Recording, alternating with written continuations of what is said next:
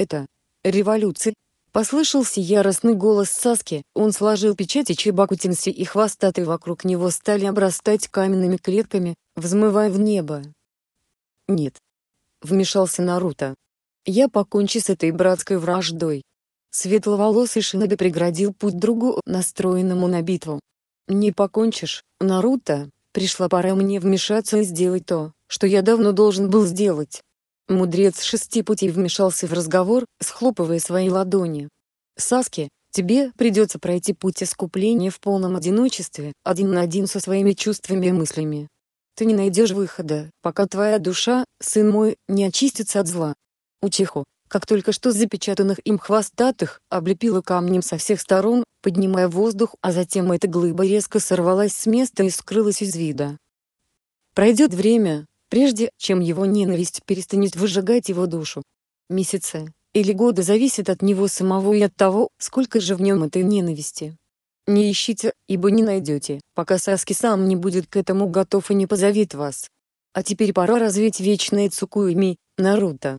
Валуны с девятью хвостатыми, рассыпаясь, рухнули обратно на землю, освобождая узников из своих страшных клеток.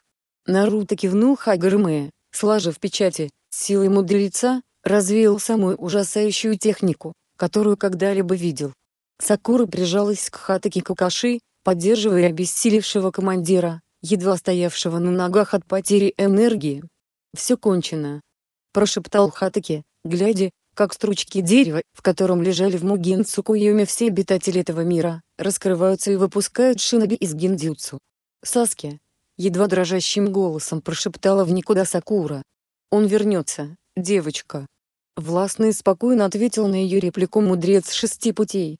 Ему лишь нужно прожить все его эмоции и избавиться, наконец, от всепоглощающей ненависти.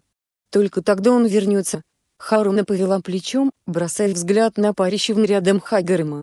Полупризрак, полуматериальное существо, обладающее невиданной силой, он повернул голову к Кунайчи, пронзая ее своим ужасающим взглядом двух ринганов. Кунайчи невольно поежилась, он выживет внутри этого камня. Она бросила взгляд туда, где какое-то время назад скрылась глыба, похоронившая заживо учиху. Он все-таки реинкарнация моего сына, девочка. Я не позволил бы ему умереть, как бы далеко он ни зашел. Хайгарыма вздохнул, печально окидывая взглядом едва стоящих на ногах шиноби, помогающих друг другу выбраться из гиндзюцу. Вы победили врага. Обернулся мудрец на Наруто. Теперь пришла пора мира и процветания. Ты знаешь, что делать, Наруто. Никогда не отступай от своей цели. Да. Кивнул светловолосый блондин, снимая с себя покров мудреца и представая перед всеми обычным шиноби с деревни скрытого листа. Хайгарм ухмыльнулся я, закружившись в вихре белых хлопьев, растворился в воздухе, сотрясая мир эхом из последнего напутствия. Сохраните этот мир. Первое, что почувствовал Саски, оказавшись внутри камня это ярость и гнев. Как? Как он посмел заточить его, только что спасшего этот мир, в какую-то глыбу. Учиха попробовал пошевелиться, но не смог. Попытка развеять гиндзюцу тоже провалилась, это было нечто посильнее. А потом пришел огонь. Нистовый, беспощадный, казалось, кожа начала оплавляться опять на лице. Саски сделал глубокий вдох и пытаясь сдержать вопль боли, но легкие обдало тем же жаром будто он впустил вместе со вдохом огонь в свое тело. Он кричал, кричал до тех пор, пока обессиленно не рухнул на пол и не потерял голос, издавая лишь жалкие хрипы и корчась от боли. Пламя ревело вокруг, но не касалось его тела, образовав небольшое кольцо вокруг шиноби, что, однако, не мешало испепелять его своим жаром. Пересилив себя, Саски встал и огляделся. Он злился. Злился на Хайгарама, за то, что заточил его в эту ужасную тюрьму, злился на Наруто, что тот не успел принять бой, злился на хвостатых за одно лишь их существование. Злился на весь мир, что так сильно отвергал его Учху Саски. Ярость застилала глаза бывшего Нукинина, а с ним огонь жег его тело. Боль миллиардами иголок пронзала насквозь, казалось, его кожа шипит, но он поднял руку, поднеся ее ближе к глазам, и не увидел ни следа от ожогов. Саски коснулся лица, но кожа все еще была гладкой, покрыта лишь пыль и ссадинами, полученными в бою. Он пытался подняться на ноги и нашел стену, о которую может опереться. Снова закричал, но вместо крика услышал лишь протяжный хрип, голосовые связки он действительно сорвал. Саски попытался проанализировать ситуацию и, превозмогая боль, оценить свои шансы выбраться из этой каменной тюрьмы, однако, кроме окружавшего со всех сторон пламени стены, усыпанные острыми выступами, он ничего не обнаружил. Попытавшись сделать шаг в сторону от стены, он наткнулся на еще более болезненные ощущения и невидимый барьер. Единственное, как он мог сейчас выбраться развить эту технику. Напрягая свои глаза, направляя максимальный поток чакры к ним, он пытался переместиться, но тщетно, затем попытался прекратить эту технику, но чакра быстро покидала его тело. Прикусив палец, он быстро сложил печати призыва, Хлопая рукой по небольшому участку перед ногами, он хотел скрыться в пасти ада и обратным призывом перенестись в другой мир, чтобы высвободиться из этого ада. Но ничего не произошло, змея не появилась, а энергии внутри него почти не осталось. Черт! Выругался Учиха, ощущая, как теряет сознание от переизбытка боли и съехал по каменной стене вниз. Он очнулся через несколько часов, когда боль отступила, оставляя телу прохладу и тишину. Раскрыв глаза, Саски обнаружил себя на выступе скалы, с которой открывался вид на серую, усыпанную пеплом равнину, которой не было ни конца ни края. Сверху виднелось такое же серое и мрачное небо. Учхо сел, вытягивая руку вперед. Пламя ушло. Что ж, как минимум, он не умер. Его мысли вернулись к произошедшему несколько часов назад и снова к лицу прилила кровь, а сердце бешено заколотилось, впуская ярость и гнев в его израненную душу. Не прошло и секунды, как серый ландшафт расплавился, раскалившись до красна, а затем его снова окружило кольцо из нистого ревущего огня, который выжигал легкие и плавил кожу, я в жерле вулкана. Пронеслась у него мысль, перед тем, как он вновь потерял сознание от пронизывающей насквозь боли. «Сакура!» Раздался стук в дверь. «Просыпайся. Нам пора». Харуна перевернулась на другой бок, желая попросить еще несколько минут тогда спать, но потом вспомнила, где они чем занимаются и соскочила, поднимаясь на ноги. «Иду». Ин ждала ее прямо за дверью временного шатра Ирининов. Там было несколько комнат для отдыха с очень неудобными кушетками и холодными душевыми.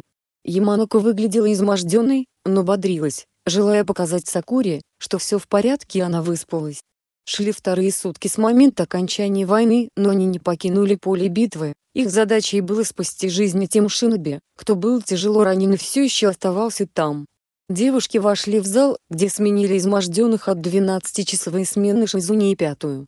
Таких шатров, раскинутых по разные стороны местности, было множество лучшие команды медиков боролись за жизни раненых шиноби. «Сакура!» — рявкнула пятая. В третий шатер доставили тело Хьюганиджи, Кацуй сообщила, что его сердце еще бьется, хоть и очень слабо. Оно повреждено и он теряет кровь. Сейчас он на грани уйти в чистый мир, направляется туда. Нам нужно его спасти. Есть. Сакура вытянулась по струнке, а затем, собрав силу в ногах, исчезла из поля зрения Ирининов с легким хлопком. Харуна ворвалась в операционную, где толпилось четыре иринина, один из которых сидел прямо на каталке с раненым шиноби и вливал ему свою собственную кровь. Увидев Сакуру, один из них махнул ей, показывая, что это именно этот пациент требует неотложной помощи Харуна. «Разойдитесь!» — рявкнула Сакура троим ирининам, что стояли вокруг каталки, проводя какие-то манипуляции. Едва она получила доступ к раненому другу, запустив диагностику в районе открытой изливающей кровь раны, она вновь обратилась к трем отошедшим медикам. Отчет. Глубокое ранение сердечной мышцы, повреждены сосуды. Сокращение сердечной мышцы приблизительно один раз в минуту.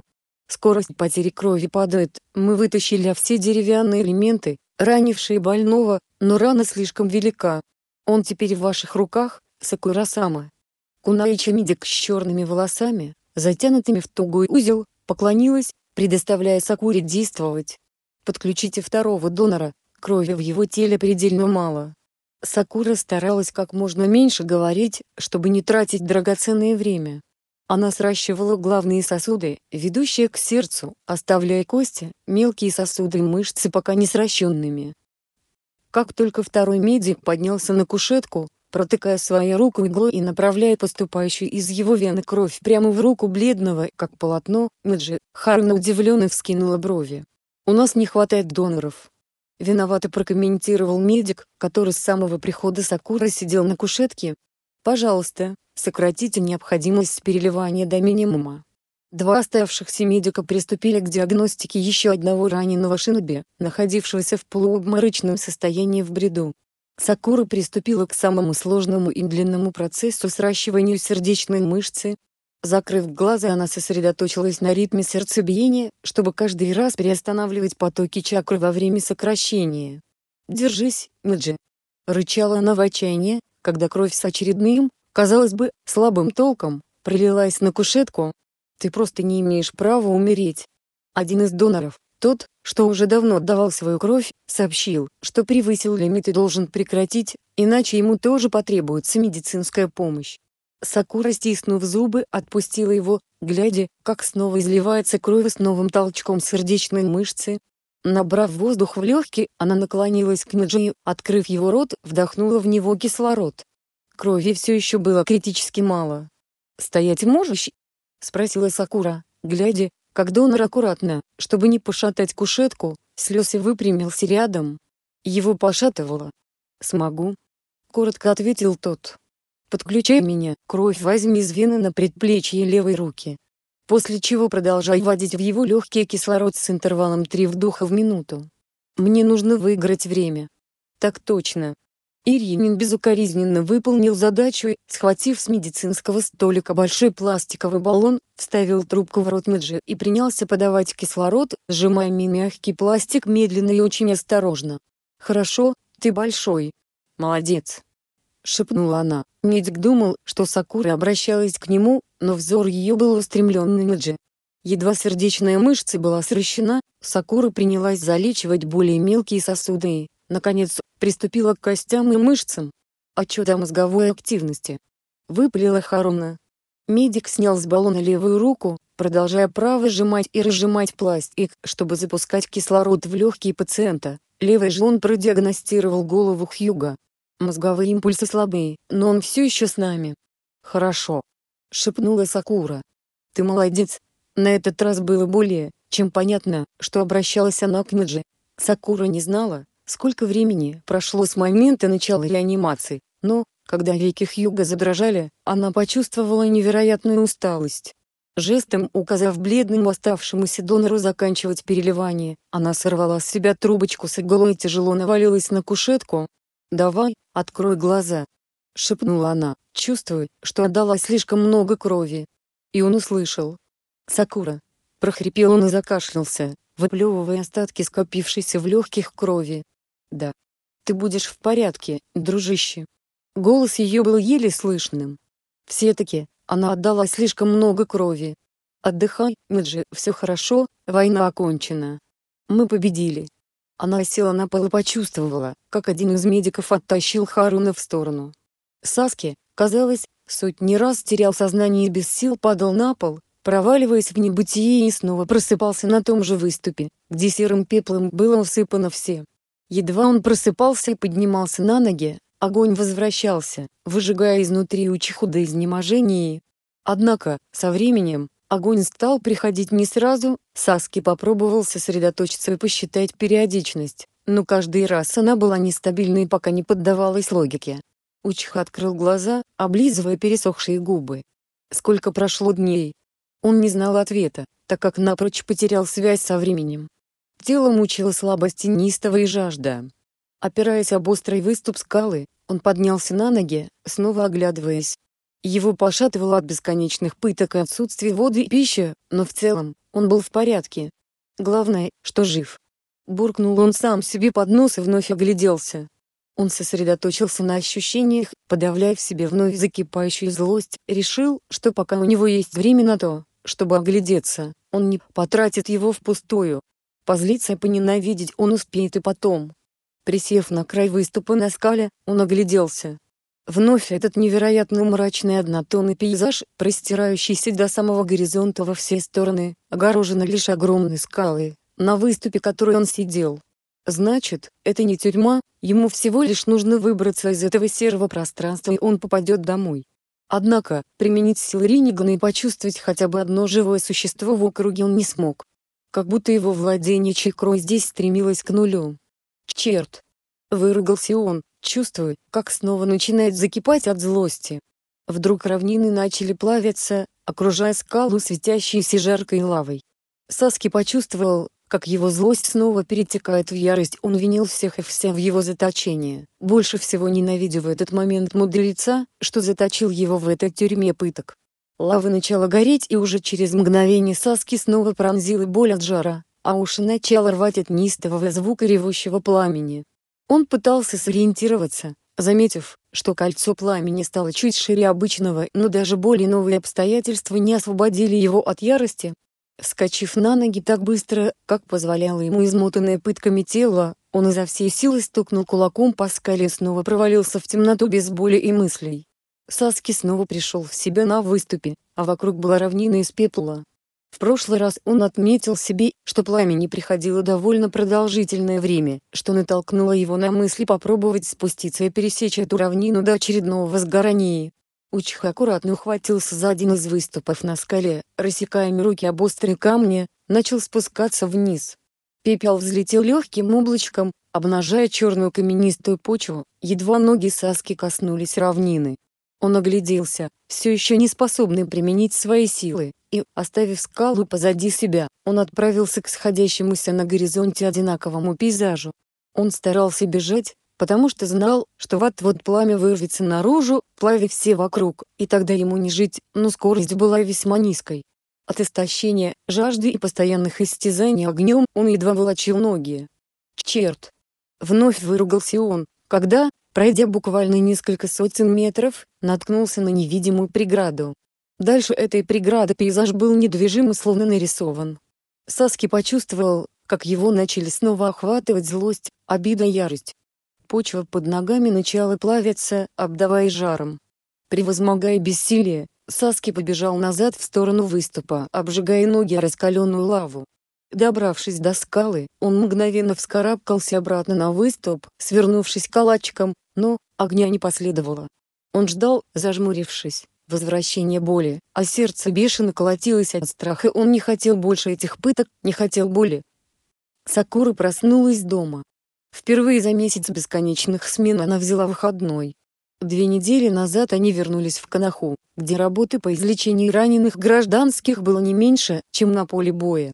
И вот, когда, наконец, большинство было излечено или проходило реабилитацию, когда Кинаха зажила своей более размеренной жизнью, направив силы на восстановление зданий, Сакура взяла свой первый после войны выходной.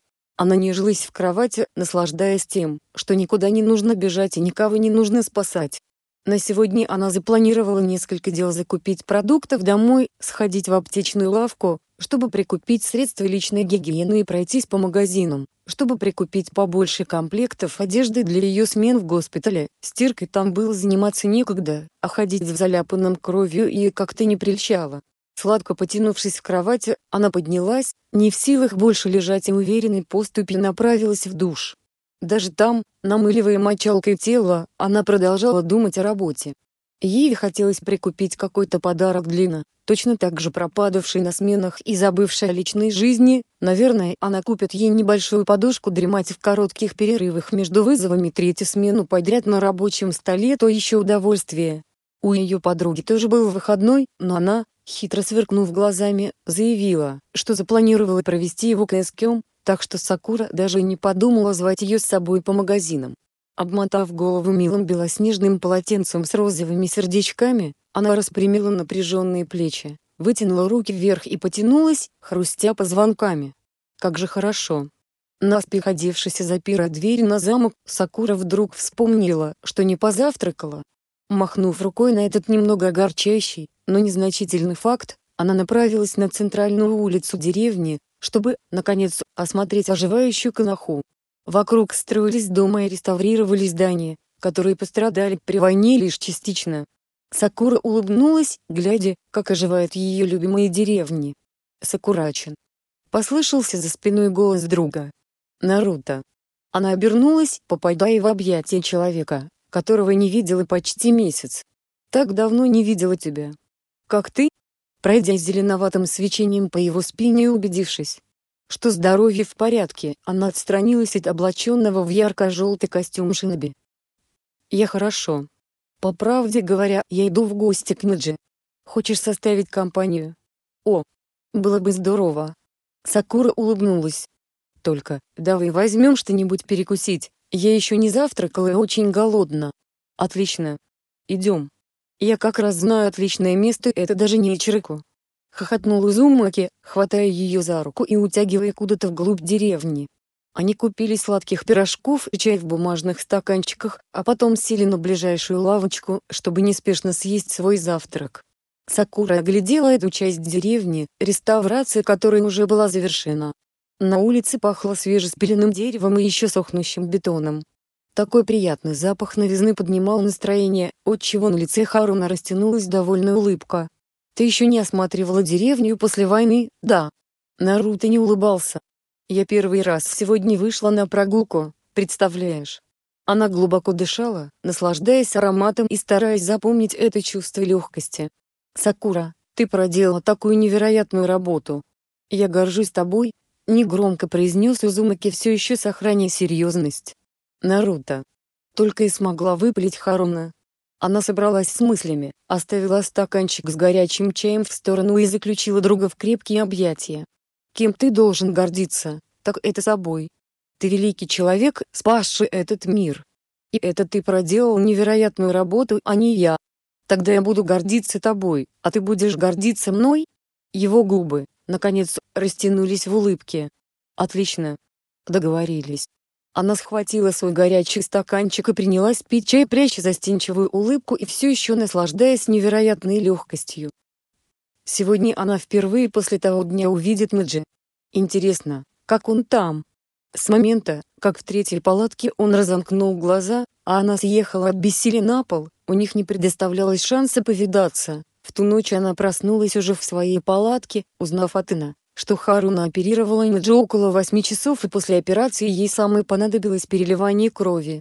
Пятая через пару часов вошла в ее покои, поздравив с успешным спасением товарища, жизнь снова закипела, пронося перед глазами раненых больных, исцеленных больных, холодный душ в палатке, сон и снова все по кругу. Две недели спустя они свернули полевой лагерь, вернувшись в деревню и все повторилось, за исключением холодного душа, в госпитале вода была теплой, а вот сегодня, совершенно случайно, ей выпал шанс повидаться со спасенным пациентом. Сакура поспешила доесть завтраки, глядя, как Наруто плетает свой, снова счастливо улыбнулась.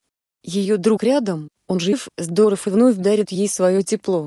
На секунду она позволила своим мыслям посетить тот укромный уголочек, который старалась держать под семью замками во время изнурительной работы она с этим успешно справлялась.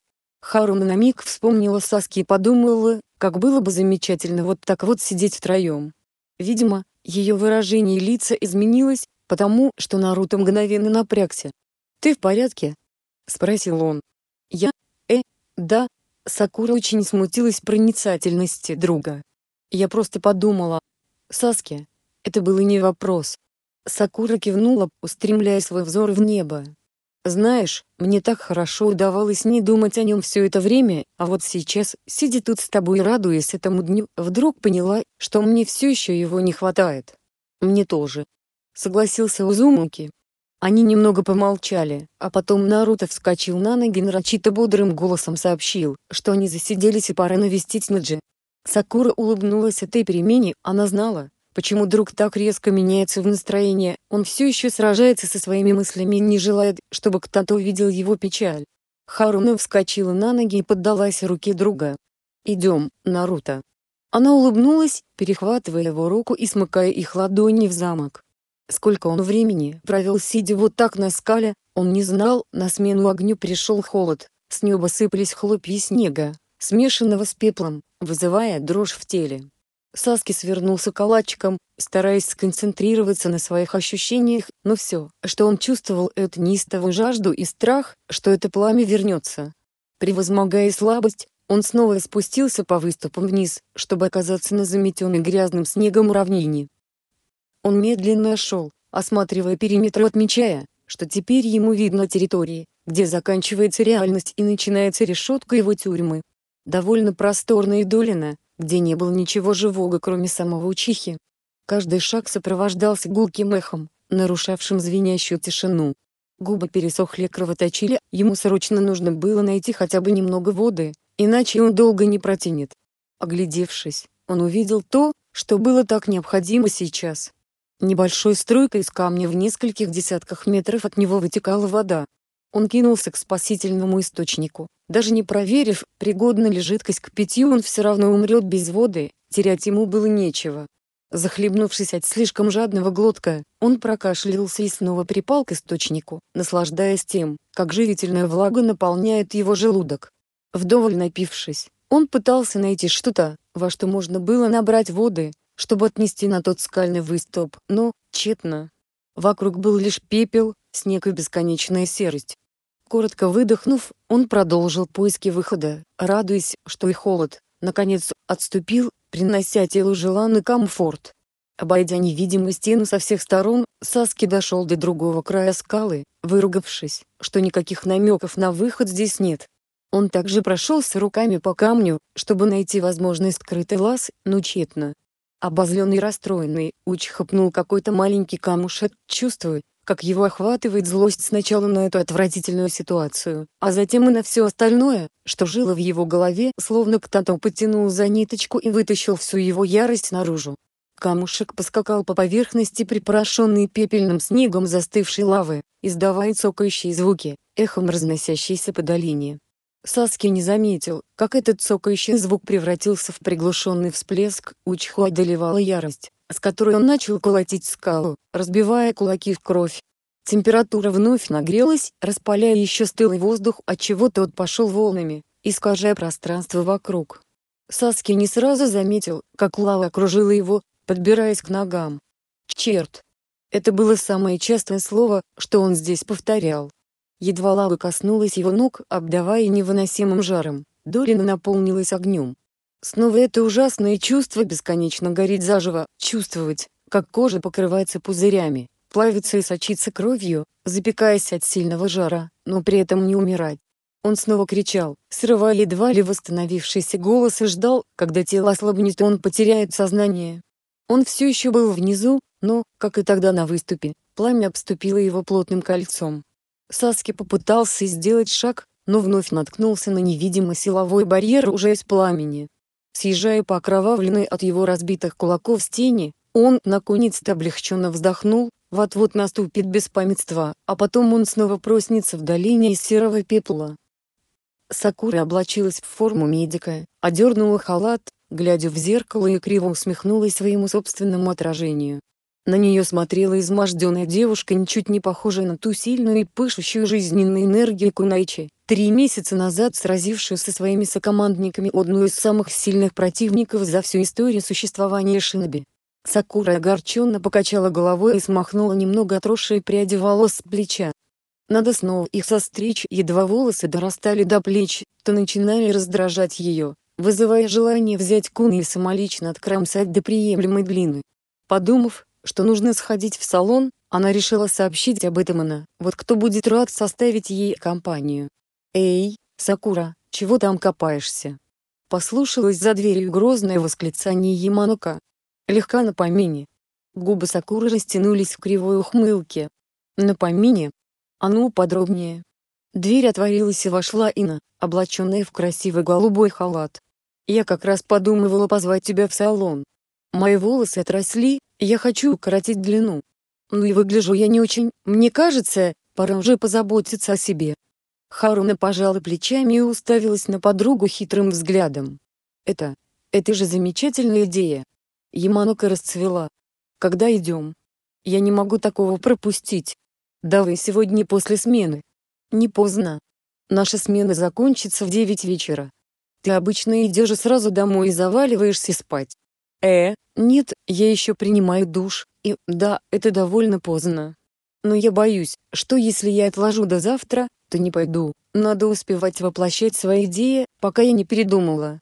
Сегодня, так сегодня. Идем в Золотой Дракон. Сакура застонала от мысли, что подруга выбрала самый дорогой салон в деревне. Он работает до полуночи. Как раз подходит таким поздним пташкам, как мы. Идем, я забронирую прием на сегодня после того, как мы совершим обход. Что ж, пусть будет золотой дракон. Сакура выдохнула и взяла у подруги листы для обхода.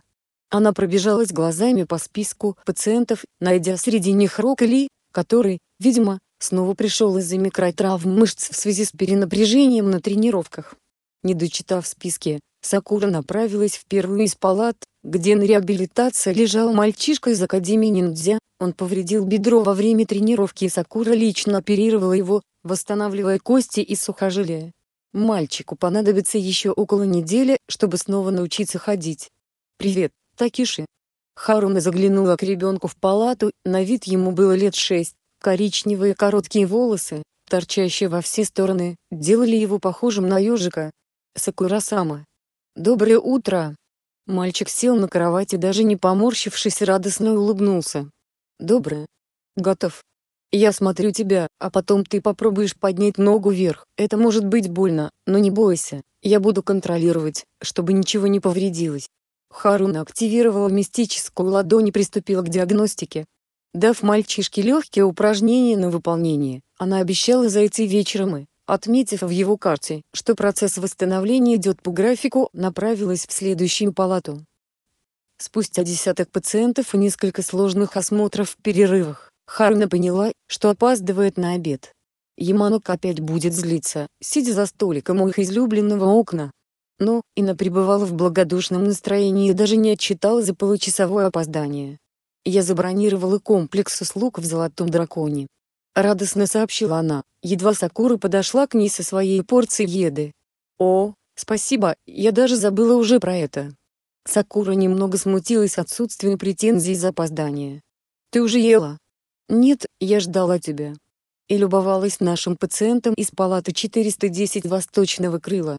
«Смотри, вон он сидит на скамейке во дворе». И наткнула пальцем в стекло, указывая на одиноко сидящего бывшего сокомандника Сакуры. «Это же Сай, — воскликнула Харуна, глядя на друга. «Что с ним случилось?» «Ничего серьезного, он просто помогал восстанавливать линию электропередач на окраине деревни, что-то пошло не так и его ударило током. У него временно сохранен тремор рука немного снизилась остройта зрения, но я поставлю его на ноги». Ина многозначительно подмигнула. Я ничего об этом не знала. Сакура прижала ладонь к рту, шокированная, что не помогла сокоманднику вовремя. Когда это произошло? Вчера вечером. Я как раз завершала дежурство, когда он поступил. Ну, и чтобы мне достался под контроль такой красавчик, пришлось немного задержаться на работе и принять его. Яманока снова многозначительно подмигнула. «Ты не переживай, все с ним будет хорошо. Он в надежных руках». Сакура кивнула, переводя взгляд Сэ на свою тарелку, есть расхотелось, но она положила вареную брокколи в рот и задумчиво принялась жевать. После обеда она заглянула к Саю, обеспокоенная его появлением в больнице. «Привет, я зайду?» Сакура заглянула через приоткрытую щель двери, убедившись, что Сай вернулся в палату. «О, Сакура, не ожидал тебя тут увидеть». Сай отложил в сторону книжку с цветастыми картинками и лучезарно улыбнулся. «Ты как?» Она закрыла за собой двери, входя в палату. Смотря кто передо мной. Сакура друг или Сакура врач? Хохотнул Сай. Друг. Сакура тепло потрепала его по плечу. Бывало и лучше. Сай натянул свою фальшивую улыбку, склонив голову на бок. «А что бы ты сказал мне врачу? Что я в полном порядке и меня можно отправить домой?» Сакура издала смешок и подсела к нему на кровать. «Что случилось?» Официальной версией меня ударило током, когда я помогал чинить линию электроду передач. Сай посмотрел на подругу без каких-либо эмоций. «Это все, что тебе нужно знать. Отпустишь меня?» Сакура прикусила нижнюю губу, понимая, что Сай не расскажет настоящим причину своего ранения, что это не гражданский случай. Не просто же так он вернулся в Анбу после окончания войны и распуска команды 7. Секретное задание. Секретное задание. Прости, я не смогу тебя отпустить, твоим лечащим врачом является Ина Яманука, только она может выписать тебя, либо же комиссия врачей. Однако, глядя на тремор твоих рук, я тебе сразу скажу, что комиссия тебя не выпишет как минимум еще пару дней. Сакура потрепала друга по голове и поднялась с кровати. Прости, Сай, мне нужно готовиться к операции. Отдыхай и постарайся получить удовольствие от пребывания здесь. Пока, Сакура. До завтра. Харуна покинула палату Сая, отмечая, что завтра принесет ему цветов, придя как друг, а не как медик. Операция прошла успешно, она смогла сегодня извлечь осколки раздробленной кости из мягких тканей и восстановить очень сложный поврежденный участок. Устало вытирая руки белоснежным полотенцем, Харна прижалась к стене спиной, унимая дрожь в руках от усталости.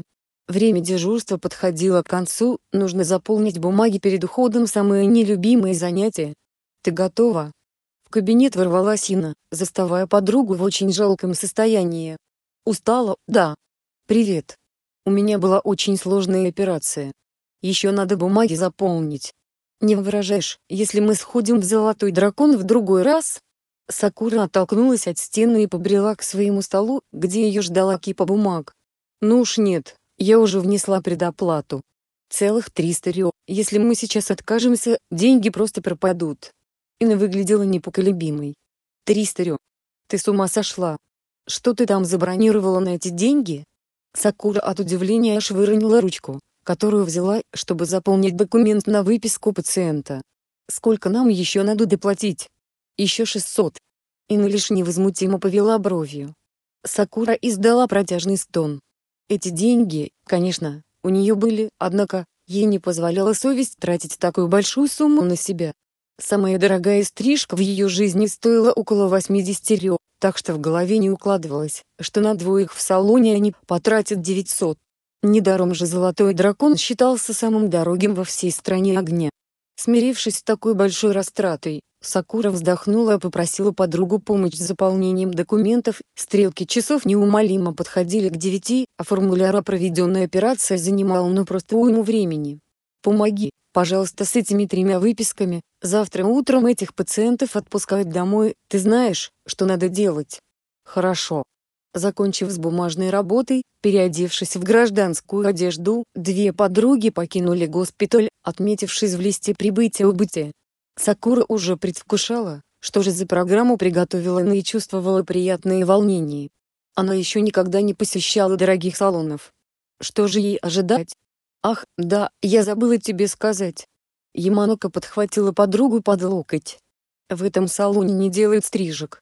Что? Сакура попыталась вырваться, но подруга со звонким смехом потащила все-таки ее внутрь здания. Саски сидел на краю ступа, скрестив ноги и положив ладони на колени. Он хотел просто войти в состояние транса и спокойно уйти в чистый мир, конечно, если он его заслужил. Однако, сколько бы он ни сидел с закрытыми глазами и не контролировал свое дыхание, очищая голову от всех мыслей, забвение и смерть не приходили. Сколько времени прошло с момента, как он попал в это место, он не знал.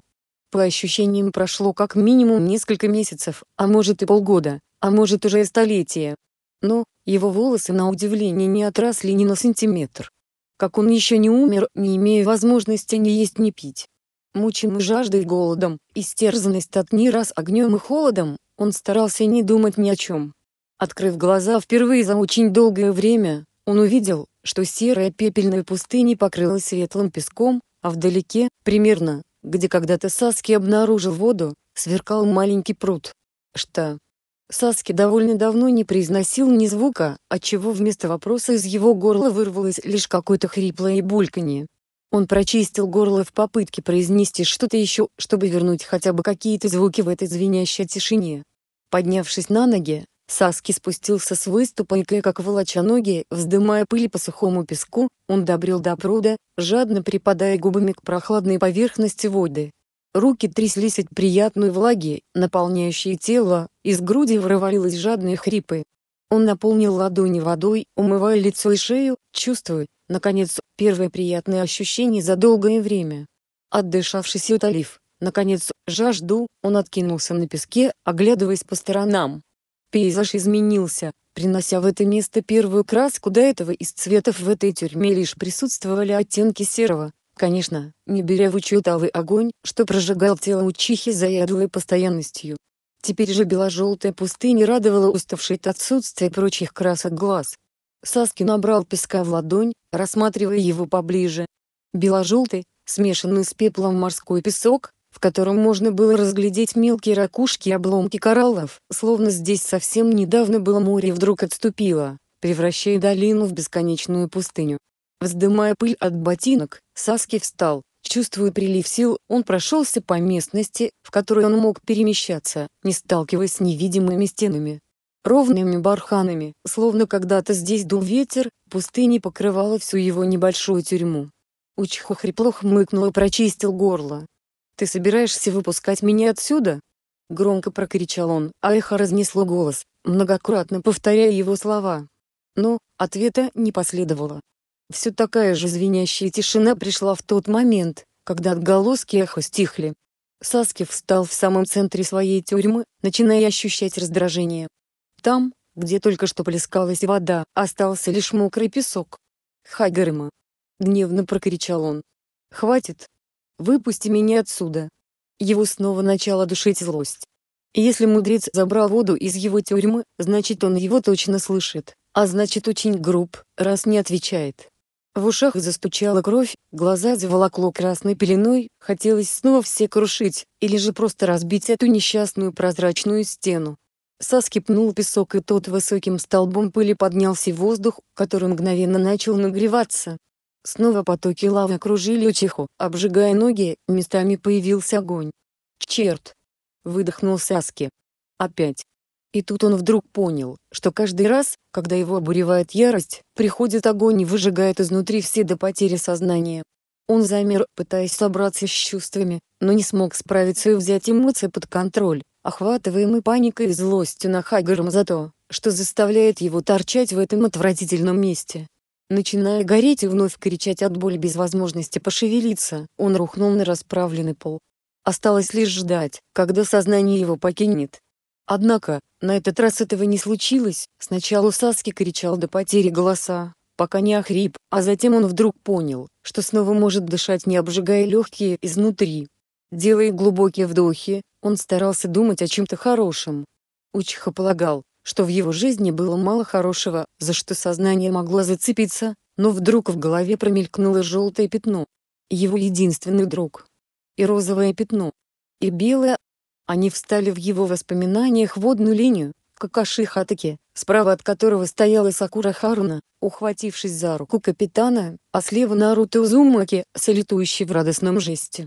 Саски ухватился за эту картинку и продолжал дышать, очищая свой разум от ярости, фиксируя в своей голове образ команды 7, его товарища и наставника.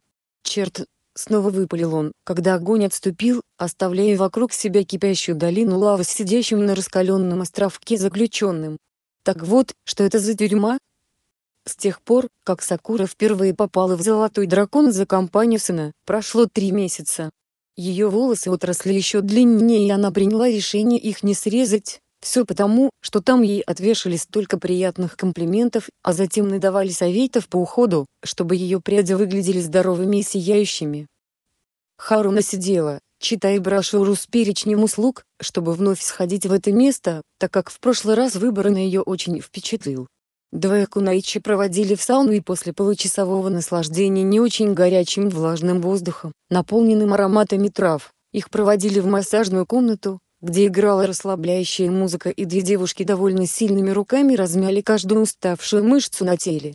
После были уходовые процедуры за кожей и волосами все то, чего Сакура никогда с собой не делала. После того, как она вышла из Золотого Дракона в тот момент, ей казалось, что она выспалась, светится изнутри она готова взлететь. А, смотри, какая у них есть услуга. Заглянув ей через плечо прошептал Инна. Выходные королевы. Двое суток на горячих источниках с массажами, питанием, медитациями и дыхательной медитативной практикой. У меня нет столько денег. Рыкнула Сакура, пряча буклет. О, конечно есть.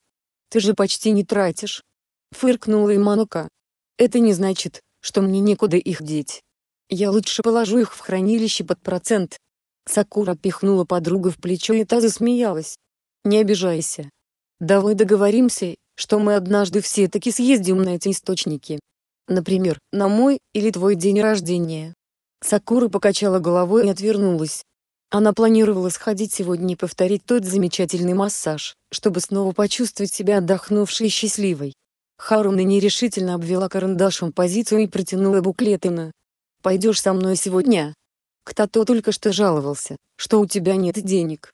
Яманоко криво усмехнулась. Ну, я говорила про тот тур. Решено, сегодня на массаж. Забронируешь? Сакура кивнула. Сегодня она заканчивала смену в пять, после чего она хотела зайти в квартал Хьюга, повидать Наджи и продиагностировать его тело. После той операции, каналы чакры так до конца и не были восстановлены, что приносило ему множество неудобств. А еще она хотела поинтересоваться, пойдет ли он на ужин, который организовывала пятая в честь небольшой даты ровно полгода мирной жизни. Наверное, еще поэтому Харуна так хотела побаловать себя в этом дорогом салоне, чтобы завтра на ужине выглядеть хорошо. Едва закончив с обходами и бумажной волокитой, Сакура обнаружила, что опаздывает. Отметившись на пункте прихода, она сконцентрировала чакру в ногах и ускорилась, пропадая из виду. Спустя несколько минут Харуна уже оказалась у главных ворот квартала Хьюга. Наджи ждал ее там, одетый в белоснежную рубашку и брюки. На лбу больше не было ни протектора, ни бинтов, в этом не было необходимости. Проклятая печать клана пропала, едва он уже доказал свою верность клану. «Привет. Я думала, ты будешь ждать меня в Сайду». Она подошла к другу, беря его под локоть, помня, что ему все еще сложно передвигаться. «Мне уже лучше, так что, я смог позволить себе немного пройтись. Ниджи улыбнулся и положил ладонь на ее руку, обхватившую его локоть. «Идем, я принесла тебе фруктов в сахарной карамели. Тебе точно понравится». «Спасибо». Они неспешно прошли в небольшой сад с беседкой Ниджи, слегка поморщившись, присел на резную скамеечку. Сакура тепло улыбнулась, видя, как друг изо всех сил старается не показать, что ему больно, хотя, как медик, она точно знала, что это далеко не так. Каналы чакры восстановятся по ближайшим прогнозам только через пару месяцев, и только тогда он перестанет испытывать дискомфорт. Попробуй вот эту, тут клубника и ранетки, сочетание очень интересное. Спасибо. Повторил Наджи, принимая угощение. В этот момент Сакура активировала диагностику, проводя ладонью по спине, где когда-то зияла сквозная дыра. По спиннику Наичи пробежались мурашки от воспоминания его ранении и она вздрогнула. «Ты в порядке?» Наджи удивился тому, как дернулась ладонь Иринина. «Прости, в момент, когда я тебя оперировала, мои руки не дрожали, но почему-то сейчас, вспоминая твое ранение, я не могу сдержать дрожь».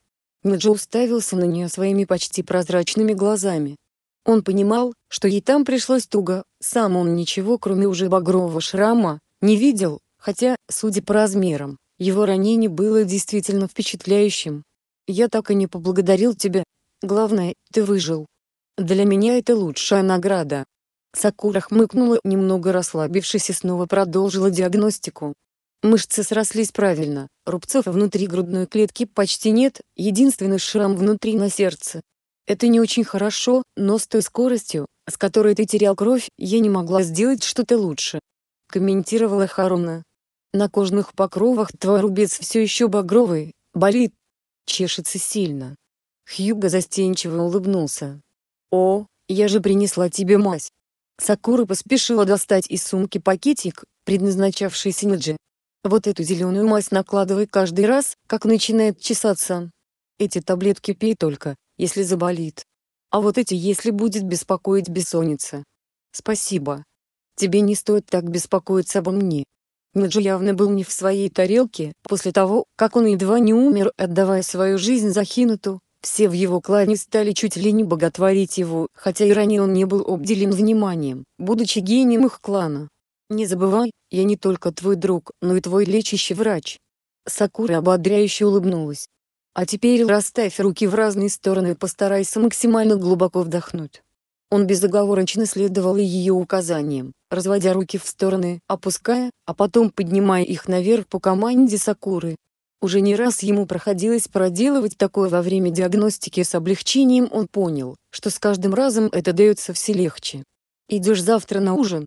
«О, я как раз собиралась спросить тебя о том же». Хихикнула Харуна, поправляя ворот его рубашки. «Все, диагностика закончена». «Спасибо». Он кивнул и посмотрел на нее. Я планировал пойти. Хочешь, зайду за тобой? О, все в порядке, Рокли и Тинтин обещали зайти за мной. Отлично, буду рада видеть вас там.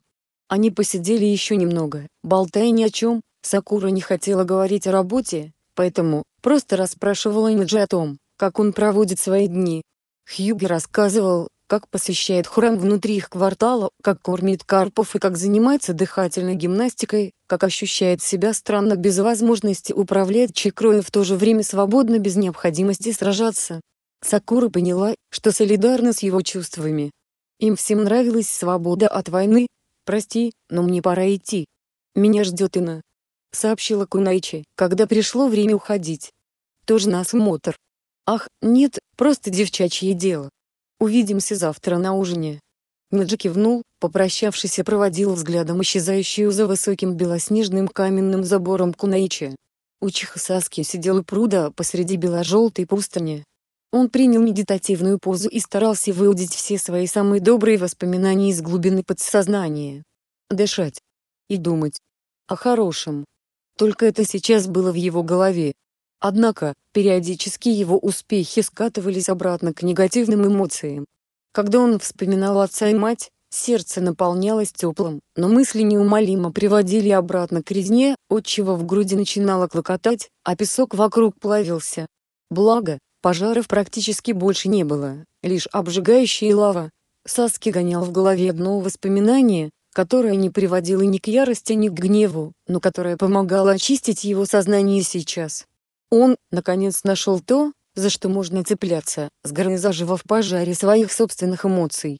Однажды в лесу смерти это избавило его от сводящего с ума гнева, и теперь, вспоминая это, он вновь чувствует спасительное успокоение. В тот момент Са-командница, наплевав на то, что Саски представлял опасность даже для нее самой, обхватила его со спины, прижимаясь к нему всем телом. В момент, когда он обнаружил, что это воспоминание помогает ему очистить разум, Учиха зацепился за то самое мгновение и потушил вновь разбушевавшееся пламя. С тех пор он часто вытаскивает из задворок памяти именно этот момент. Он сидел, закрыв глаза и глубоко дышал, когда тишину вдруг разорвало истошным криком. «Саски-кун!» Это был голос Сакуры, он рассыпался эхом по его ненавистной тюрьме, он знал этот голос, ведь именно свое имя он чаще всего от нее слышал в последние годы. Учиха вскочил на ноги, сердце бешено заколотилось, возможно сейчас она где-то рядом, почувствовала его и освободит. Вздымая пыль от песка, он бросился проверять стены своей темницы, но все тщетно. Нигде не было ни намека на ее присутствие и ни намека на выход. Кажется, он начал сходить с ума, Вернувшись к источнику с водой, Учих обнаружил, что возле пруда проклюнулись травинки. Новый цвет в этой почти бесцветной тюрьме три маленьких зеленых росточка. Саски упал на колени возле них и начал жадно разглядывать, боясь, что эти травинки вскоре тоже сгорят в потоках лавы. «Нет», — твердо сказал Саски сам себе. «Хватит огня». Он перебрался поближе к росткам, сел в медитативную позе и стал думать о красивых цветах. Сердце все еще гулко колотилось в груди после услышанного голоса и Учиха старательно пытался взять его под контроль. Первое, что пришло ему в голову цветки розовой сакуры по весне. Как же красиво становилось в Канохе в марте. Попытался представить запах, вдыхая полной грудью все еще пахнущий пеплом воздух, а потом вспомнил, как они с Наруто ходили в Раменую на праздник фейерверков, и как пахли приправы вычереку. Это было настоящим открытием вспоминать запахи, они приносили спокойствие и теплые мысли, которые не приводили к срывам. Рот мгновенно наполнился слюной, когда он подумал о еде. В этом заточении ему не было нужды он не умирал, однако, от голода это не избавляло. Саски уже привык к этому ощущению и даже старался его игнорировать, но едва он вспомнил, как похромил вычереку, то чуть не захлебнулся слюной. Коротко выдохнув, он вспомнил, как вкусно пахло порохом на фестивале фейерверков, отмечая, что с момента формирования команды 7, Сакура и Наруто были рядом в этот праздник. Харуна раздражающе вешалась Саски на руку, а Узумаки вешался на Кунаичи. Впервые за долгое пребывание в этом заточении губы Учихи растянулись в усмешке. Он открыл глаза, удивившись такой яркой картинке, посетившей его голову и вдруг увидел, что вокруг него проклюнулось больше травинок. Маленькие ростки, которых было уже не сосчитать. Значит, он все делает правильно. Сакура сидела на подоконнике и считала минуты до наступления новых суток. Через несколько минут наступит день рождения Саски, а они так и не нашли его. Пятый отвергал любые попытки Сакуры и Наруто отправиться на поиски Учихи, мотивируя это словами мудреца шести путей. Харуна чувствовала полное опустошение от того, что в очередной год она не рядом в его день рождения. Сакура не воспринимала чем-то важным свой праздник, однако, день рождения Саски был для нее чем-то очень значимым всегда. Вдыхая свежий воздух, она вытянула ноги, свесив их вниз и наслаждаясь прохладой ночного ветра. Прошло всего полгода, Хагерма не назвал никаких сроков возвращения. Лишь сказал, что пройдут месяцы, а может и годы. Где он, что с ним? Знает ли о дне своего рождения? Ответов на этот вопрос она не находила. Наруто, даже входя в режим мудреца, не мог обнаружить Саски в их мире. А значит, действительно бесполезно искать его. Стрелки часов медленно ползли к полуночи, оставляя все меньше времени до наступления нового дня. Сердце бешено колотилось от волнения, будто вот-вот на подоконник рядом сядет Учиха и поцелует Сакуру прямо в губы. Судорожно сглотнув, Харуна стряхнула наваждение, крепко зажмурившись и помотав головой. Харуна перекинула ноги через подоконник, спрыгивая в комнатку, где стояла ее кровать. Мягко ступая по темно-зеленому ковру, что расстилался у изножия кровати, Сакура скинула с себя уличную одежду и, подхватив ее с пола, направилась в ванную, которая примыкала к ее спальне. Закинув одежду и белье в корзину для грязных вещей, Кунаичи скрылась за шторкой в душевой, жмурясь от ледяных струй воды, что хлынули на ее тело. Помещение медленно наполнили ароматы трав Сакура сама варила себе шампунь для волос и тела из собранных полевых цветов. Отчего ей иногда казалось, что пахнет от нее успокоительным отваром, но ей это безумно нравилось. Она вдруг подумала, какого бы была ее жизнь, если бы Учиху не захлестнуло это неистовое желание революции, если бы Хайгарма не отправил его в заточение, Сакура думала о том, как где-то в маленькой квартирке в Канухе сегодня ночью горел бы свет, и двое товарищей по команде ломились бы к спящему Саске с тортом и шарами, чтобы просто поздравить друга с днем рождения. Наспех вытерев себя полотенцем, Харуна облачилась в шелковую серо-черную полосатую пижаму и рухнула на кровать. В уголках глаз пощипывала от еще не проступивших слез. Она все думала, что плакать по нему это последнее, что Сакура будет делать, но, увы, едва осознав, что часы уже давно перевалили за полночь, Харуна содрогнулась от слез, давая наконец воли чувствам. «Саски-кун!» Пронзительно прокричала она в подушку, и закусила до боли ее белоснежный уголок. На секунду ей показалось, что она почувствовала его. Сакура вскочила, оглядываясь по сторонам, но это было лишь наваждение, как и там на подоконнике, когда казалось, что он вот-вот придет и сядет рядом. Обессиленно рухнув обратно на кровать, она предалась слезам, даже не заметив, как уснула на все еще застеленной постели. Утро выдалось солнечным, и Сакура разлепила свои опухшие от слез глаза, поморщившись, словно пребывала долгое время в подземельях. Непорядок. Покачала она головой, вглядываясь в зеркало.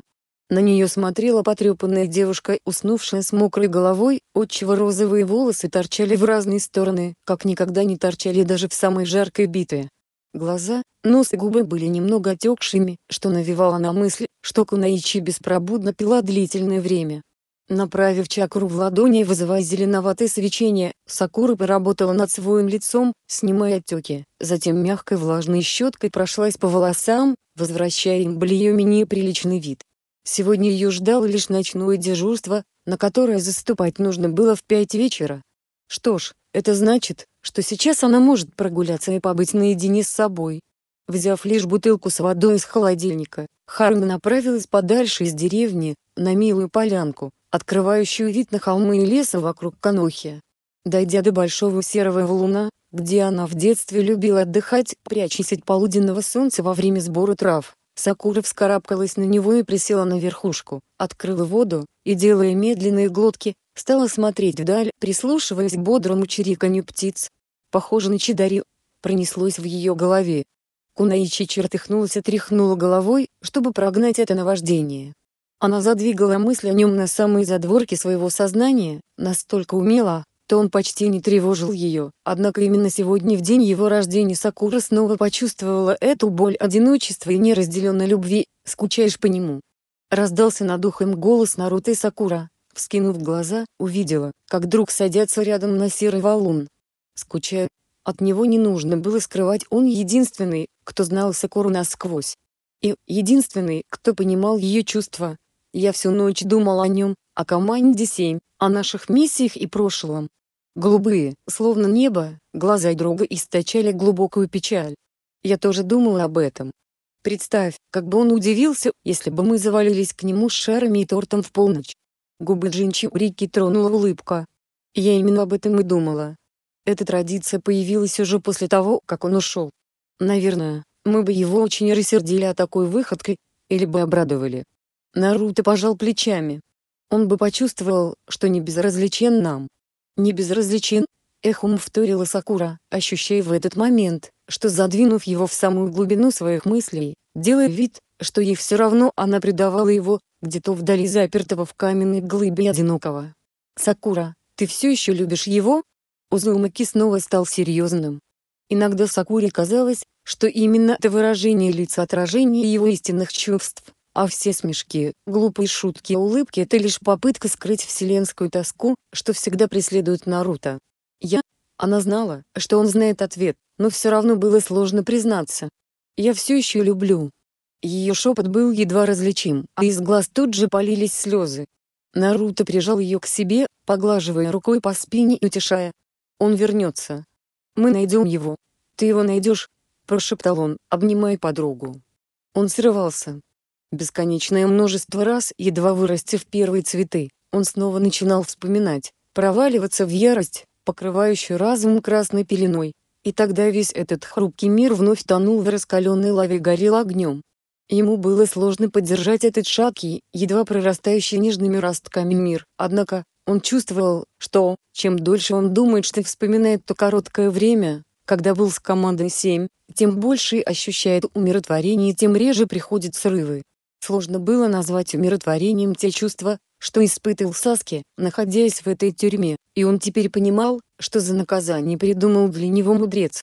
Его собственные эмоции и формировали окружающую среду этого места его главным уроком здесь будет научиться думать о хорошем.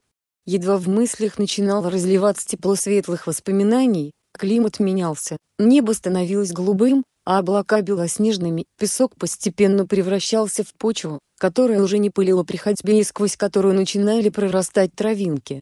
Один раз он даже сумел полюбоваться красными и желтыми цветками, распустившимся у пруда. Пруд же превращался в красивое небольшое озеро, в котором появлялись кувшинки. Однако, их цветение Саски не успел увидеть, вновь зацепившись за воспоминания о брате и том, как Канаха поступил с ним. Он не сумел совладать со злостью и вновь все потонуло. Пожара не было. Лишь реки из лавы где всполохи огня. Саски злился, что такой хрупко выстроенный мир разрушился, злился на обжигающую стоп и боль от раскаленной почвы, злился вновь на хитрого старика, что придумал эту ловушку. Однако, он понял, что лучше всего будет просто сесть в медитативную позе и постараться побороть этот гнев. Саски начал с дыхания, он очистил голову от мыслей, представляя перед собой чисто белый лист. Но, воображение упорно рисовало ему серый пепел долины, что образовывалось, когда остывала лава. Ничего, это тоже подойдет. Думал он, когда почувствовал, что жар уходит, принося телу желанную прохладу. Саски крепче зажмурил глаза, сились представить запахи, или что-то светлое, заставляющее в груди разливаться теплом. Что это за чувство он не понимал, но определенно оно ему нравилось. В голову не шло ничего, вызывая лишь раздражение. Он учился сражаться, умел это делать лучше большинства шиноби на планете, он концентрировался в бою, но его никогда никто не учился владать самим собой. Стукнув кулаком по затвердевшему еще теплому камню, он вновь почувствовал, как тот начинает плавиться. «Черт!» — выдохнул Саски, возвращаясь к мыслям о пустынном сером ландшафте. Глубокий вдох, и вот сквозь серую темноту его сознания он почувствовал, как в голове мелькнуло что-то розовое. Он вспомнил, как дрожащие руки крепко обхватили со спины, как ее тело трепетно прижалось к нему, снимая пелену гнева с глаз. Как и тогда в лесу смерти, объятия Сакуры работали, как ключ для добрых мыслей. Саски облегченно выдохнул, чувствуя, как в груди снова разливается тепло. Тут же в его воспоминаниях мелькнул голубоглазый блондин, хохоча и хватая Сакуру за руку. Та схватила Саски и они вместе побежали. Учихо даже почувствовал, как в реальности его рука покрылась мурашками от прикосновения. Разлепив глаза он увидел серый пепел, припрашивший все вокруг. Хорошо. Он на верном пути. Снова все заново. На этот раз, он вырастет здесь огромную поляну цветов, пусть даже это займет время. Начало сентября. Через месяц будет годовщина их победы над войной, но Сакура не чувствовала себя достаточно счастливой. Сегодня первый день ее отпуска и она довольно опрометчиво поступила вчера, согласившись пойти с Энной и отметить наступление долгожданного отдыха. Яманока праздновала свою маленькую победу официальное начало отношений с Саем и потащила Харуна в один очень милый бар, вывеска на котором сообщала, что мужчинам вход строго запрещен. Не надо было столько пить. Поморщилась Сакура, лежа на кровати и пытаясь дотянуться до сумки с медикаментами, что валялась на полу, но потом бросила это гиблое дело и просто раскинула руки в разные стороны, перевернувшись на спину. Плотно зажмурив глаза, она прокручивала обрывки рассказа об их с Саем первом официальном свидании, которые были перемешаны с мыслями Харуна о том, как бы было здорово, если бы это было ее свидание с Саски. В дверь громко постучали. «Кого там еще принесло?» Пробухтела она, укрываясь одеялом, будто стараясь спрятаться подальше ото всех. «Открывай, Сакура, я принесла тебе отвар от похмелья». Раздался за дверью голос подруги. До Сакуры вдруг дошло, что стучат в дверь ее спальни, а не во входную дверь квартиры. Кунаичи резко села на кровати, поморщившись от головной боли, затем поднялась на ноги и легонько ступая босыми ногами по полу, направилась к двери, которую обычно никогда не закрывала. «Привет», Инна самодовольно ухмылялась, держа в руках стакан с зеленоватой жидкостью с резким запахом мяты. «Привет. Ты ночевала здесь?» Сакура была очень удивлена. «Ну да. Вдруг Сайба вечером решил заглянуть ко мне, не очень хочется, чтобы он видел меня такой пьяной». Она хохотнула, протягивая стакан подруге. «Ты как? Как я могла так напиться? Тебе это было нужно?» Инна стерла со своего лица наглую улыбку и посмотрела на подругу. Наше с Саем первое свидание это был лишь повод потащить тебя туда. Сакура нервно сглотнула, а потом опустошила залпом ароматный напиток, чувствуя, как морозная прохлада, разливаясь в желудке устраняет тошноту. Еще немного и пройдет головная боль. Этот напиток Сакура изобрела два года назад, когда Цунади на спор решила перепить какаши, а тому утром нужно было выдвигаться на миссию. Она помнила, как тот влез к ней в кабинет через окно и потребовал хоть что-то, что приведет его в чувство. Тогда она отчитала его за то, тот был так глуп, что попытался перепить обладателя Бьякова. Черт! Сакура выругалась, вспоминая, что она тоже носит эту печать на лбу. Активировав внутренние резервы, она почувствовала, как Бьякова расползается по лицу черными полосами, высвобождая от головной боли и ломоты в мышцах. Вспомнила, наконец, хохотнула Ина. Надо же было так напиться. Снова возмутилась Сакура. Что я тебе наговорила? О, ты была великолепна. Яманока схватила Сакуру за руку и потащила в гостиную, совмещенную с маленькой кухней. Усадив Харуна на изумрудный диван перед окном, она принесла из кухни две чашки горячего кофе и села рядом. «Сначала ты, проливая слезы, твердила, как ты за нас с рада, а закончилось это твоими воплями на весь бар о том, как ты скучаешь по Саске и хочешь такой же любви, как у нас. О, только лишь смогла выдохнуть Харуна. Прости меня. Она виновато опустила голову, обхватив кружку двумя руками и глядя на черную поверхность ароматного напитка. Сакуре было не по себе от того, что ее чувства вот так вот вывернули наизнанку. В голове всплыли обрывки ее истерики там в баре, когда она, заливаясь слезами, рыдала на плече подруги и говорила, что без него ей никогда не быть счастливой что большего она и не заслуживает в жизни, чем вот так просто отдаваться работе и миссиям. «Сакура, ты не права в своих суждениях». Ина ободряюще положила руку на плечо подруги. «Тебе надо начать жить своей жизнью. Найти любовь, завести семью. Ты этого не делаешь лишь потому, что не можешь отпустить Саски. Думаешь, ты все еще нужна ему. Спустя столько лет. Хоть немножечко. Я не знаю, Ина. Сакура подняла свои зеленые глаза на подругу. Не могу вот так просто приказать самой себе перестать думать о нем, перестать чувствовать. Я ведь по-настоящему люблю. Разве просто увлечение может продлиться столько лет? Не может. Согласилась подруга. Но на тебя смотреть больно. Ты превратилась в призрака Канохи. Или в робота. Я очень хочу тебе помочь, но не знаю как. Знал бы я, сама бы давно помогла себе. Усмехнулась в кружку Сакура. Может, посмотришь на других парней, хотя бы попробуй. Инна, я не хочу. Мне хорошо сейчас. Я работаю, спасаю жизни, встречаюсь с друзьями, иногда хожу на миссии, занимаюсь изготовлением различных настоек противоядий. Мне хорошо живется, просто иногда накатывает, это не значит, что я глубоко несчастна. Это именно то и значит. Воспротивилась подруга. Хватит, пожалуйста, в моей крови больше нет алкоголя и я не могу так легко об этом говорить. Сакура громко поставила чашку с нетронутым кофе на стол, расплескав ароматный напиток.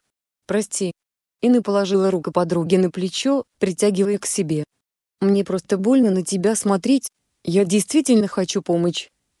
Его ноги мягко ступали по узкой тропе, усыпанной белой галькой, камни шуршали под ботинками, приятным слуху шелестом, нарушавшим бесконечную тишину этого места. Саски дошел до пруда, который уже оброс насыщенной зеленой травой и присел возле небольшого ростка какого-то деревца. Зелено-бежевый ствол с тремя маленькими листочками первое дерево в этой тюрьме. Саски присел, оглаживая молодые листочки большим пальцем. Вдруг застоявшийся воздух всколыхнулся и подул первый легкий ветерок, донося до учихи аромат полевых цветов, что расцвели совсем недавно. Окружающий мир преображался и в нем появлялось все больше умиротворения и тепла. Пламя больше не обжигало, раскаленные потоки лавы больше не оплавляли местность и потихоньку в сердце Нукинина появилось место гармония. Время спустя в пруду начали плавиться рыбы, Саски привык к ощущению постоянного голода, отчего уже не торопился добывать пропитание, а лишь любовался, как чешуя рыб блестит на солнце, пока они активно собирают что-то со дна. Сев на берегу в медитативной позе, Учха снова продался теплым воспоминаниям. Вот снова представился фестиваль фейерверков, Сакура, облаченный в свой повседневный костюм малого цвета и Наруто в его желто-синем одеянии, Потом воспоминания перескочили на момент битвы с Кагуей, когда Сакура вместе с Абита вызволила Саски из измерения пустыни. Он вспомнил, как она падала без силы, как его желание не дать ей упасть взяло верх над другими мыслями. То чувство, когда Сакура посмотрела на него своими зелеными глазами, по телу разлилось тепло, а сердце жалось от нахлынувших ощущений. Саски вздрогнул и открыл глаза. Вокруг поляны с цветами появилось множество маленьких ростков молодых деревьев, а то самое первое деревце уже доходило сидящему возле него учихи до плеча. Саски протянул руку к этому дереву, пытаясь понять, что же это за непонятное растение, улыбнулся. Сакура быстрым шагом шла в операционную, по пути застегивая больничный халат. Ее вызвали прямо из дома, в ее собственный выходной, в преддверии праздничного торжества. Она пронеслась мимо каких-то шушелкающихся кунаичи, облаченных в одежды младшего медперсонала и влетела в предоперационную, где уже собрались Ина, Шизуни и Цунади. Вчетвером. Что же случилось? Ахнула Сакура, увидев количество людей, которые готовились к операции.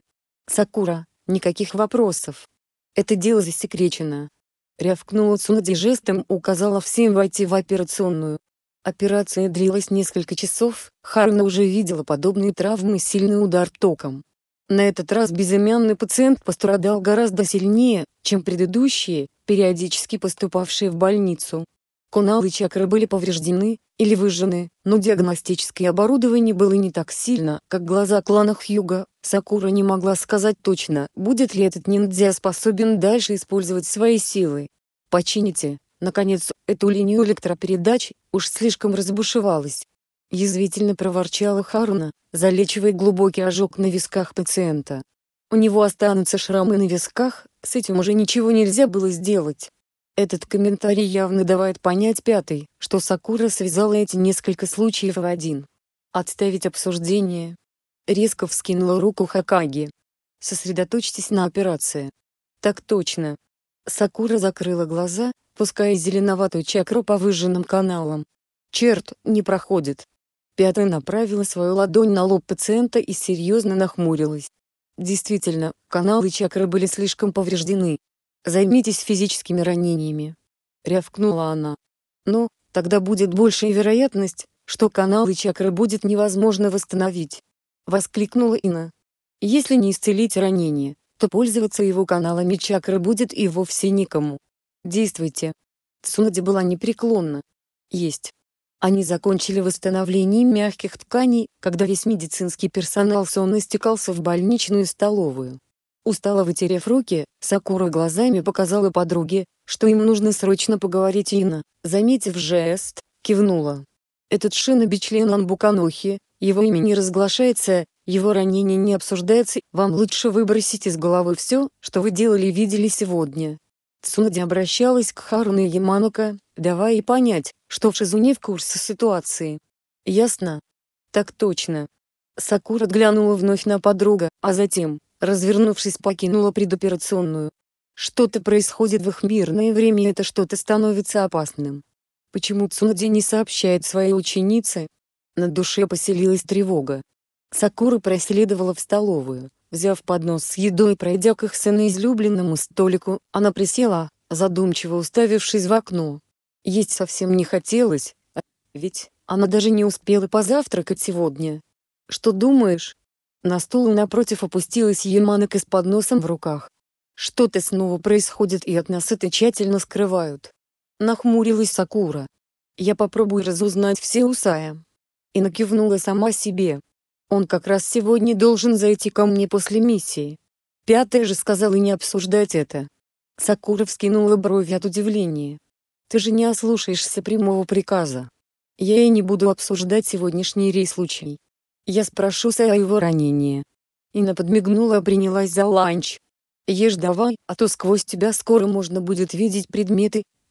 Саски мягко ступал по зеленому лугу, наслаждаясь, как колоски высокой травы касаются пальцев рук.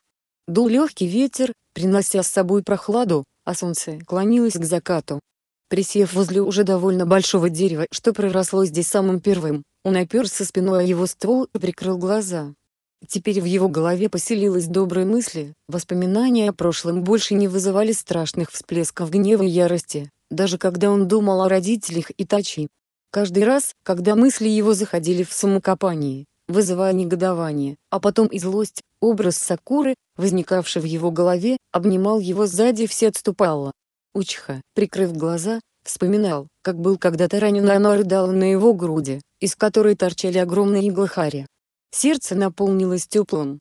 Он помнил, что ему было очень больно в тот момент и каждое движение давалось с трудом, но он боролся с желанием положить на ее плечо свою руку. Потом воспоминания перебросили его в лес смерти, где проходил один из этапов экзамена на Чиунина. Она была беззащитной перед лицом Рычимару, да и его сковывал страх, однако, все мысли были лишь об одном – защитить ее. А потом она сама защищала его, пока он лежал без чувств. В голове мелькали воспоминания их слаженной работы, как команды 7, ровно до тех пор, пока память не привела Саски к последней их встрече перед тем, как он покинул деревню. Она лила слезы и признавалась в своих чувствах.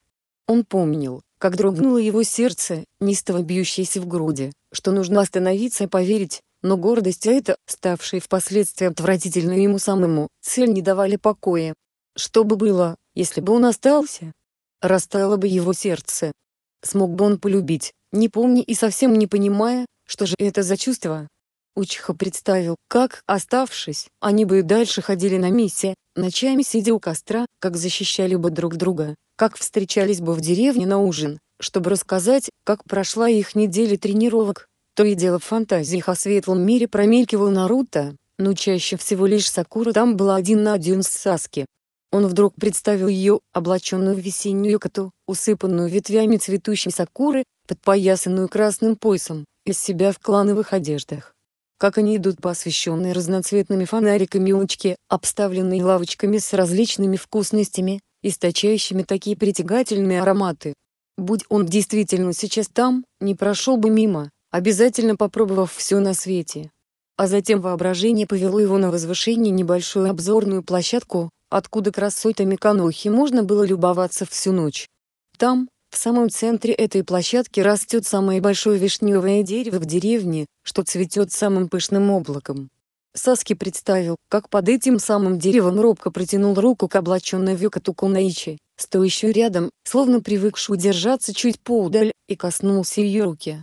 Он словно ощутил ее теплую кожу под своими пальцами, по рукам тут же пробежались мурашки, переползая на спину и заставляя Учиху вздрогнуть и открыть глаза. Он огляделся, по сторонам, пытаясь обнаружить хоть какие-то изменения в окружающей его обстановке, что обычно приходили после его подобных медитаций. Но, на этот раз ничего не изменилось. Молодой подлесок все так же поднимался вокруг цветочного поля, смешанного местами с высокой травой. В пруду плавились рыбы, а солнце клонилось к закату.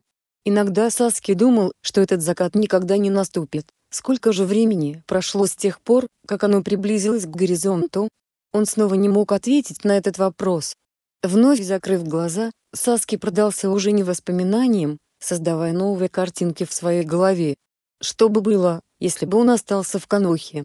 Он снова представил ту цветущую вишню и Кунаичи, облаченную в юкату, то, как потянул ее за руку и то, как она рухнула в его сильные объятия. Ее зеленые глаза, такие теплые и яркие, так близко. Казалось, он сейчас задохнется от этих мыслей. Попытавшись отдышаться, он поднялся на ноги, стряхивая наваждение из головы и направился к пруду, чтобы умыться прохладной водой. Вновь никаких изменений в окружающей его природе. Все было по-прежнему. Он постарался не возвращаться к этим ярким фантазиям, чувствуя, что они выбивают Учиху из колеи, однако сам того не замечая, из воспоминаний утекал обратно под раскинувшую ветки цветущую вишню с розово-волосой Кунаичи, облаченной в юкату, стоящая и ждущая его. А потом вдруг мысли потекли немного в ином направлении. Он вдруг осознал, что все это лишь фантазия, что никогда не видел Сакуру в юкате, стоящую под этим деревом, но, точно знал, что ее в таком виде мог лицезреть Наруто. А точнее, точно лицезрел. Учиха прекрасно понимал, что за почти пять лет, что он отсутствовал в Канохе, жизнь его товарищей не останавливалась ни на секунду, что у них были ночи у костра на миссиях, фейерверки, цветение вишни и шумные улочки, освещенные фонарями и со множеством разнообразных лавочек с едой. Саски вдруг поежился. У него этого не было с тех пор, как он покинул деревню обычной мирной жизни друзей. Но, не у Наруто с Сакурой. Саски вдруг представил, как блондин присаживается рядом, согревая сокомандницу в холодные ночи у костра на миссиях, как ведет ее смотреть фейерверки, обнимая, а она не отстраняется. Он стал сильным воином, и Саски своими глазами видел на поле боя, как он беспокоится о подруге и как сама Харуна беспокоится о Наруто.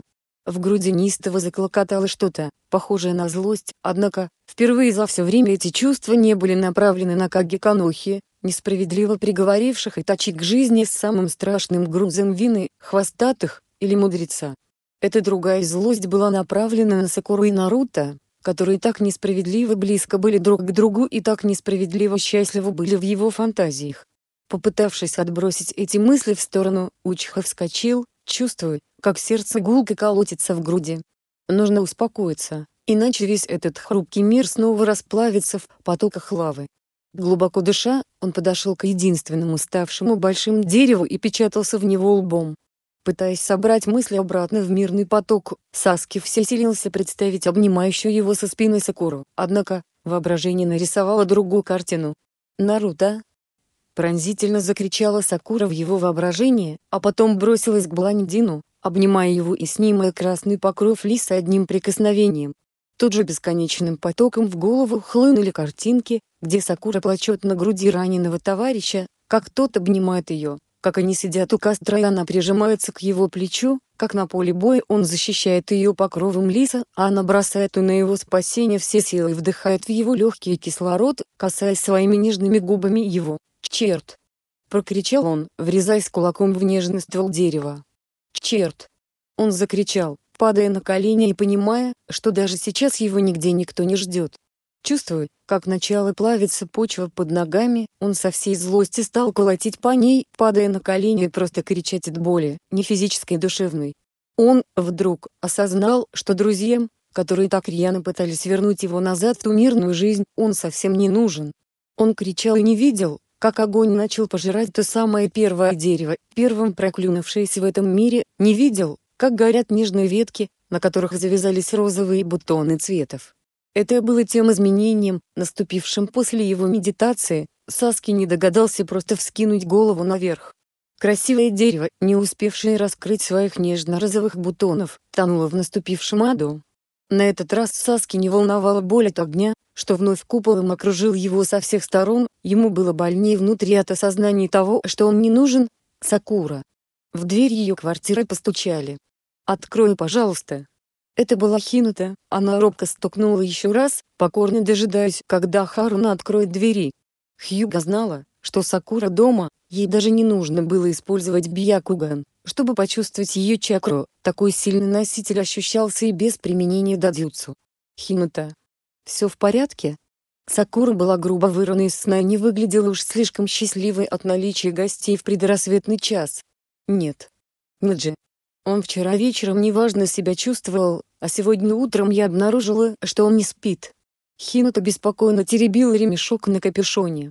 Сакура решила дослушать подруга, пропуская ту в дом, однако, не удержалась от удивленного выражения лица, неужели бессонница Ниджи стоила того, чтобы разбудить ее?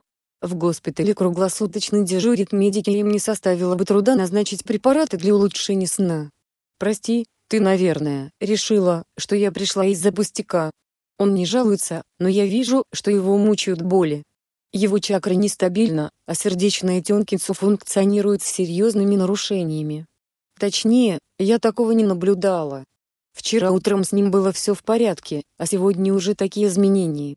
Хинута тратарила, покрывшись легким румянцем, как это происходило всегда, когда она смущалась и волновалась. Ей действительно было неловко, что пришлось разбудить подругу в такую рань, но только она могла доверить здоровье своего дорогого кузена. «Дай мне десять минут, я сейчас соберусь». Коротко отрезала Сакура, оставляя подругу в гостиной и направляясь в спальню. Наспех скинув пижаму и приняв ледяной душ, чтобы ободриться, Харна умылась и облачилась в своей обычной одежде с гербом ее клана. Второй день подряд ее будет чуть свет, наверное, пора привыкать к такому режиму. Взяв медицинскую сумку, Сакура вышла в гостиную и кивнула подруге. Не сговариваясь, они словно растворились в воздухе, переходя на сверхчеловеческие скорости и следуя в квартал Хьюга. Наджи не ожидал гостей, он сидел во дворе в медитативной позе, устремив свой взгляд куда-то на сад. Он не заметил, как пришли Хинута с Сакурой, что уже было странным, и когда Ирьянин положила ладонь ему на плечо, Шинога вздрогнул. «Ты как?» — спросила Сакура, едва его фиалковые глаза заглянули в ее зеленые. «Привет», что вы здесь делаете в такую рань? Это я привела Сакуру. Прости, братик Наджи, но я, ведь, чувствую, что тебе очень нехорошо. Со мной все в порядке, Хинута-сама. Спасибо за беспокойство, но не стоило поднимать Сакуру до рассвета только из-за того, что тебе кажется, что я не домогаю.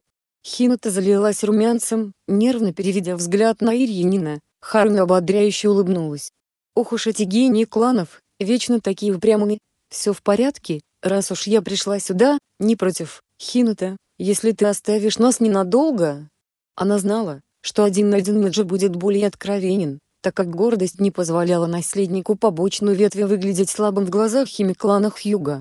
Хинута кивнула, сказав, что будет ждать их через полчаса для завтрака на заднем дворе их особняка. Едва Хими скрылась в дверях их дома, Сакура присела рядом с Мэджи, устало опустив плечи. «Прости за то, что тебя разбудили из-за меня».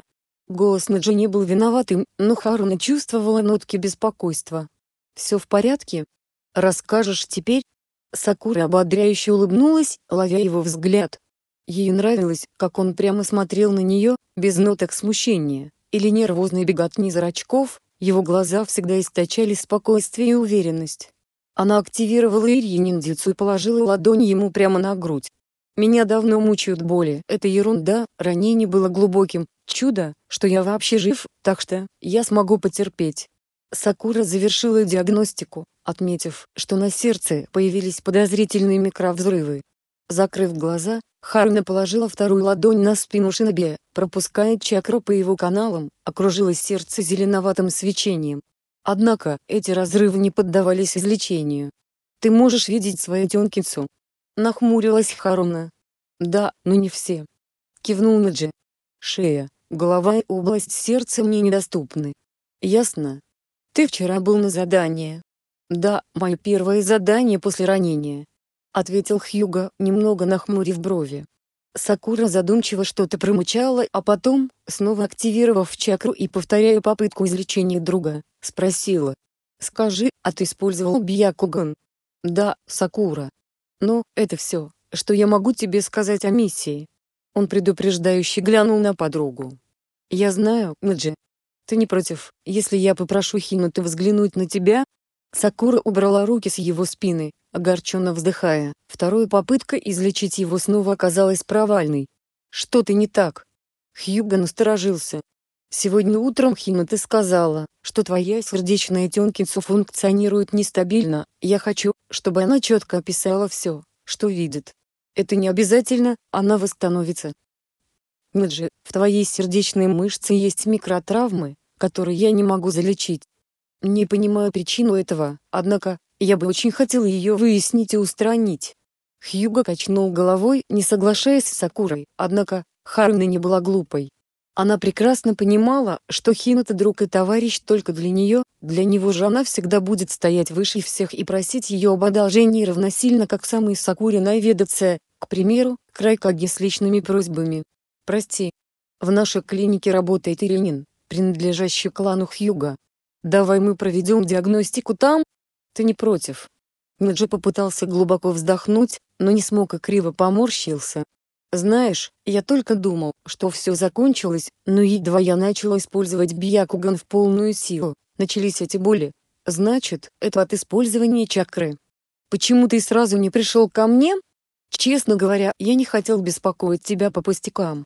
Он заглянул в глаза Харуна, пытаясь прочитать ее эмоции. «Ниджи, это не пустяки. Это здоровье, которое я, между прочим, выдрала для тебя у смерти из лап. Она сердилась, это было заметно не только по тону, которым Харун это говорила, но и по ее лицу. Однако, Хьюго видел в этом вовсе не агрессивность, а проявление заботы. «Ты совершенно права, прости меня за беспечность». Наджи застенчиво улыбнулся, глядя на Ирьянина. «Давай позавтракаем и я весь твой.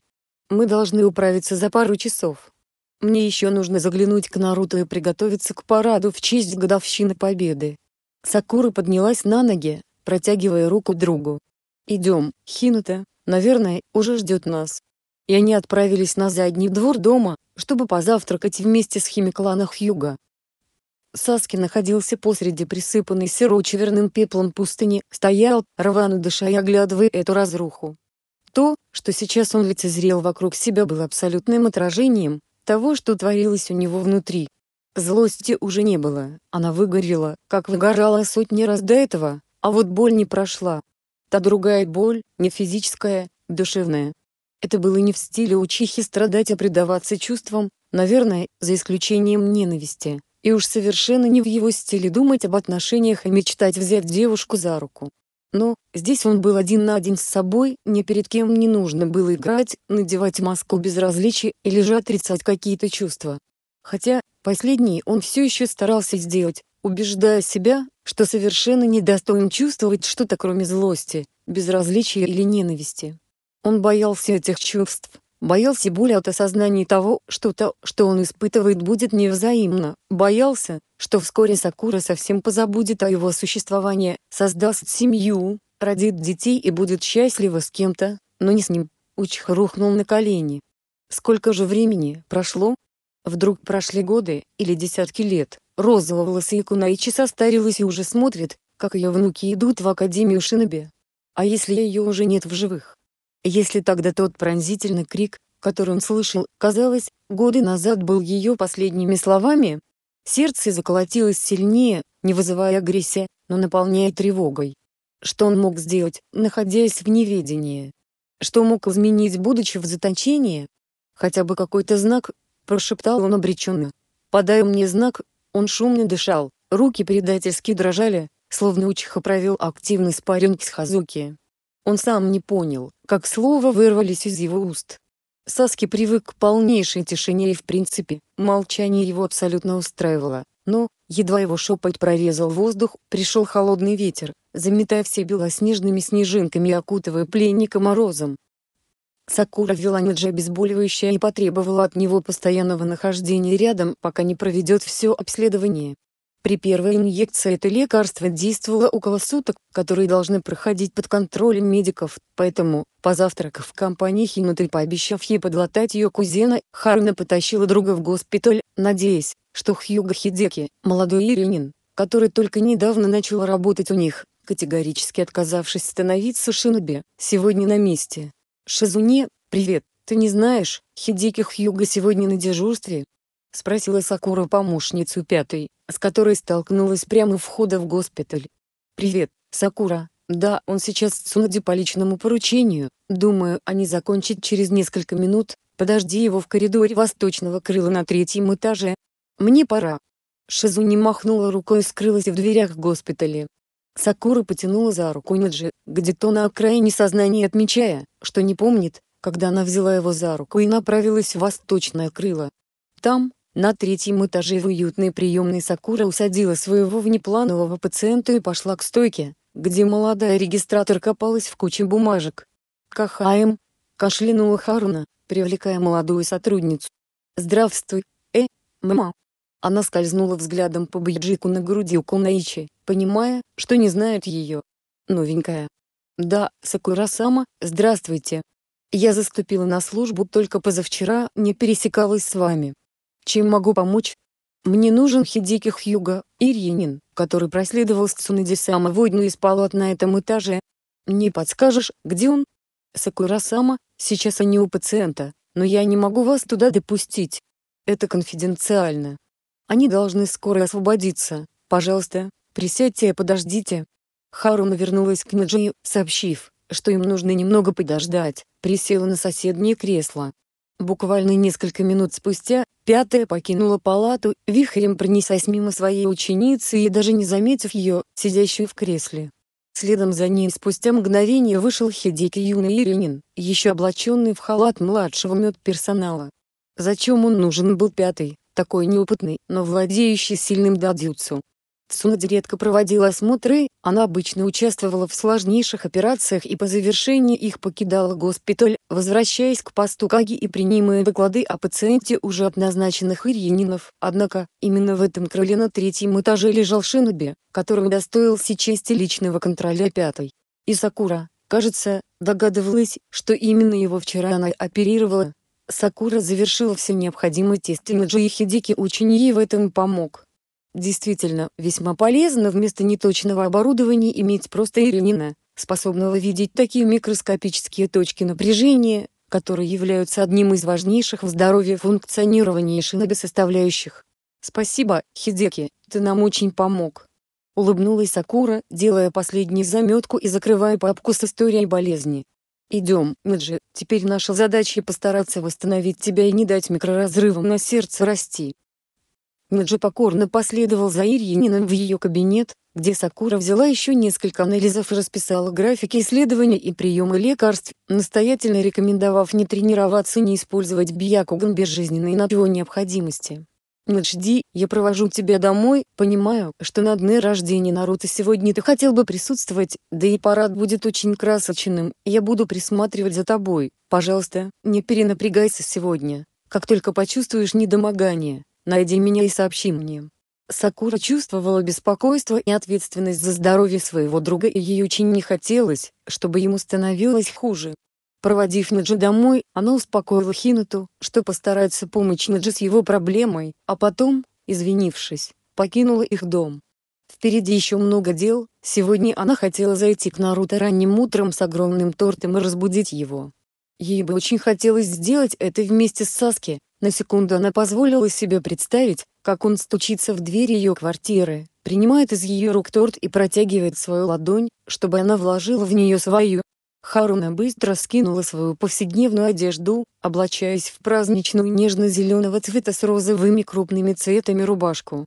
Подтянув темно-серые обтягивающие брюки повыше, она мельком взглянула на себя в зеркало, оценивая, достаточно ли празднично выглядит для поздравлений своего лучшего друга. Сакура улыбнулась, представив за спиной лицо друга, просовывающиеся через двери как сон слетает, уступая мне место удивлению и радости. В дверь коротко постучали. Сакура чуть не задохнулась от волнения, услышав этот звук, ведь буквально мгновение назад она подумала о том, как здорово было бы, если вот так постучала Чха. Конечно, это был не он, Харуна просканировала чакру и мгновенно определила, кто стоит за дверью. Но, все же, секундная надежда, что пронзила ее в момент, когда она услышала стук, больно ранила ее. Глубоко вздохнув, Сакура неспешно подошла к двери и открыла ее. «Доброе утро, Какаши-сенсей!» «Йо, Сакура!» «Я тут подумал, что ты собралась к Наруто. Не против, если я составлю тебе компанию?»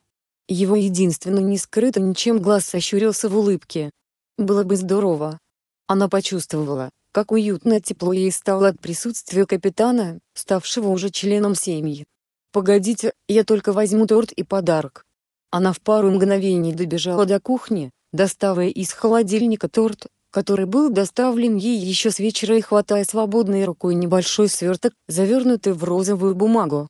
Капитан протянул ей руку, принимая торт, сердце Кунаичи снова ёкнуло от того, что это не Саски, а потом они неспешно направились домой к Наруто, в маленькую квартирку недалеко от резиденции Хакаги, он сам выбрал то место почти год назад, заявив, что как будущему Каги ему нужно будет жить поближе к работе. Сакура тогда посмеялась, но не потому, что не верила, что Узумаки им станет, напротив, в этом она была уверена. Тогда она сказала ему, что стоило бы выбрать квартирку побольше, так как когда он обзаведется семьей, эти холостяцкие апартаменты будут слишком тесными. Харуна хихикнула, вспоминая задачное лицо друга. Эм. Какаши удивленно повернулся к ней. Вспомнила, как Наруто смутился, когда я сказала ему, что для семейной жизни его квартирка будет слишком мало. Сакура снова засмеялась. Какаши одобрительно хмыкнул и поднял голову, глядя на еще зашторенные окна дома именинника. Они поднялись на третий этаж по внешней лесенке, которая вела к ряду дверей тесно расположенных друг к другу квартирок и Сакура громко постучала в дверь. Как она и предполагала, заспанное лицо высунулось из-за приоткрытой двери пару минут спустя, голова Бландина была увенчана забавной ночной шапочкой, которую Сакура лицезрела, наверное, все их совместные миссии, казалось-то растет вместе с Джинчурики. Глаза Наруто сонно моргнули, а потом расширились в удивлении. «Привет!» Он мотнул головой, переводя взгляд на торт и его губы растянулись в радостной улыбке. «Вот это сюрприз! Проходите скорее!» Он впустил их в квартиру, где царил небольшой беспорядок и поспешил скрыться в небольшой спальне, чтобы привести себя в порядок. Сакура тут же отправилась на кухню, чтобы включить чайник и приготовить тарелочки для торта. «С днем рождения, Наруто!» Громко прокричали они, когда друг, наспех умывшись и одевшись, вышел из комнаты. «Скорее режь торт!» Холод пробирал Учиху до самых костей, словно пронизывая сотнями ледяных осколков его тела. Дул сильный ветер и шел мокрый снег первой осадки в этом странном месте. Саски сидел на все том же привычном ему выступе, свернувшись клубочком и пытаясь хоть как-то сохранить тепло. Он не мог здесь умереть ни от голода, ни от жажды, ни от огня, а значит, не умер бы от холода, однако, переохлаждение давалось ему куда сложнее. Если от огня он быстро терял сознание, то ледяной ветер никак не давал отключиться, ободряя каждый раз, когда тот хотел впасть в забытие. Учиха понимал, что это явление напрямую завязано с его эмоциями и чтобы исправить ситуацию, ему нужно снова обрести гармонию внутри себя, однако, он ничего не мог с этим поделать. Мысль о собственной ненужности и никчемности не давала ему покоя. Больше всего боль приносили мысли о том, что Харуна Сакура, Кунаичи, которая никогда не переставала верить в него, могла сдаться и забыть, а может уже и умереть, Саски чувствовал, что сердце сковывало таким же холодом, что укрывал сейчас эту бесконечную пустыню. «Пожалуйста, помни меня», — еле слышно прошептал он, кутаясь в свои совсем не предназначенные для зимы одежды. Ветер все завывал, взметая снежинки высоко в небо, кружа их в вихре танца и разбивая их о скалу. Саски собрался с силами и спустился и вниз, утопая по колено в сугробах. Когда-то он мог пользоваться чекрой, когда-то он запросто разгонял энергию внутри, чтобы согреться никакой холод был не страшен. Сейчас же чувство полной беспомощности заставляло еще больше опускать руки. Рухнув на колени, он стал раскапывать яму в снегу, чтобы скрыться от пронизывающего ветра. Выстроив стену из снега, он сел в медитативную позе в свое небольшое убежище и закрыл глаза, пытаясь вспомнить те чувства, что возникали от воспоминаний о Сакуре, обнимающей его со спины, но тщетно. Вместо этого в голове рисовались другие картины Сакура в подвенечном наряде, держащая Наруто под руку, Сакура с младенцем на руках, мертвая Сакура. Учиха поежился, тряхнув головой. «Сакура!» — прошептал он едва шевеля непослушными от холода губами. Время, казалось, тянулось бесконечно Учиха плотно закрыл глаза, ловя любые картинки воспоминаний о розово-волосой Кунаиче. Ветер выл, небо сгущалось, а дрожь от холода все никак не унималась. В тот самый момент, когда Саски пожелал уснуть вечным сном умереть, сгинуть в этом мире, чтобы, наконец, прекратить свои страдания, Небо разверзлось яркой громогласной молнией, рассекающей облака от горизонта до горизонта, а с молнией ворвался голос. «Саски-кун!» — кричала Сакура. Надрывно и горько. Он помнил этот голос, узнал бы его среди сотен тысяч, ведь последние разы свое имя из ее уст он слышал при каждой их встрече. Сквозь этот крик он почувствовал ее зов. Она помнит его. Она зовет, ждет. Снег, толстым покровом лежащий на земле, вдруг взметнулся вверх, вихрем закручиваясь вокруг учихи. «Сакура!» Он ответил. Вскочил на ноги и ответил на ее зов, ощущая, как сердце наполняется надеждой, а в мысли рываются воспоминания о маленькой Кунаиче в лесу смерти, обнимающей со спины маленького Генина, окутанного проклятой печатью Рачимару. Ветер перестал выть, а небо прояснилось, впуская в этот замороженный мир тепло солнечных лучей, плавящих зависшие в воздухе снежинки. Сакура облачилась в униформу Джоунина сразу, как только вернулась с праздничного обеда, посвященного дню рождения Наруто. Времени было немного, ведь парад должен был начаться через час от резиденции Хакаги и открывали его те, кто сражался на передовой, а значит ей там нужно было быть в первых рядах. Так приказала пятая слушаться ее Сакура не могла, хотя всеми фибрами души она желала только об одном свернуться калачком в своей спальне и отдаться своим чувствам, истерзанным и израненным. Ведь, сегодня не только большой праздник и не только день рождения одного из спасителей. Сегодня ровно год, как исчез Учиха Саски. Повязав протектор Альянса Шиноби, Харуна Сакура шумно выдохнула, коротко кивнув, покинула квартиру, слишком громко хлопнув дверью. Хьюганиджи уже ожидал ее внизу, памятуя о том, что Ирьянин наказала быть неподалеку.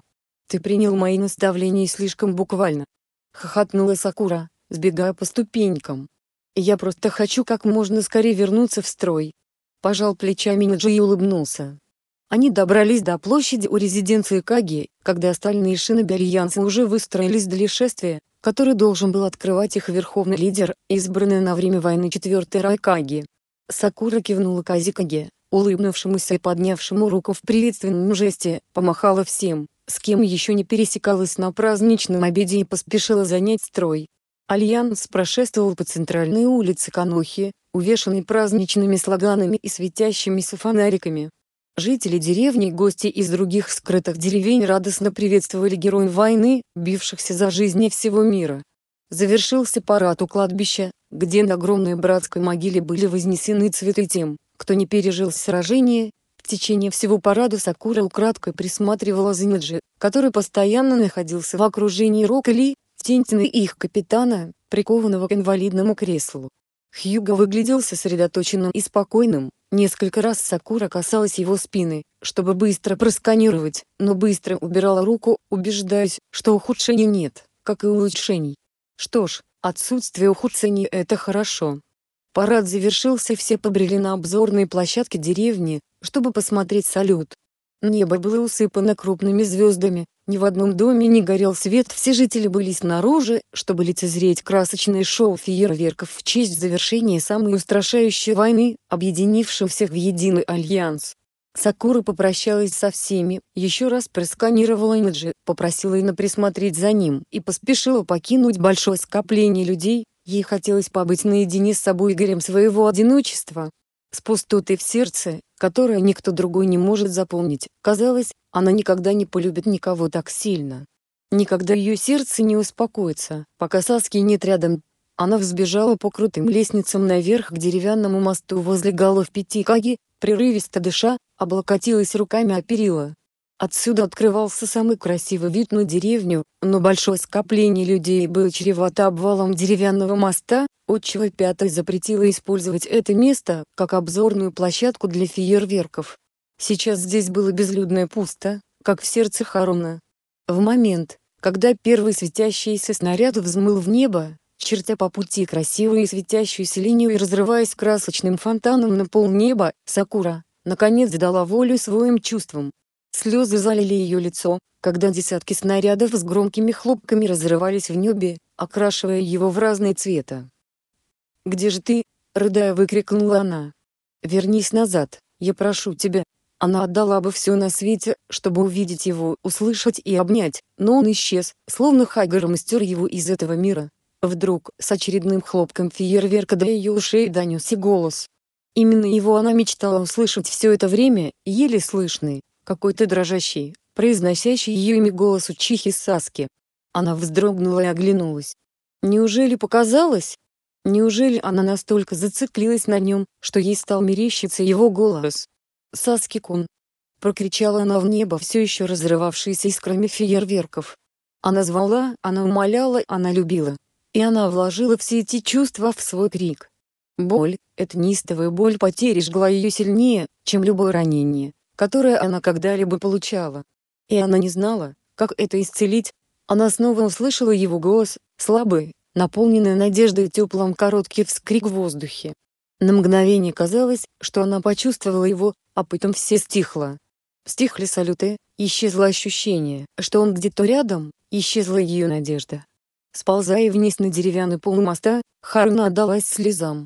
Она не знала, сколько просидела вот так в темноте и одиночестве, не сразу поняла, что оказалась в убаюкивающих объятиях лучшего друга, который опустился рядом с ней на деревянный пол, обнял и стал повторять, как мантру лишь одну фразу «Он вернется». «Я так люблю его, Наруто. Так люблю. Мне так больно», — выдохнула она, зарываясь лицом в его куртку. «Я знаю, Сакура». Учиха брел по шуршащему желтобелому песку, покрытому маленькими ростками свежей травы, только-только начавший проклевываться сквозь почву, с тех пор, как он услышал ее голос, в сердце снова поселилось тепло и надежда, а в душе стало потихонечку пускать корни гармонии. Песок приятно хрустел под босыми ногами и обдавает приятным теплым. Учиха с нетерпением ждал, когда возле пруда появится маленький росток первого дерева, который все предыдущие разы проклевывался в одном и том же месте возле небольшого пруда. Почему-то, для него это небольшое деревце значило больше, чем весь остальной лес, который начинал расти чуть позже, окружая его темницу по периметру плотным кольцом, словно прикрывая и, ставшие уже отчетливо заметными ненавистные невидимые стены. Учиха присел у пруда, разглядывая место, где должно было проклюнуться деревце и, заметив, как маленький росточек появился, раздвигая песчинки в стороны, почувствовал прилив тепла на сердце. Закрыв глаза, он снова представил себя под раскидистыми ветвями цветущей вишни, которая росла на обзорной площадке Канохи. Под ветвями стояла Сакура, облаченная в праздничную весеннюю коту. Она смотрела вдаль, туда, где на скале были высечены лица всех Каги деревни. Там на скале виднелось лицо шестого Хакаги его единственного друга Зумаки Наруто. Саски улыбнулся в своих мыслях и представил, как поравнялся с Сакурой. Он представил, как его пальцы переплелись с ее, как теплая нежная ладошка сжала его руку, на сердце стало очень тепло и Учиха вдруг осознал, что улыбается не только в своих мыслях. «Что ты делаешь?» – прошипела Инна, увлекаемая подругой куда-то в сторону. «Тихо! Погоди!» – шикнула Сакура, толкая блондинку за книжный стеллаж и тоже прячась за ним. «Гляди туда!» Сакура указала сквозь полки с книгами на человека, который безмятежно продвигался вперед, выискивая что-то. Инна подумала, что этот человек Кагато ей напоминал но вспомнить она не могла. «Ну и что я должна увидеть?» — возмущенно шепнула подруга.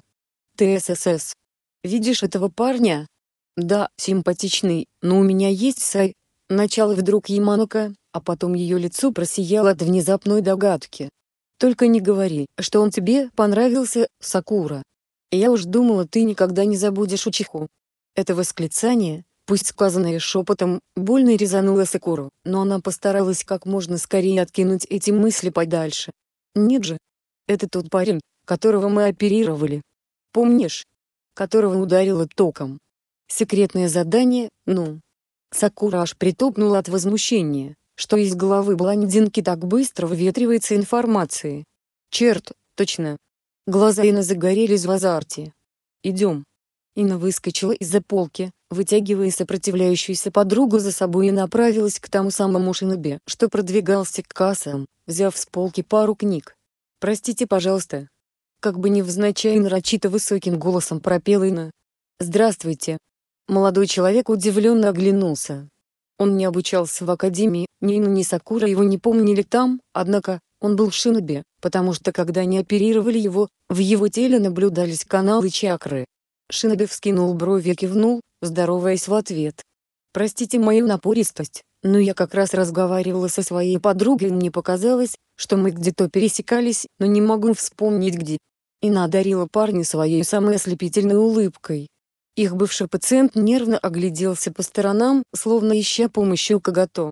Сакура заметила небольшие шрамы от ожогов на висках, что сама лично исцела, когда он лежал на операционном столе.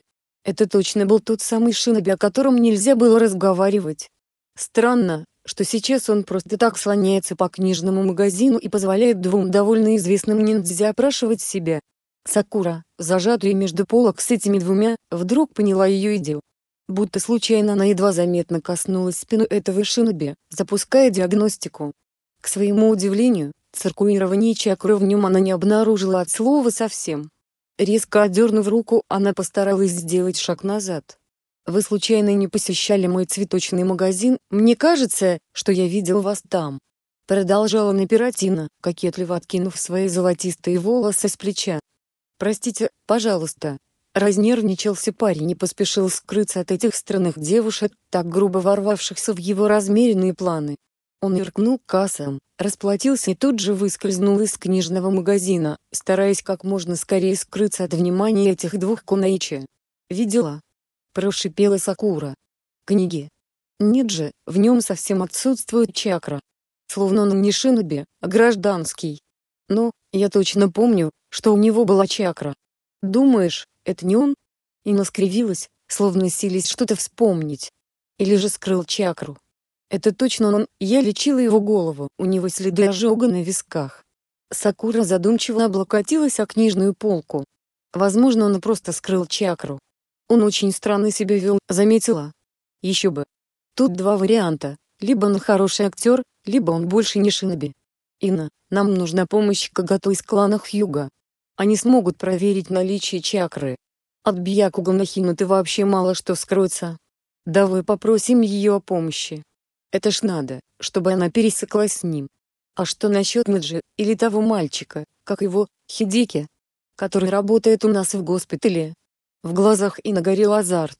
Хидики не поможет, Пятая брала его на осмотр этого парня, когда он лежал в госпитале, а значит, запретила ему говорить об этом Шиноби. Наджи нельзя использовать Бьякугом. Остается Хината. Давай попросим ее после ее дня рождения а то как-то неловко обременять ее просьбами сейчас. Сакуре стало неловко даже от одной мысли о том, что в канун ее дня рождения они придут к имениннице и затребуют пошпионить для них. Да. Согласна. Кстати, я все-таки, подозреваю, что у этого парнишки происходит. Возможно, у него серьезные проблемы после травмы. И настаралась говорить как можно тише, и ее шепот очень напоминал шелест книжных страниц.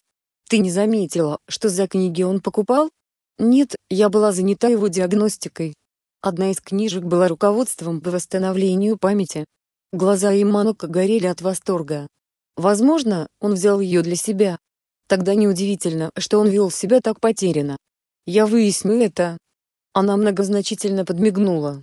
Только не сейчас, давай закончим с выбором подарка Хинати. Сакура потянула подруга, которая уже собралась спуститься в преследование парня. Ах, да, и они вернулись к блужданию по книжному магазину, чтобы выбрать подарок на день рождения подруги. Прошерстив все полки с книгами, они так и не нашли подходящей для подруги, отчего Сакура почувствовала себя виноватой.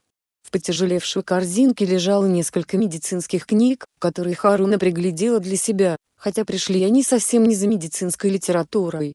Они бродили вдоль полок, убив на поиски еще около часа, когда Сакура обессиленно опустила руки. Они все-таки недостаточно хорошо знали вкус Ахинуты. Был, конечно, вариант спросить Наджи о том, что же ей больше всего нравится, но праздник уже завтра с выбором подарка лучше поторопиться. А если ей вообще не интересны книги? Обессиленно пробубнила Инна, шумно закрывая очередное произведение, оглавление которого оказалось ей слишком глупым. Она любит тренировки. Может подарить ей набор кунаев. Уверена, это сделает Тентин. Инна, может подарим ей поход в Золотой Дракон? Сомневаясь спросила Сакура. Точно. Идеально. Идем оформим там сертификат прямо сейчас. И Яманока потащила подругу прочь из магазина, попросив на кассе оформить книги и доставить их по адресу ее цветочного магазина. Учиха понял, что гораздо приятнее ненависти и злости ощущение теплых воспоминаний о друзьях, семье и робких фантазий о девушке. В глубине души он все еще считал, что недостоин любить и быть любимым, он же Учиха что все, что он заслужил в этой жизни это страдать и его тюрьма это самое настоящее тому наказание. Однако, с каждым мгновением существования в этом месте, он постепенно забывал всю боль, что пережил и что породила его ненависть. Саски вдруг понял, что если сначала ему нужно было заставлять себя думать о чем-то хорошем, то теперь его мысли сами текли в нужном русле, цепляясь за воспоминания и создавая новые фантазии добрые и светлые. Он вспоминал маму, отца, других членов клана. Это больше не вызвало боли. Лишь тепло. Он вспоминал брата с трепетом и нежностью, которым раньше не было места в его сердце. Саски посмотрел, как прорастает маленькое деревце, рождая сначала один маленький листочек, такой нежно-зеленый, как глаза Сакуры. Он, ведь, житель Канахагакури селения, скрытого в листве. Этот маленький листочек, проклюнувшийся после пожара и снежной пурги сейчас приобрел новое значение для Саски. Он вдруг осознал, что он часть листа. И он хочет домой. Конец зимы медленно приближался и птицы начали свои весенние трели, наполняя Канаху красивым перезвоном, что каждое утро начинался за полчаса до начала рассвета. Сакура шла по узкой дороже, ставшей уже привычной за эти месяцы. Сегодня ей нужно было навестить Наджи и продиагностировать его сердце. С ней увязалась Хина, напросившись на утренний чай к Хиноте и пообещавшая упросить подругу воспользоваться своей силой и просканировать странного шиноби. С того раза они встретили его еще не один раз и каждый раз старались остаться незамеченными и не нервировать. Он снова возвращался в книжный магазин, чтобы взять несколько книжек по работе с памятью, и Ина даже составила некоторую закономерность. В начале недели он частенько появлялся там к самому открытию, когда народу было меньше всего. Так, пока ты диагностируешь Наджи, я уговорю Хинуту и мы сразу отправимся в книжный, чтобы не упустить его. А после уже и на чай можно будет. Щебетала Инна, бодро шагая впереди подруги. Чай будешь тогда пить одна с Хинутой, у меня в девять начинается дежурство. Парировала Сакура, прибавляя ходу, чтобы поравняться с подругой. Ну тогда, мы оставим тебя с Наджи завтракать, а сами пойдем в книжный. Ну ж, нет, я такое не пропущу. Возмутилась Сакура. Они подошли к кварталу Хьюга и Сакура вошла первая, сразу встречали Наджи и Хинуту, провожающих Тентин. «О, Тентин, ты ночевала у Наджи?» Вскинула брови Яманука, увидев Кунайчи, которая покидала квартал едва забрезжил рассвет. Сакура заметила, как лица всех троих, встретившихся на пути ниндзя налились краской. «И тебе привет, Инна. Нет, я не ночевал ни у Наджи, ни у Хинуты. Я зашла проведать сокомандника перед длительной миссией, на которую ухожу через час. До встречи в апреле. Она помахала всем и скрылась из виду, спеша покинуть так сильно смущающую ее компанию. «Удачной миссии!» Искренне прокричала ей вслед Сакура. Такахаши подняла руку вверх, обозначая, что слова Сакуры были услышаны и скрылась из виду. Инна, осознав, что только что поставила в неловкое положение всех вокруг, нарочито громко упомянула о чае, хватая Хинуту под локоть и прощаясь с Наджи и Сакурой была такова.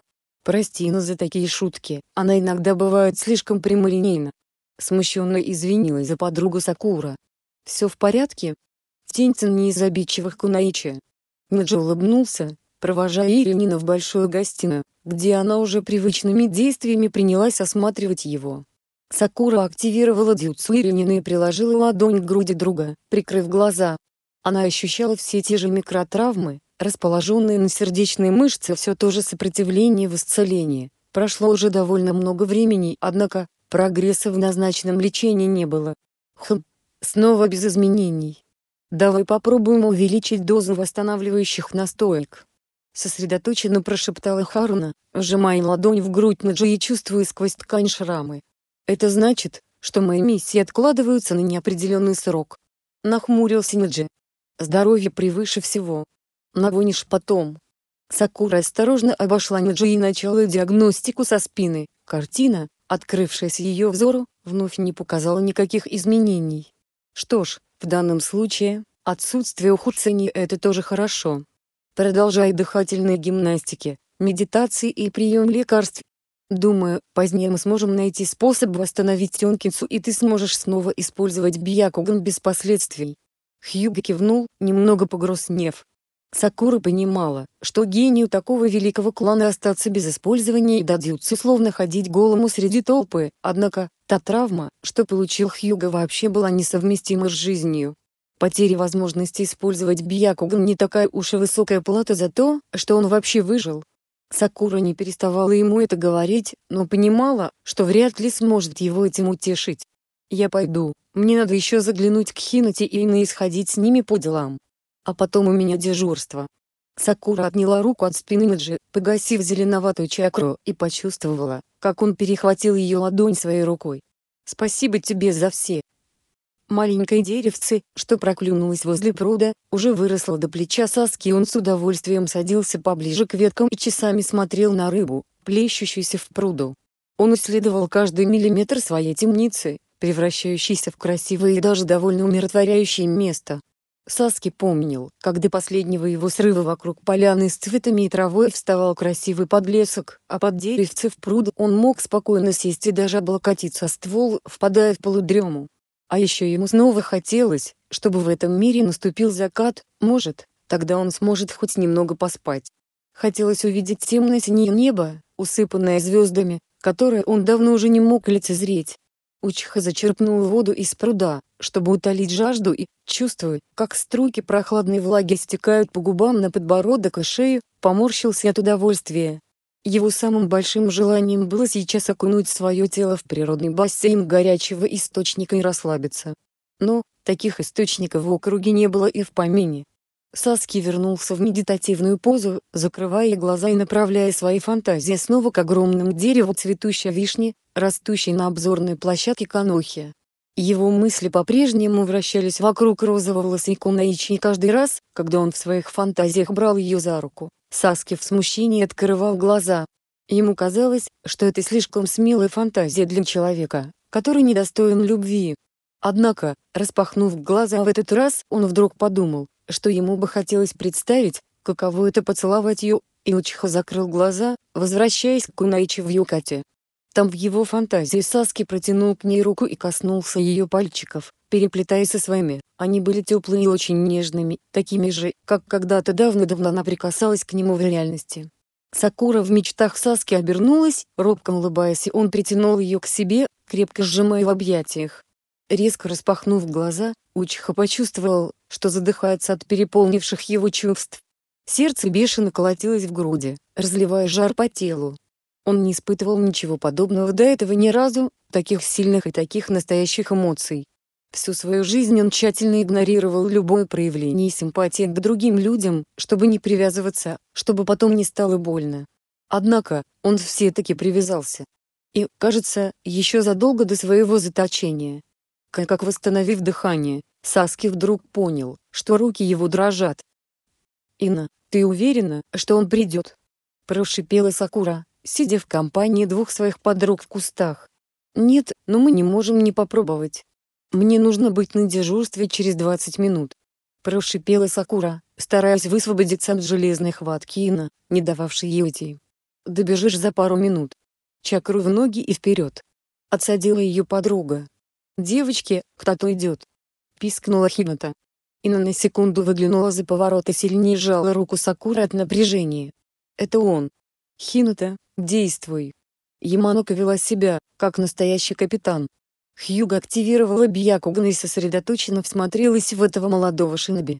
Она напряженно смотрела своими фиалковыми глазами, обрамленными надувшимися венами, и монотонно комментировала. Чакры не функционируют в его теле, почти все тенкицу повреждены.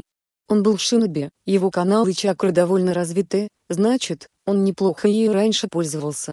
Дверь книжного магазина хлопнула, скрывая за собой объект наблюдения Хинуты, однако, Хьюга могла видеть и сквозь стену. Она продолжала комментировать состояние этого ниндзя, отметив, что больше всего пострадала точка напряжения в голове. Возможно, он действительно ничего не помнит. Все, это все, что я могу сказать, девочки. Виновато прошептала Хинута, когда вены вокруг ее глаз разгладились. Ты очень нам помогла. Спасибо тебе огромное. Сакура энергично затрясла руку подруги, чувствуя, как азарт, что буквально лился от Ины через край, уже добрался до нее. «Я провожу Хинуту, беги на смену», — скомандовала Яманука. «Увидимся в обед». Сакура махнула рукой, направляя чакру в ноги и растворяясь в воздухе. Как Ина не пыталась выяснить у Сая, что же с ним тогда произошло, он упорно рассказывал одну и ту же историю о том, что чинил линию электропередач. Первый день весны их с Сакурой дежурства, наконец, совпали, и с раннего утра под предлогом занести документы на госпитализацию, ворвалась в кабинет Сакуры и сообщила, что пятая находится все в том же крыле вместе с небезызвестным фиалковоглазым Хидеки и тремя новыми пациентами, которых прооперировали сегодня ночью. Инна, может уже пора сообщить ей о том, что мы знаем чуть больше. Я чувствую, что наша помощь ей очень даже нужна. Сакура выглядела взволнованно, я не понимаю, почему она до сих пор нам не рассказала правду, я бы очень хотела, чтобы она доверяла нам чуть больше. Как-никак, мы всегда на ее стороне. Сакура резко поднялась на ноги и заявила, что сегодня после смены намерена идти к пятой сообщить ей, что ей известно. Ина согласно кивнула. «Я иду с тобой». Они вместе покинули кабинет Сакуры и каждый отправился на обход своих пациентов. До самого вечера Сакура пребывала в нервном напряжении, прокручивая в голове, что она скажет пятой, как затребует от нее принятия помощи. Недаром она считается одной из лучших ее учениц. Сакура нервно теребила край халата левой рукой, держа в правой карандаш и помечая им заметки над статьей, в которой говорилось о поврежденных Тёнкинцу и методах их восстановления. Все сводилось к классическому методу медитации, дыхательных гимнастик покоя чакры. Однако, Сакура понимала, что в случае с Наджи такой метод может занять годы и пыталась найти другие методы решений. Вопросительный знак, когда часы пробили 9 вечера, сообщая Кунаичи, что ее смена, наконец, окончена, Сакура сделала очередную пометку и решила напроситься в клановую библиотеку Хьюга. Там точно должны быть медицинские книги, особенно если учесть, что этот клан имеет самые глубокие познания в Тёнкицу. Раздался стук в двери Сакура вздрогнула от неожиданности. Я вхожу.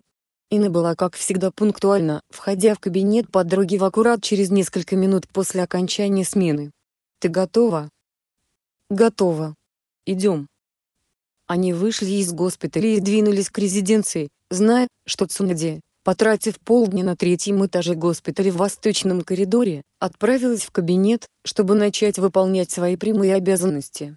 Сакура и Инна для большей уверенности взялись за руки и пошли в резиденцию. Кабинет пятый был на втором этаже, так что, преодолев лестницу, два Ирьянина, ощущая себя нашкодившими девочками, расцепили, наконец, руки и постучались в кабинет пятый. «Войдите!»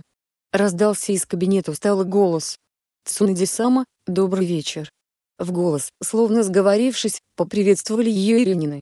«Инна, Сакура!» Пятая устало вздохнула, подперев руками голову. «И вы там не нужны сейчас. Подруги тревожно переглянулись и прошли в кабинет, вытягиваясь по стойке смирно напротив стола, за которым самым уставшим видом восседала пятая. Она поднялась из-за своего места и жестом пригласила Ирининов последовать за ней вглубь кабинета, где виднелись пара кресел и столик. Они молча проследовали за Цунади и присели в зеленые не особо мягкие кресла, наверное, сохранившиеся еще со времен первого. «Мне вы нужны, как лучшие Иринина Канохи», устало объявила Цунади, опускаясь в кресло напротив. Цунади-сама – это из-за тех участившихся случаев ожогов электричеством. Осторожно спросила Сакура, давая ей понять, что у них есть какая-то информация. Это из-за них. Кивнула пятая. Давно вы уже поняли, что это не просто несчастный случай. Да. Ответила Ина. От удара током на линии электропередач не сгорают Тёнкицу. Пятая вскинула брови, понимая, что эти кунаичи способны удивлять. Что вы еще знаете? В восточном крыле лежат еще трое. Хидики помогает вам, так как его глаза способны лучше, чем любые приборы, отследить поврежденную Тёнкицу. Заявила Ина, глядя, как брови пятой все ползут от удивления вверх. Пациент, которого мы вчетвером оперировали, за день до годовщины победы, по нашим предположениям лишился памяти и способностей управлять Чикурой. Дополнила Сакура. Этого достаточно для того, чтобы нас, наконец, посвятили в суть дела? Пятая выглядела мрачнее тучи, но понимала, что без помощи этих двух ниндзя и уже не справиться. Она снова обхватила голову руками, слегка потирая виски и выдохнула. Дело принимает очень серьезный оборот. Цунади разладила складки своего платья рукой. Дело в том, что я, как медик и Хакаги допустил серьезную ошибку. После окончания войны я подумала, что в арсенале защитников Канохи мне нужен человек, владеющий пространственными техниками. И как ни крути, Какаши подходил на эту роль лучше всего, так как уже обладал ими. Пятая вздохнула, переводя взгляд на двух Ирьянинов. Так как в теле Какаши Шаринган просуществовал очень много лет, он оставил свой генетический след. Я вычленила его и вырастила новый глаз с помощью клеток Хаширам и Синджу. Сакура восхищенно посмотрела на Хакаги. Вырастить глаз это равносильно новому шагу в медицине. Значит, можно вырастить любую конечность и покалеченных людей станет в разы меньше. Она хотела выразить это словами, но пятая ее грубо прервала, подняв ладони вверх. Глаз был имплантирован и прижился довольно быстро. Какаши смог использовать его функции едва повязки были сняты. Он смог пользоваться пространственными техниками и даже открыть порталы в несколько миров. Мы попытались найти Учиху Саски вопреки предупреждению мудреца шести путей. Однако, в одной из попыток мы заглянули в новый мир. И его охранял страж. Нечто странное, имеющее в сознании и способное мыслить. Страж попытался атаковать и мы контратаковали его, но он не дал нам закрыть пробоину до конца. И это существо имеет природу молния. Кивнула Сакура. Верно. Отдаленно он похож на осьминога с электрическими щупальцами. Его голова тоже покрыта электричеством, но с гораздо более слабой мощностью. Он держится за портал своими щупальцами, когда набирался сил, раскрывает его, пытаясь пойти. Шиноби Анбу и один отряд Канохи уже несколько раз препятствовали его проникновению в наш мир, однако, с каждым разом этот стражосьминог становится все сильнее. До сегодняшнего дня я предполагала, что мы справимся только силами Анбу, однако, пространственное окно снова открылось сегодня. Ранены еще четверо. Один погиб. Нам нужно срочно остановить этого монстра, пока он не собрался с силами и не ворвался в этот мир. Сакура и Ина переглянулись. Харуна вдруг почувствовала давно забытое ощущение напряжения и взвинченности, будто ее пробудили после долгого вязкого сна ведром ледяной воды. «Что нам нужно делать, Хакаги-сама?» Слегка осипшим голосом произнесла Кунаичи. «Мы сформируем два отряда, по четыре человека. В отрядах должны быть лучшие медики, чтобы на месте оказать пострадавшим первую помощь. Капитан атакующей команды Ямато, его древесные техники хорошо сдерживают наступление. Сакура, ты будешь в атакующей команде вместе с Наруто Саем. Капитан прикрывающая команды Хатаки Кукаши. Ина, Шикамару Чаджи ваша команда будет прикрывать капитана. Задача атакующей команды отбросить это существо от портала так, чтобы тот не держался за него ни одним щупальцем и тогда Кукаши сможет закрыть его навсегда. Сакура и Ина кивнули, вытягивая спины по струнку, словно сговорившись. По статистическим расчетам страж откроет портал через 22 часа. Я соберу ваши команды завтра в 6 утра, чтобы рассмотреть тактические варианты ввести в курс дела всех остальных и подготовиться к атаке. Будьте готовы. Есть. Снова в голос отчеканили подруги. Все вопросы можете задать завтра. Госпиталь я оповещу о вашем отсутствии. Членов команды о сборе оповестят капитаны. Идите домой. скомандовала Хакаги и Сакура, схватив за руку Ина, поспешила покинуть резиденцию. Они жадно вдыхали прохладный воздух, пробежав от резиденции до дома Яманука, однако, они вовсе не запыхались, ни скорость, с которой они бежали, ни расстояние не были чем-то особенным для таких подготовленных ниндзя. Их дыхание было сбито от волнений. Сакура сжала руку подруги, которую все никак не отпускала после того, как вышла из кабинета пятой. Инна, снова война? Когда же наступит мирное время? Если завтра мы постараемся изо всех сил, войны никакой не будет. Она по-доброму взлохмытила отросшие волосы Сакуры и улыбнулась самой доброй улыбкой. «У нас все получится, лобастые. Просто воспринимай это, как очередную миссию ранга С». Сакура понимала, что ее выражение, ставшее ни с того ни с сего спокойным, а дыхание ровным не что иное, как актерская игра, что Яманока точно так же волнуется, однако, старается держаться ради подруги. Хорошо. До завтра. Она не знала, как поддержать подруга, познала, что уж если они победили Кагую, победят и этого стража. Пусть даже Саски нет рядом. И намахнула рукой, скрываясь за дверью своего дома, Харуна еще мгновение постояла, глядя ей вслед, а потом, развернувшись, направила чакру в ноги и растворилась в ночи. Лишь одну мысль она позволила себе этим вечером, не связанную с предстоящим сражением. «Саски-кон, как же мне тебя не хватает!» — шепнула она, вглядя небо. Закатные лучи освещали красивое небо, градиентом переходящего от темно-синего к красно-золотому. Саски так ждал, когда же, наконец, он увидит первые звезды, но солнце не торопилось заходить за горизонт. Саски продолжал свои медитации и постоянно оглядывал ставшую все более и более красивой местность. Поле разноцветных цветов, окруженное молодым подлеском, благоухало самыми сладкими ароматами, в пруду плавились рыбы и начали прорастать приоткрасные кувшинки. Подул слабый ветерок, донося до учихи приятный аромат из поляны. Саски улыбнулся, бросая взгляд в сторону цветов и глубоко вдохнул. Он никогда раньше не получал столько удовольствия от ароматов. Сейчас ему казалось, что он будто заново учится наслаждаться красотой мира, как бы не комично это звучало в его заточении. Учиха поднялся из своего привычного места под самым первым деревом, выросшим здесь, потянулся, чувствуя, как по спине побежали мурашки от затекших мышц, получивших, наконец, долгожданную разминку. Саски направился на поляну, осторожно ступая по натоптанной тропе, чтобы не повредить молодые цветы. Он научился в этом заточении самому главному беречь хрупкий мир, что так трудно выстроить. Вдруг сквозь шелест листвы он отчетливо услышал едва уловимый шепот, Саски-кон, как же мне тебя не хватает. Подготовка к бою должна была начаться ранним утром, о чем едва Сакура добралась до дома, ей сообщил капитан Ямата, называя точное место и время сбора. Однако, Сакура не спешила лечь отдыхать. Наскоро приняв душ, она приготовила форму и медицинскую сумку на завтра, проверила запасы пилюли настойк, присела на диване, чтобы немножко расслабиться. Но ей не давала покоя одна мысль, что если она не вернется с задания, что тогда будет с Неджи, которого она курирует? Конечно, пятая присмотрит за ним, но это ее пациент и она обязана позаботиться о нем. Сакура решила быстренько расписать для друга распорядок дня, графики обследования и возможный альтернативный вариант лечения. Но, едва написала имя Неджи на листке, сама не заметила, как уснула. Утром ее разбудил громогласный стук в дверь. Даже без сенсорных способностей она знала, кто стучит. Сакура подскочила от неожиданности и поспешила открыть двери. «Наруто!» «Привет!» — протараторила она. «Проходи. Я сейчас буду готова. Ты решила побыть какаши с Нисем и опоздать на срочный сбор?» Хитро скривился Наруто. «Нет, просто тяжелый выдался денек вчера», — ответила подруга, одергивая свою форменную зеленую жилетку. Наруто улыбнулся при виде собранной кунайчи и кивнул.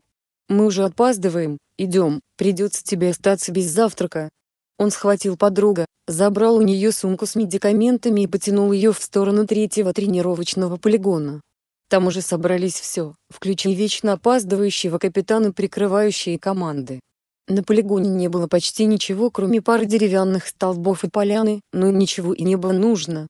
Пятая ввела остальных в курс дела, рассказывая более подробно и детально про стража осьминога, пытающегося прорваться в этот мир. Шикомару, мусоли во рту зубочистку, казалось, слушал вполуха, однако, когда время подошло к разработке вариантов атаки, он первым предложил несколько очень интересных схем. Я бы распределил силы немного иначе, нежели ваш вариант, Хакаги-сама. Я предлагаю попробовать захватить стража в теневую ловушку, однако, понимаю, что этот монстр состоит из молнии и тени будет довольно трудно подобраться к нему. Нам нужно организовать источник света достаточно сильный за моей спиной, чтобы я смог его схватить. В этот момент я заставлю его убрать щупальца и Чаджи ударом в голову отбросит его обратно и Кукаши закроет проход. Это оптимистичный вариант. Есть еще пессимистичный. Нар выдержал небольшую паузу и, поднявшись на ноги, продолжил. Нам придется подойти почти вплотную с источником света, чтобы я мог его захватить, и я возможно не смогу контролировать его щупальца. Вам хоть раз удавалось посчитать, сколько их? Нет. Но, их больше двенадцати. Качнул головой Какаши. Тогда, какой же это осьминог? Это не суть важно, его название сейчас не главная проблема. Отрезала пятая. Продолжаем разработку плана. Я попробую остановить его теневой ловушкой, и в этот момент поменяется с ним местами и отпустит щупальца. Чаджи атакует в лоб, остальные контролируют его щупальца, чтобы он не успел схватиться за пробоину. Ина возвращается, как только видит, что Акимичи приблизился меньше, чем на метр. Оба плана звучат довольно оптимистично, хмыкнула Иманука. Что если все пойдет совсем не так? В крайнем случае мы все атакуем одновременно, а Сай запечатает монстра. Я буду там и постараюсь переиграть в момент битвы, если что-то пойдет не так. Да будет так. Я предоставлю источник света. Придется обесточить всю Канаху. Переведем в деревню режим учебной тревоги и укроем жителей в убежищах на время сражения. Пусть они думают, что это отголоски прошедшей Четвертой мировой войны. Констатировала Хакаги. Они еще обсудили несколько вариантов, после чего пятая отпустила команду перекусить и вернуться через два часа для моделирования ситуации. Встретимся на этом же полигоне и я отведу вас в место, где состоится сражение. Через два часа будет объявлена учебная эвакуация. Поспешите поесть до ее объявления. Все свободны. Есть. Хором ответили присутствующие, словно сговорившись, растворились в воздухе. В его маленьком мире на небе сгущались тучи. Пошел теплый, легкий дождик, покрывая почву живительной влагой. Саски довольно морщился, подставляя лицо приятным каплями наслаждаясь ощущениями. Он пытался вспомнить, получал ли когда-то до этого удовольствие от дождя, был ли дождь в том, настоящем, мире такой же теплый. Был ли ветер такой ароматный, Небо рассекло молнией и запахло озоном. Такой потрясающий свежий запах, что Саски дышал полной грудью и никак не мог надышаться. На лице красовалась счастливая улыбка. Наверное, так он улыбался и только когда был маленьким в объятиях мамы, или рядом с братом. Учха все сидел под его излюбленным деревом, которое уже раскинуло свои ветви высоко над его головой. Он все еще не знал, что это за дерево, но питал к нему какое-то особое чувство.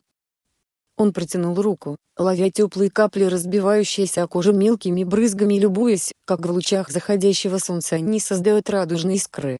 Подул легкий ветерок, постепенно унося с собой дождь, а потом его сердце сжалось, потому, что с ветром он услышал шепот Сакуры. «Прости меня, Саски-кун». Едва различимый, словно шелест листвы, но Саски знал, кому принадлежит этот голос. Он вскочил на ноги, озираясь по сторонам. В сердце поселилась тревога, этот шепот был словно прощанием. Саски не знал, куда себя деть, чувствуя, как в спину начинает дуть сильный ветер, срывающий с деревьев листву. «Сакура!» Протяжно прокричал он, глядя в небо, однако, никто не ответил на его зов. Ветер усиливался, казалось, он вот-вот вырвет все деревья с корнем, этот ветер был самым настоящим отражением чувств Саски. Небо почернело, Молнии рассекали темные тучи, а посреди бушующей стихии стоял одинокий Учха, не знающий, что ему делать и утопающий в захлестнувшей его панике. Все определенно пошло не по плану Шикомару с самого начала. Эвакуированная деревня была обесточена и мощный луч света действительно создал тень, однако, страж не попался в ловушку, неистово разрывая границы пространственной дыры. Сакура мысленно пыталась проанализировать действия осьминога, когда Шикомару выдал новый план. Наруто. создая как можно больше теневых клонов, атакуй все щупальца, что видишь. В бой не вступай. Береги Иринина. Узумаки кивнул, создавая несколько десятков клонов, а сам загородил собой Сакуру. Едва клоны ринулись в бой, их начало рассеивать от ударов током. Шикамару о чем-то усиленно думал, попросив Ина захватить сознание врага в ловушку. Однако, Ина с ужасом заявила, что у этого существа нет сознания, словно это машина, или взбесившаяся чакра. Подобраться к нему близко не получалось ни у кого, однако, Ямато смог прикрыть несколько кланов деревянным щитом. «Есть идея!» — прокричал Шикамару. Наруто, продолжая атаковать. «Капитан Ямато, сможешь создать деревянную ловушку, которая раскроется прямо на этом монстре. Сай, будь готов запечатать его как только ловушка сомкнется на нем. Мне нужно сначала хоть одной частичка дерева попасть ему на голову. Оттуда я смогу раскрыть ловушку. Констатировал Ямато. «Действуй, я отвлеку щупальца!» Крикнул Наруто, создавая больше клонов. Капитан несколько раз пытался дотянуться деревянными отростками до монстра, однако все они были разрушены электрическим стражем едва доходили до зоны поражения. Тогда Ямато создал маленькое зернышко и попросил Наруто подобраться как можно ближе и выдрузить зернышко на голову стражу. Эта миссия тоже не увенчалась успехом. Шикамару принял решение на передовую направить Чаджи. Сражение затягивалось и шиноби отчетливо видели, как страж опирался своими щупальцами о края портала, расширяя его. Наруто атаковал каждую часть, что препятствовало доступу к голове, но когда Чаджи, превратившись в гиганта, рванул в атаку, пробиваясь к голове с маленьким зернышком в руке, из головы монстра вырос еще один отросток и пронзил Акимич электрическим разрядом. Тот в мгновение рухнул на пол, возвращаясь к прежним размерам, роняя на пол драгоценную ношу. И рванула к сокоманднику, чтобы оказать первую помощь, а Наруто направил клона, чтобы прикрыть медика. Сакура вдруг поняла, как преодолеть эту преграду из электрических отростков, чтобы пробраться к самой голове. «Наруто, подстрахуй меня клонами!» — рявкнула она. «Сай, приготовь запечатывающий свиток!» — крикнул Шикамару, поняв, что собралась делать Харуна. И отправил Сакурире в поддержку птицу. «Капитан Какаши, будьте готовы закрыть портал». Харуна бросилась в сторону монстра, чувствуя, как по обе стороны от нее два клона Наруто прикрывают Кунаичи. Сверху над ее головой пролетела птица. Сакура чувствовала, что ее друзья вновь атаковали щупальца, потому, что атаки ослабли. Добежав до Чаджи, она подхватила зернышко, собрала как можно больше чакры в ногах и подпрыгнула вверх. В этот момент монстр снова выпустил щупальца из головы, но один из клонов Наруто, тот, что был слева, атаковал его. Сакура перенаправила чакру, оказавшись прямо над головой монстра, теперь уже два отростка из головы ринулись навстречу Кунайчи, но были отбиты вторым клоном нарисованной птицы и слевшей через мгновение после атаки. Харуна придала ускорение своему падению и собрала как можно больше сил в руках, когда увидела еще три щупальца, устремившихся к ней. Она понимала, что сейчас столкнется с ними и этот процесс был необратим. Что ж, по крайней мере, она постарается не быть отброшенной и использовать свою регенерацию по максимуму, чтобы преодолеть щупальца и доставить зернышко на голову стражу. Она уже ощущала жар электрических разрядов на коже, падая с ускорением на этого монстра, когда вдруг в голове промелькнула мысль «Это конец». «Прости меня, Саски-кун», — прошептала она и влетела в щупальца, прикрывавшее голову стража. Она использовала всю свою чакру, чтобы пробить преграду из электричества, чувствуя, как тело горит и содрогается от сильнейшего разряда. Максимально сконцентрировавшись, Сакура проломила щупальца и врезалась кулаком в голову стража. Время словно замедлилось для нее. Харуна чувствовала, как летит вниз куда-то бесконечно долго. Тело все еще содрогалось от ударов током, а дыхание невозможно было контролировать. Она хотела закричать, но не смогла. Уже проваливаясь в темноту она услышала протяжный крик «Сакура!». Кричали не ее товарищи по команде. Это был голос Саски. «Приготовьте третью операционную!» «Срочно!» — кричала пятая, врываясь в госпиталь и держа на руках Сакуру. «Хакаги-сама, операционная готова. Следуйте за мной!» Догнала ее Иринина и проследовала вперед по коридору, переходя на бег. Они ворвались в кристально чистое помещение, укладывая Сакуру на высокий стол, освещенный лампами. Хакаги разорвала одежду Сакуры, обнажая внешние ранения и ожоги. На лбу пятой тут же залегла глубокая морщинка, она активировала мистическую ладонь, пропуская зеленоватую чакру сквозь тело Харуна, а потом громко выругалась. В этот момент к операционному столу подошло еще два Ирьянина и Шизуни и ее главная помощница. «Где Иманука?» — спросила Цунэди.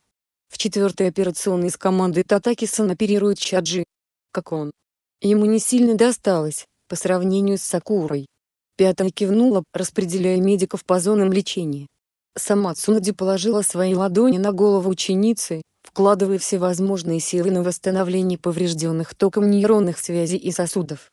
Харуна слабо дышала и пульс едва ощущался при медицинском сканировании, однако, она все еще была жива. «Держись, девочка, не уходи в чистый мир, тебе еще рано», — рычала пятая, сжимая большие пальцы на висках Кунаичи. Спустя четверть часа усиленной борьбы, в помещении ворвалась Ина. Хакаги-сама, я закончила оперировать Чаджи, готова заступить. Сердце. Отчеканила Цунади без лишних подробностей. Иные не нужны были подробности, она в мгновение ока оказалась перед подругой, в том месте, откуда только что отошла медик до этого занимавшаяся сердечной мышцей Сакуры. Активировав мистическую ладонь, Яманока чертыхнулась, поняв, что жизнь медленно покидала подруга, и усиленно принялась восстанавливать обожженное сердце. Время шло, ситуация потихоньку стабилизировалась, а дыхание Сакуры наконец-то выровнялось, а сердце забилось чуть более уверенно. Состояние. Цунади все еще работала над головой Сакуры.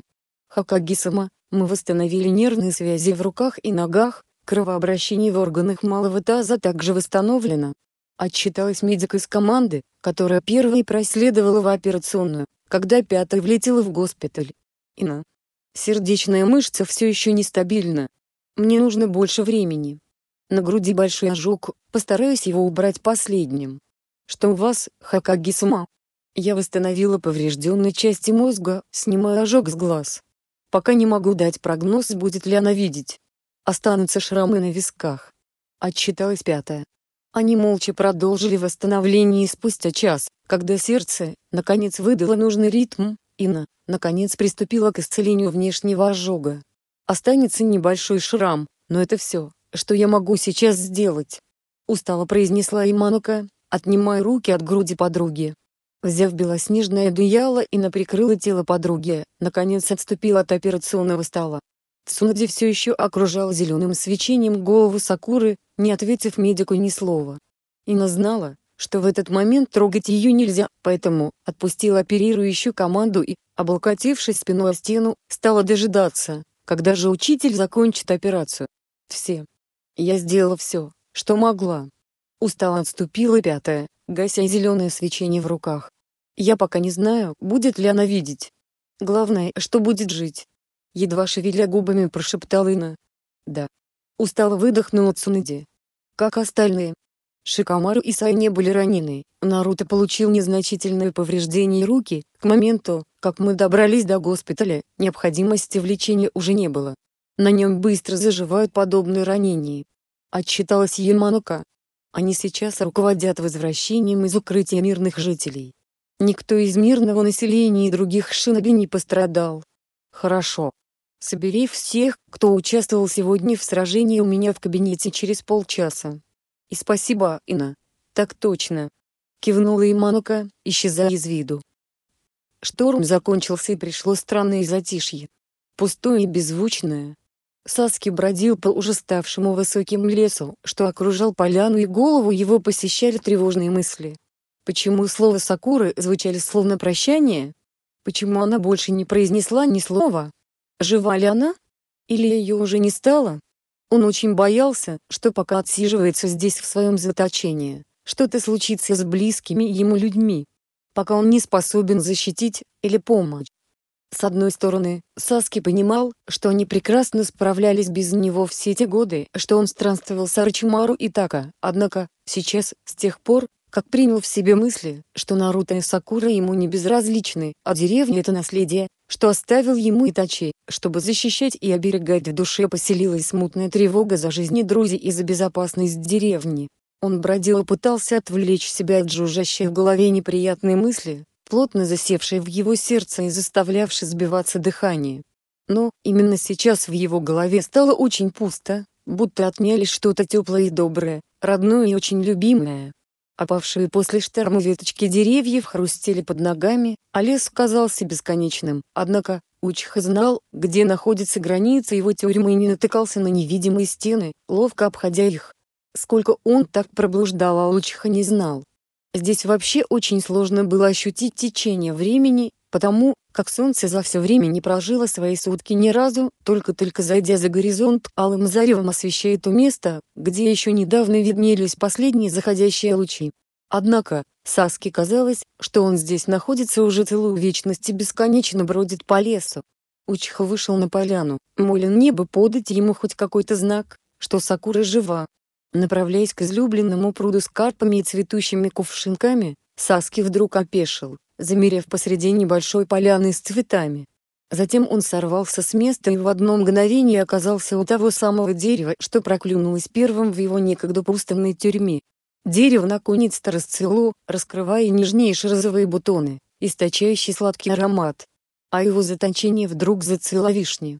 Сакура, выдохнул Саски, прикасаясь к веточке, усеянной нежными цветами. А вот и знак. Звенящая тишина и непроглядная темнота окружали Кунайчи, аккуратно переодетую в больничное одеяние, уложенную на удобную кровать, расположенную в одноместной палате на третьем этаже восточного коридора. Кунаичи не приходила в сознание уже несколько дней, хотя, многое, что происходило вокруг она слышала какими-то обрывками, Странные фразы, долетавшие до нее никак не могли вырвать ее из этой непроглядной темноты. Ранены. Мы справились. Приходи в себя. Хакаги-сама. Эти слова с гулким эхом болезненно ударялись о черепную коробку и растворялись в пустоте. Хотелось поморщиться, но не получалось пошевелить ни одной мышцей. Голос был поразительно знакомым, но Сакура не могла понять, кому он принадлежал.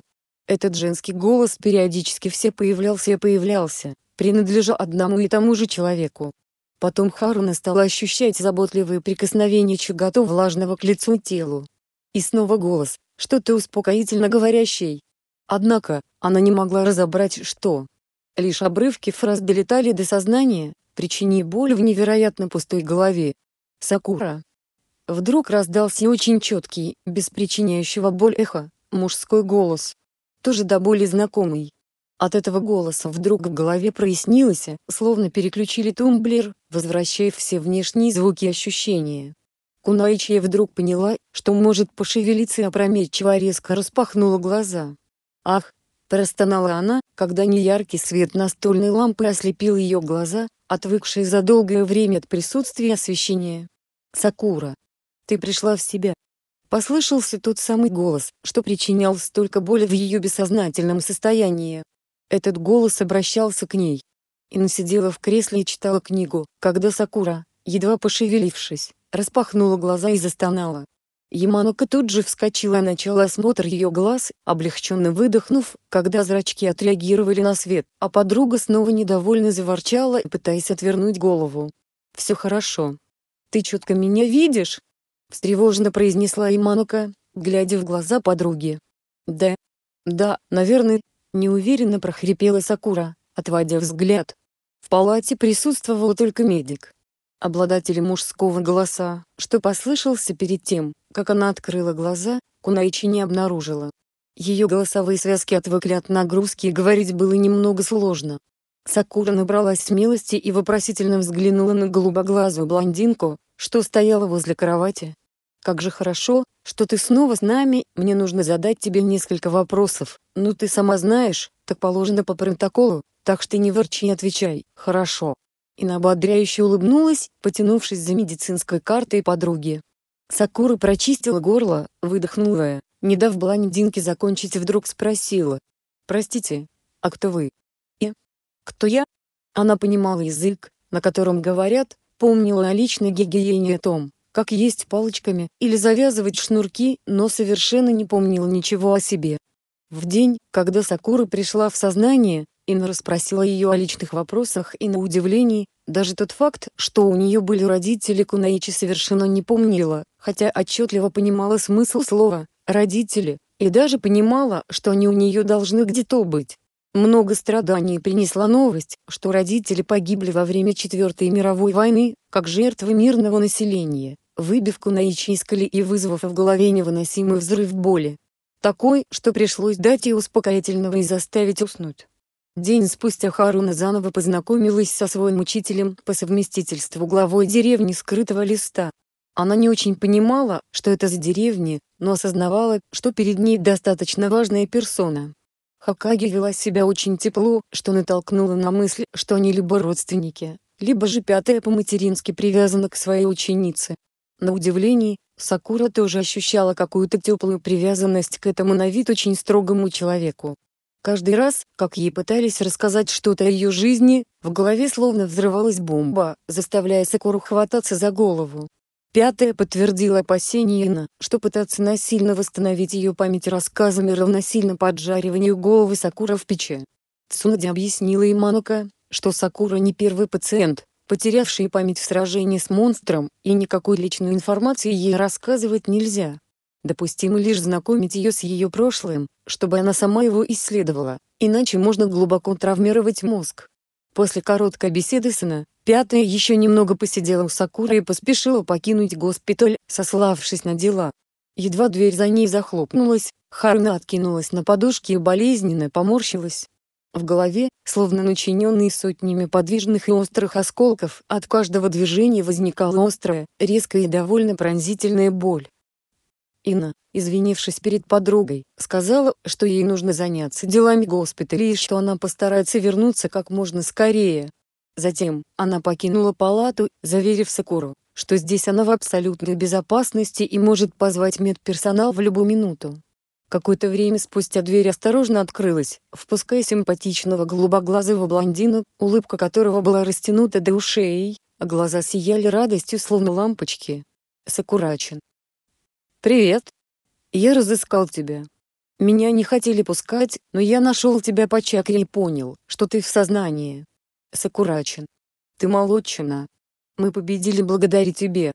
План сработал, Ямато схватил стража с помощью деревянного капкана, а Сай запаковал его в бумажную печать, словно мумия, и Какаши Синси закрыл проход навсегда. Блондин таратарил и таратарил, садясь на край кровати, а, казалось, не замечая, что Сакура морщится от каждого его слова. «Тебя знатно так поджарило. Хорошо, что у тебя есть Бьякова, никто другой от такой травмы не выжил бы. Блондин вдруг резко переменился в лице, становясь серьезным. Его глаза приобрели оттенок какой-то вселенской грусти. «Я рад, что ты в порядке. Прости, что не смог прикрыть тебя лучше». Сакура ощущала внутри, сквозь боль в голове, что этого человека она очень любит. Возможно, он ее брат или кузин, потому, что ей хотелось обнять и утешить блондину, не хотелось пугать своим беспамятством и хотелось защитить ото всех. «Прости, шепнула она с трудом. Меня хорошо так огрело по голове. Я не помню совсем ничего, словно оправдываясь начало Харуна. Совсем-совсем. Ну, я не помню тебя. Но, мне кажется, мы с тобой родственники. Это так. Сакура смущенно отвела взгляд. Ну, можно я так сказать? Разулыбался блондин. Я расскажу тебе все, что захочешь. А потом ты и сама вспомнишь со временем. Главное, что ты жива и восстанавливаешься. Его позитивный настрой вселил в Харуну надежду и успокоил. В компании этого чудаковатого родственника Сакура ощущала себя счастливой, отчего хотелось обнять его. Она осторожно спросила Наруто, можно ли это сделать, а потом удивленно обнаружила себя заключенной в жаркие объятия. «Прости, я даже не помню твоего имени. Наруто Узумаки. Твой друг, сокомандник и будущий Хакаги. О, ты сын Цунди сама. Ее наследник? Удивленно вскинула брови Сакура. Нет, что ты. Титул не передаются по наследству. Хотя, ее дед был первым Хакаги, основавшим деревню. А мой отец был четвертым. Он все еще обнимал ее крепко, но осторожно, поясняя эти интересные факты о жизни деревни. «А где сейчас твой отец?» После того, как покинул пост Каги, Сакура отстранилась. Он погиб в день, когда я родился. И мама тоже. Прости. Сакура вдруг почувствовала себя очень неловко. Не извиняйся. Я смог это принять. Они разговаривали на отвлеченные темы, им было очень комфортно вместе, однако, едва Наруто начал раскатывать о прошлом Сакуры, ее голова снова начала разрываться от боли, отчего Харуна сделала вывод, что пока она сама не вспомнит, насильно знания о ее жизни в голову лучше не вливать. «Кто-то идет!» — воскликнул блондин и с громким хлопком превратился в облако белого пара, вызывая вскрик ужаса у потерявшей память Кунаичи. Она испугалась громкого хлопка и неожиданного исчезновения парня, однако, на задворках сознания, что-то говорило ей, что это совершенно нормальное явление. Сакура. В палату влетела на... Что случилось? Э, я... Ам... Промямлила Харуна, помня, что блондин пробрался сюда тайком и не желая выдавать его. Кажется, мне что-то приснилось, но я не помню что. Ты кричала. Наверное, это было что-то страшное, и накивнула, подходя к подруге и принимая за диагностику. Она сообщила, что сегодня придет какой-то Хидеки и посмотрит какие-то тёнкинцу, что, честно говоря, не говорила Сакуре ровным счетом ни о чем. Однако, вида она не подала. Ина и так знает о совершенно пустой голове. «Инасан?» — осторожно спросила Харуна. «Как непривычно слышать от тебя такие формальные суффиксы по отношению ко мне хохотнула подруга, о дружбе с которой Харуна и не догадывалась. Почему? Мы близкие подруги, ты никогда не обращалась ко мне с применением суффиксов. Блондинка улыбнулась. Сакура едва не выпалила свою догадку, что блондинка с бирюзово-голубыми глазами может являться родственницей Наруто. Однако, вовремя сдержала себя, зная, что он пробрался к ней тайно. Кунаича вздохнула, зная, что сейчас от боли снова взорвется голова. Она осторожно пыталась проанализировать, какой вопрос задать, чтобы ответ не вызвал эту неистовую боль в голове. «Как же я называла тебя?» «Ина». «Ну, иногда еще и на свинина». Хохотнула медик, а Сакура поморщилась от грубого высказывания. «У нас особенная дружба. Я, например, звала тебя Лобастой в ответ». Сакура хмыкнула, понимая, что еще не видела себя в зеркало. Попросив разрешения подняться, она с помощью подруги медика привстала с кровати и направилась в уборную, что находилась в палате. Как здорово, что больше не нужно использовать больничные утки. Харуна взглянула на себя в зеркало и тут же узнала свое отражение. Узнала свои глаза, лоб с фиолетовым ромбиком, ничуть не смутившим ее аккуратный нос и тонкие губы. Она не вспомнила, но узнала. На висках красовались два красных шрама тоненькие молнии, расходящиеся от центра. Это причина моей потери памяти. Нервно закусив губу, прошептала она. Да. Саски сидел под цветущей сакурой, вдыхая аромат розовых раскрывшихся бутонов. На душе становилось не так тревожно от мысли, что это дерево знак для учихи, что Кунаичи жива. Почему же она извинялась, словно прощалась? Возможно, она нашла свою любовь и поэтому прошептала это. Или же она решила попрощаться со своими чувствами. Сейчас ему было на это все равно, главное, чтобы она жила. А он будет лелеять в себе эти прекрасные мысли и воспоминания о Кунайчи с розовыми волосами, зелеными глазами и фиолетовой меткой Бьякова во лбу. Учиха криво усмехнулся своим мыслям. Он все еще считал, что не заслуживал любить и быть любимым, поэтому мысли о том, что Сакура нашла счастье в объятиях Кагата больше не вызывали эгоистичного гнева лишь боль. Однако, он перестал запрещать себе мечтать. Что еще оставалось в этом мире один на один с собой, как не предаваться приятным мыслям? В этот раз он зашел в своих фантазиях дальше его губы коснулись ее губ, а язык скользнул в ее приоткрытый рот. У Саски не было опыта ни поцелуев, ни занятий любовью, все его мысли в том мире занимал война месть, поэтому он не представлял, каково это целовать девушку. Хоть, конечно, не один раз видел целующихся и даже однажды застал своего водяного товарища по команде, предающегося довольно откровенной страсти со жрицей любви в одной из небольших деревенек стран огня, когда они завершили миссию. Саски вдруг подумал, каково это обладать девушкой? Даже не так, каково это заниматься любовью. С той розово-волосой кунайчи, что так плотно засело в его голове. Аромат цветущей вишни пьянил, возвращая к мыслям о хрупкой девушке, облаченной в юкату.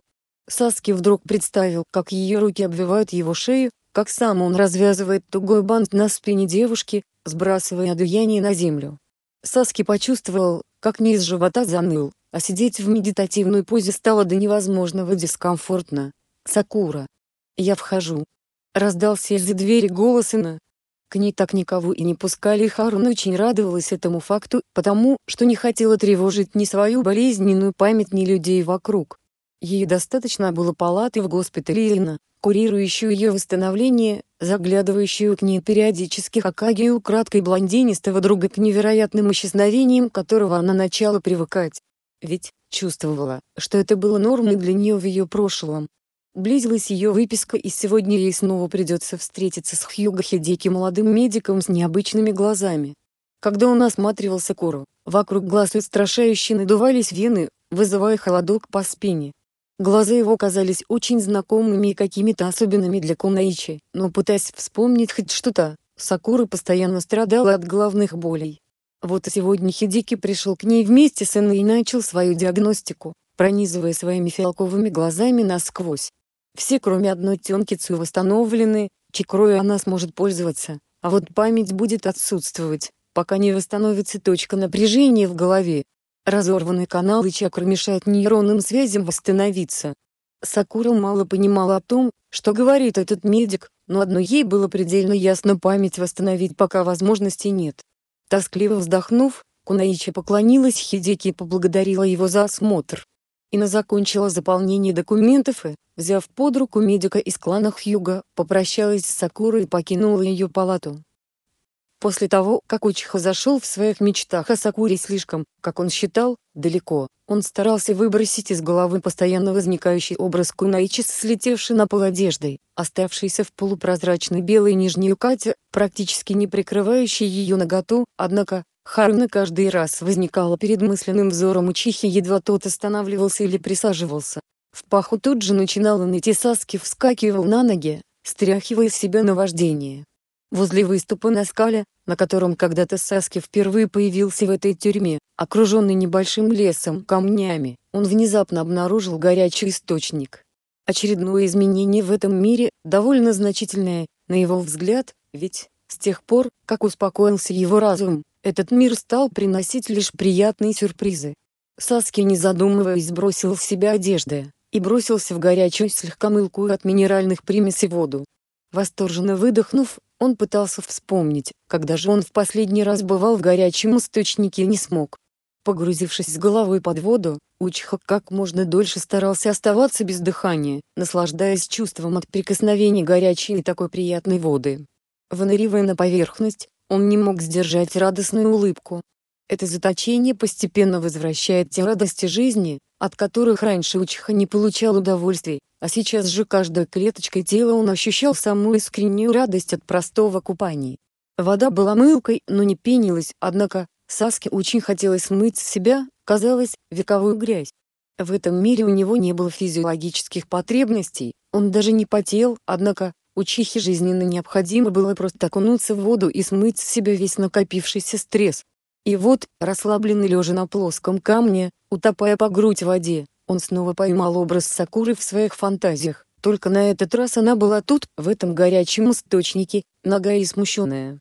Шумно выдохнув, Саски потряс головой, скидывая наваждение, однако, мысли никуда не ушли, и он позволил себе фантазировать дальше, ногой такой беспомощный перед своими собственными мыслями. Он закрыл глаза и обхватил рукой возбужденную плоть. Харуна Сакура стояла у стойки регистратуры, получая выписные больничные документы, с росчерком пятой Хакаги. Пришла пора возвращаться домой и обещала проводить Кунайчи и рассказать ей обо всем, что и где лежит в ее доме. Надо же, у нее есть дом, точнее, как обмолвилась Яманука, малюсенькая квартирка, но для нее это было счастьем. Две недели заточения в больнице показались для Харуна мучением, и применял различные техники для восстановления памяти, но все это лишь причиняло неистовую боль. Лишь тайные визиты Наруто доставляли удовольствие и вызывали счастливую улыбку Кунаичи. Вот и сегодня она втайне надеялась, что не застав ее в больничной палате, блондин придет к ней в квартирку. «Идем, это недалеко от больницы, ты купила эту квартиру специально, чтобы удобнее было ходить на работу», констатировала Инна, ведя подругу домой. «Я работала рядом с госпиталем. Скажем так, в непосредственной близости». Уклончиво ответила Инна, поворачиваясь к ней. Харуна не нашлась, что сказать на это, и лишь кивнула. Эта информация не причинила боли, Может, уже можно начинать потихоньку спрашивать. Они вошли в квартиру, маленькую и очень уютную, с изумрудным диваном напротив большого окна с невысоким подоконником.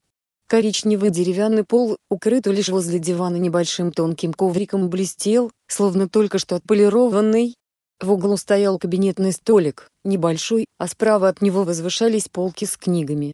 Дверь в спальню была приоткрыта и показывала малюсенькую комнатку с кроватью, шкафом и небольшим пространством перед еще одним окном. Сакура восхищенно озиралась по сторонам, на кровати аккуратно сложенные в стопочку лежали белые полотенца с розовыми сердечками и розовый халат с белыми. Харуна неодобрительно хмыкнула при виде этой стопочки, но продолжила оглядываться по сторонам. Все было диковинно новое для нее и одновременно такое родное. Этот халат тебе подарила я и полотенце. Мне приятно, что ты ими пользуешься. Хохотнула Ина, глядя на реакцию Сакуры. Спасибо. Кунайчи улыбнулась. Я прикупила продуктов на первое время, а то за две недели, что ты лежала в больнице, все овощи в твоем холодильнике стали очень печально выглядеть. Иньюна бодро прошагала на маленькую кухоньку, где на плите сиротливо стояла сковорода, прикрытая крышкой. «Я приготовила тебе обед. Покушаешь, как проголодаешься. Если что-то беспокоить будет, дай мне знать. Если я не в госпитале, то мне сообщат мгновенно. Ну, мне пора, меня ждет еще одна операция сегодня и обход. Отдыхай, осматривайся. Адрес твоего дома я написала на листочке. Если будет необходимость, бери его с собой, когда идешь куда-то, на случай, если заблудишься. Как будешь готова знакомиться со своими друзьями, тоже дай мне знать. Спасибо, Инна. «Ни за что, лобастые!» Она весело подмигнула и взъерошила розовые волосы подруги. «Ну, пока. Я ушла. До встречи». Ина исчезла, бесшумно прикрыв за собой входную дверь, а Сакура стала рассматривать свои вещи. Она нашла множество книг по медицине с интересными названиями, во всех книгах почти на каждой странице были пометки карандашом. Харуна узнала свой почерк. На столе лежал блокнот и в нем было тем же почерком вписано имя Хьюга Наджи. «Хьюга», — прошептала Кунаичи сама себе.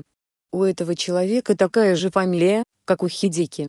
В дверь постучали Сакура, спрятала блокнот под книжку, решила открыть дверь не спрашивая, кто стучит. В конце концов, даже если гость назовет свое имя, это ей все равно ничего не скажет. Но едва дверь открылась, в квартиру ворвался все тот же знакомый голубоглазый блондин. На сердце вдруг потеплело Кунайчи кинулась его обнимать. Наруто. «Привет! Я так рада тебя видеть!» Воскликнула Харуна, высвобождая его от объятий. «Привет, Сакурачин. Ину сказала мне, что тебя выписали, мне дали кучу инструкций, что тебе можно рассказывать, а что нельзя. Так что, сегодня я буду осторожен в общении, чтобы не сделать тебе больно». Его добрая улыбка согревала. «Ты голоден?» Инна приготовила обед. «Поешь со мной?» «С удовольствием». За две недели, что Сакура провела в госпитале, Наруто посещал ее каждый день с тех пор, как она очнулась, видя, как морщится от боли Кунаичи при упоминании ее личного прошлого, он и так старался не затрагивать этих тем. Лишь отвечал на вопросы, которые задает она сама, но тут же замолкал, видя, что ответ причиняет ей дискомфорт. С ним ей было хорошо и легко и ей очень хотелось понять, кто же они друг для друга. «Наруто, можно тебя спросить?» «Все, что угодно». Улыбнулся друг, беря палочки и приступая к еде. «Приятного аппетита!» «Приятного!» Сакура ответила на улыбку и смущенно опустила глаза. «Ты сказал, что можно сказать, что мы родственники в тот первый день, когда пришел навестить меня». Щеки налились румянцем. «Мы, ну, насколько мы действительно родственники? О, ты член команды номер семь, я член этой команды, мы почти что семья. Он расплылся в улыбке еще шире. МММ, а под, почти что семья, что конкретно подразумеваешь? Сакура. Его лицо снова стало серьезным, как же быстро он менял настроение. Я был влюблен в тебя когда-то. Ты в меня нет. Но, мы всегда были рядом друг у друга с самого появления нашей команды и всегда поддерживали. Ты для меня член семьи, которой у меня никогда не было. Прости. Сакура поняла, что эти слова ранят ее, но не голову, от них болит сердце. Ей было больно от того, с какой горечью он говорит про то, что у него не было семьи. Наруто, Пусть я не помню ничего, но я знаю, что ты мне очень дорог. Наверное, я тоже считала тебя своей семьей, потому, что с первой минуты, как увидела тебя, подумала, что мы родственники. Наруто снова повеселел и они продолжили беседу, непринужденно болтая. Узумаки рассказывал, как здорово в деревне нахваливал ременную, в которую, по его словам, они частенько ходили, про поляну недалеко от деревни, где Сакура собирала травы, про озеро с водопадом. Нам обязательно с тобой нужно сходить во все эти места. Ты там можешь что-нибудь вспомнить. С удовольствием прогуляюсь. Улыбнулась Сакура. Тогда нам надо идти. Они быстро собрались и вышли из квартиры, направляясь к поляне, где в день рождения Саски Харуна плакал в обнимку с Наруто. Однако, кроме приятного ощущения, что это место ей знакомо, она не смогла почувствовать ничего. «Наруто, а можно снова тебя спросить?» «Ты можешь не спрашивать разрешения. Я всегда готов ответить на любой твой вопрос». Друг закинул руки за голову, непринужденно вышагивая рядом с ней. «Я была в Кагато влюблена?» «Да, Сакура. Всегда только в одного человека. Но, я не могу пока назвать тебе имя. Ину сказала, что это причинит тебе много боли. Хорошо, Сакура расслабленно присела на камень посреди поляны возле огромного валуна. «Наруто? Эм. Познакомишь меня с Наджи Хьюга? Ты с ним, конечно же, знакома, но идем прямо сейчас. Он будет рад тебя видеть». Наруто вскочил, полный энтузиазма и потянул Сакуру за собой. «Так значит Наджи поведет тебя сегодня смотреть салюты?» Хинута мило улыбнулась. «Да. А ты тоже идешь с нами?» «Нет, меня пригласил Наруто». Хьюга смущенно улыбнулась. «Он нравится тебе». Сакура давно это заметила и по ощущениям гораздо раньше, чем потеряла память. Очень. Щеки Хинуты мгновенно вспыхнули. Сакура не помнила, влюблена ли она сама, но чувствовала, что ее сердце принадлежит кому-то. Из-за того, как за ней старательно присматривал Наджи из-за того, как ей хотелось о нем позаботиться, Харуна подозревала, что все-таки это он, и его слова «Без тебя я не был бы жив». Что же это значило? Сакура пыталась расспросить Ина, но каждый раз, когда она подходила к этому вопросу, голова разрывалась от боли. Повторное знакомство с Наджи для нее было удивительным. Этот странный молодой человек с очень длинными волосами и невероятно прозрачными глазами вызвал какое-то странное ощущение внутри. Сакура словно что-то должна была сделать и не могла вспомнить словно вот-вот что-то вспомнит очень важное про него. Сакура чувствовала сильную радость от встреч. Возможно, именно он был ее возлюбленным. Однако, ниндзя вел себя довольно отстраненно и приветливо, он уже был в курсе ситуации и старался избегать темы ее личных воспоминаний, хотя, она очень хотела бы, чтобы он хотя бы дал хоть какой-то намек, но его лицо было совершенно нечитаемое. Харуна пробыла в гостях у клана Хьюга довольно продолжительное время, когда начало темнеть, она засобиралась домой. «Останьтесь на ужин, мы будем рады поужинать с вами, Сакура, Наруто». В гостиную вошла Хинута, приглашая всех к столу. И они остались. Харуна было приятно, что несмотря на ее трудности, друзья вели себя так, чтобы не причинять дискомфорта. Поэтому, находиться в компании Шиноби из клана Хьюга ей тоже понравилось. Украдкой она заметила, как Хината посматривает на беспечно улыбающегося Бландина и поняла, что эта девушка питает к нему какие-то чувства. На мгновение Сакура почувствовала, что очень устала и ей захотелось оказаться в своей кровати и лечь спать после такого перенасыщенного дня. Наруто еще не закончил свой ужин, но Ниджи, казалось, уже был сыт, так как он отклонился от стола и сложил руки на колени, поддерживая легкую беседу. Сакура подумала, что можно было бы попытаться оставить Наруто с Хинутой и попросить светлоглазого Шиноби проводить ее до дома, конечно, если он знал, где она живет. Потому, что сама она не нашла бы дорогу назад, слишком много мест они посетили за сегодня. А еще, для Сакуры это был прекрасный шанс попробовать поговорить с ним. Нет же, ты не мог бы меня проводить до дома? Я вижу, что ты уже поела. Честно говоря, боюсь заблудиться по дороге. «Да, конечно». Он поднялся из-за стола, а потом обернулся к сестре. «Хинута-сама, я отведу Сакуру домой. Не теряйте меня. Наруто, Хинута, простите, что так внезапно, но я очень устала». Сакура поклонилась ребятам, поднялась из-за стола. «Сакурачен, я мог бы и сам тебя проводить». улыбнулся блондин. Ничего. Я же вижу, что ты еще не закончил ужин. Еще раз простите. Мне действительно немного нехорошо. Она чувствовала непривычную усталость, да и очень хотелось оказаться один на один с Неджи, чтобы задать ему некоторые вопросы. Они молча шли к дому и она ощущала, что ей очень и очень нужно положить руку ему на спину. Для чего? На этот ответов у нее не было. Неджи. Прости меня, пожалуйста, что я заставила тебя меня провожать. Что ты? Мне всегда приятно помочь тебе. Он тепло улыбнулся, слегка прищуривая свои фиалковые глаза. В госпитале работает медик с такими же глазами, как у тебя. Ты тоже умеешь видеть больше, чем видят другие? Неджи тепло ухмыльнулся и кивнул. Однако, он упомянул, что сейчас ему недоступен Бьякугам. Он шел рядом и тихонечко рассказывал ей про великое дадзюцу их клана, а Харуна с удивлением отметила, что эта информация тоже не причиняет ей боли. «Отлично. Можно я спрошу тебя еще кое-чем?» Робко спросила Сакура не отводя глаз от его красивого аристократичного лица. «Конечно».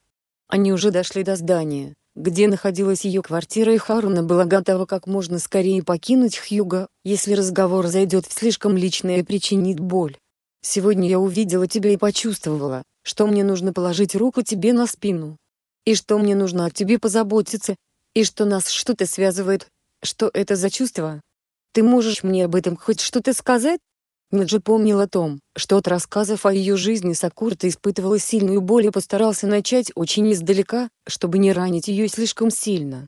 «Сакура, без тебя я не был бы жив», но едва он начал рассказывать, как Харуна схватилась за голову. Все-таки, даже эти слова были слишком личными. «Прости. Это пока все. Что я тебе расскажу?» «Спасибо. Наверное, я пойду». Кунаичи отняла ладони от головы и снова посмотрела на Хьюга. Заглядывай ко мне хоть иногда, ладно? Если ты захочешь, я буду приходить хоть каждый день. Я хочу. Она улыбнулась и Ниджей кивнул в ответ. Тогда, до завтра, Сакура.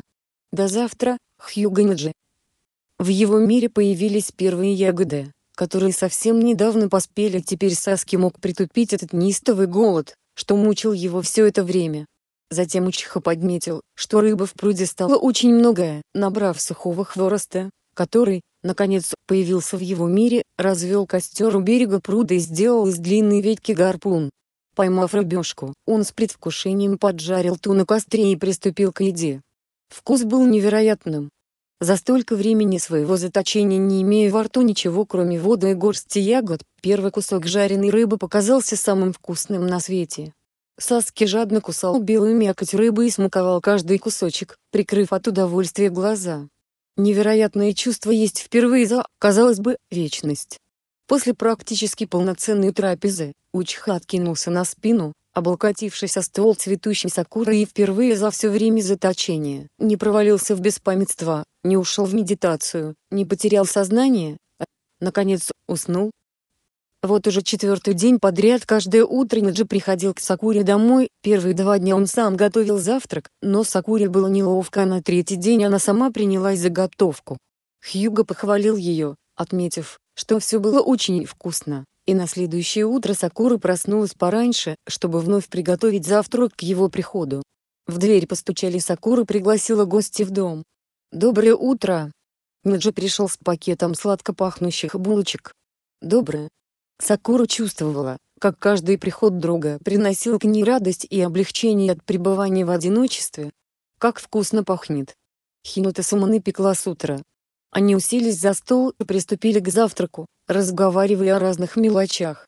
Сакура заметила, что Ниджи иногда морщится во время смеха и сегодня он более осторожен, чем обычно. Она спросила его все ли в порядке, но он заверил, что все хорошо. «Куда сегодня идем?» Воодушевленно спросила Кунаичи. Хьюго каждый свой приход после завтрака водил ее к разным друзьям. Она уже познакомилась с Саем, третьим членом команды Семи по совместительству парнем Она познакомилась с Кибой его милейшим псом, посидела временной с Наруто и двумя капитанами их команды, а еще с Рукой Сенсеем, и долго пряталась за спиной Ниджи при виде Жуковшина. Сегодня днем мы не пойдем по гостям. Вечером будет фестиваль фейерверков и я отведу тебя их смотреть. А днем ты, наверное, захочешь приготовиться и немного пройтись по улочкам деревни и подготовиться к торжеству. Хмыкнул Наджи и снова поморщился. О, а как к нему готовиться? Девушки надевают весенние юкаты, делают прически, ходят в магазины. Думаю, Хинута Сума составит тебе в этом компанию и подскажет лучше меня. Он улыбнулся. А она не против. Она приглашала. Но, Хинута Сума не простит меня, если ты не попробуешь ее выпечку. Он усмехнулся, пододвигая ближе тарелку со сладко пахнущими булочками. Закончив завтрак, Сакура вымыла посуду и была готова идти в квартал Хьюга для встречи с Хинутой, когда снова заметила, что Ниджи отвернулся спиной и положил руку себе на грудь немного прерывисто задышав. Кунаичи сама не понимала, что она делает, сложив какие-то знаки руками, она вызвала зеленое свечение в ладонях и положила руку ему на спину. Как давно уже хотела сделать. Почувствовав прикосновение, Хьюго обернулся и увидел сосредоточенное лицо Сакуры, закрывшей глаза. «Ниджи, твое сердце. Оно изранено». Ахнула Сакура. «Ты помнишь, как использовать Ирьи ниндзюцу?» Удивленный вскинул брови Хьюга. «Использовать что?» Она непонимающе моргнула. «Что ты только что сделала, Сакура?» «Как выяснила, что сердце изранено?» «Я... МММ...» Сакура усиленно пыталась вспомнить, но не могла. «Не знаю. Это вышло случайно». Она отвела взгляд, сились вспомнить, но не смогла. «Нет же, что с твоим сердцем? Все в порядке?» «Это уже давно так. Сегодня я так торопился к тебе, что забыл принять лекарство. Но, сейчас мы пойдем обратно в квартал Хьюга и я это исправлю». Он ободряюще улыбнулся. «Смотри-ка, ты смогла провести диагностику. Может, так постепенная память вернется. Сакура вдруг поняла, что все еще держит ладонь на его спине, хотя там уже не светится зеленым. Она погладила Ниджи по плечу и убрала руку, немного смущаясь. В квартале было непривычно шумно в этот день, жители украшали дом красивыми бумажными фонариками, дети бегали по улице уже наряженные в красивые одежды. «Это и есть юката?» Удивленно спросила Сакура когда мимо них пробежала малышка в каком-то милом халате с бантом на спине. Верно подмечено. Хинута уже ждала их, сидя на крыльце своего дома. Сакура поприветствовала подругу и поблагодарила за вкусную выпечку. Ниджи попрощался с девушками и удалился, пообещав зайти к Сакуре на закате. «Ну что, идем?» Хинута улыбнулась и потянула Сакуру к выходу из квартала. «Идем», — шепнула Харуна даже не зная, что предвкушать. Сакура все еще быстро уставала, конечно, после ранения прошло всего 18 дней, из которых две недели она почти все время пролежала, сегодняшний поход по магазинам утнил все силы. Хинута заметила, что ближе к обеду подруга стала постоянно искать местечко, чтобы присесть, отчего решила прервать шопинг пригласить Харуна на чашечку чая. Они вошли в приятную чайную с огромным множеством выпечки и пирожных, лежащих на прозрачной витрине.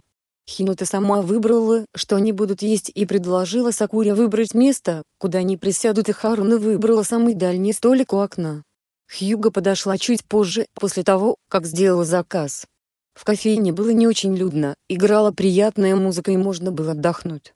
Сакура раскрыла свой розовый кошелечек, достала оттуда несколько рё, чтобы отдать Хинуте за чай, но та деланно недовольно скривилась и отказалась принимать. Сегодня я угощаю свою подругу, ладно? Спасибо, Хината. Смущенно пролепетала Харуна. Они сначала сидели молча, глядя в окно, дожидаясь, когда хозяйка принесет заказ, а затем, получив по чашечке чая и паре вкусных несладких булочек с овощным салатом внутри, они наконец отвлеклись от окна. «Так значит Миджи поведет тебя сегодня смотреть салюты?» Хината мило улыбнулась. «Да. А ты тоже идешь с нами?» «Нет, меня пригласил Наруто». Хьюга смущенно улыбнулась. «Он нравится тебе». Сакура давно это заметила и по ощущениям гораздо раньше, чем потеряла память. Очень. Щеки Хинуты мгновенно вспыхнули. Сакура не помнила, влюблена ли она сама, но чувствовала, что ее сердце принадлежит кому-то. Из-за того, как за ней старательно присматривал Наджи и из-за того, как ей хотелось о нем позаботиться, Харуна подозревала, что все-таки это он. И его слова «Без тебя я не был бы жив». Что же это значило? Сакура пыталась расспросить Ина, но каждый раз, когда она подходила к этому вопросу, голова разрывалась от боли. Хинута, а что это за фестиваль такой? Расскажи мне подробнее, пожалуйста. Начало цветения ранней вишни. Во всей деревне наконец распустилась сакура и с заходом солнца в свете полной луны мы любуемся красивыми цветами, а вечером запускаются салюты с обзорных площадок, мы смотрим на них. До начала салютов мы обычно встречаемся с друзьями, едим угощения, которые можно купить в уличных ларьках. В разных частях деревни показывают театры теней, или танцы, или же кто-то поет. Можно купить сувениры и поиграть в различные игры. Звучит очень интересно. Восхищенно воскликнула Сакура. Да, это действительно один из самых красивых фестивалей. Ты не помнишь, но ты очень любила его. Однажды вы с Нарутесса. Она оборвалась резко, закашлявшись. Прости, это я пока рассказать тебе не могу. Спасибо. Я так хочу посмотреть на ночную Сакуру при полной луне. Она видела распустившиеся цветы на деревьях, а в первый момент Харуна показалось это чем-то волшебным. Более всего Кунайчи удивилась из-за своего имени, что было созвучно этим прекрасным цветом на деревьях. Наверное, это должно было быть что-то особенное для нее, ведь она же Сакура. Тебе очень понравится. Не сомневаюсь. Кунайчи улыбнулась и откинулась на спинку стула. Они просидели еще недолго в кафе, а потом входная дверь открылась, звякнул колокольчик и в кафе вошли на Исай. Сакура, Хината. «Привет, что вы тут делаете?» Удивленно вскинула брови Ина. «Я заходила к тебе, но не нашла дома». Она обратилась уже к Харуна. «Прости, утром Хината позвала меня по магазинам». Сакура улыбнулась и похлопала по пустому стулу с мягкой отбивкой и подруга присела рядом. «Я сделаю заказ». Сай кивнул девушкам и уладился. «Так, вы ходили на шопинг без меня?» Нарочито обиженно спросила Иманука. «Прости, я спонтанно решила пойти сегодня по магазинам, позвала Сакуру, так как Наджи как раз утром пошел к ней. Хината смутилась. Эм. Наджи. Ина хитро улыбнулась. Он зачастил к тебе. Сакура покачала головой, заливаясь краской. Она сама не знала, как к этому относиться. Так что вы купили. Яманока не унималась, исходя от любопытства. Новые юкаты. Увидишь вечером. Сакура подмигнула подруге. Я увижу определенно раньше, кто ж тебя отдавать-то будет. Ина хитро улыбнулась, а Сакура смутилась. Об этом она как-то не подумала. Саски проснулся от странного звука, словно идет сильный ливень. Он еще не разлепил глаза, лишь поворочился, чувствуя, как по затекшим мышцам побежала кровь. Прислушиваясь к себе, он понял, что не мокрый от дождя, а значит этот шум вовсе не ливень. Учха удивленно распахнул глаза и обнаружил, что из того выступа, на котором когда-то он впервые появился в этом мире, мощным потоком стекает вода, образуя небольшой водопад. Саски вскочил, пугаясь, что сейчас вода затопит его довольно ограниченный мир, однако, обнаружил, что озеро, образовавшееся от водопада, изливается в небольшую реку, которая благополучно утекает сквозь его невидимые стены.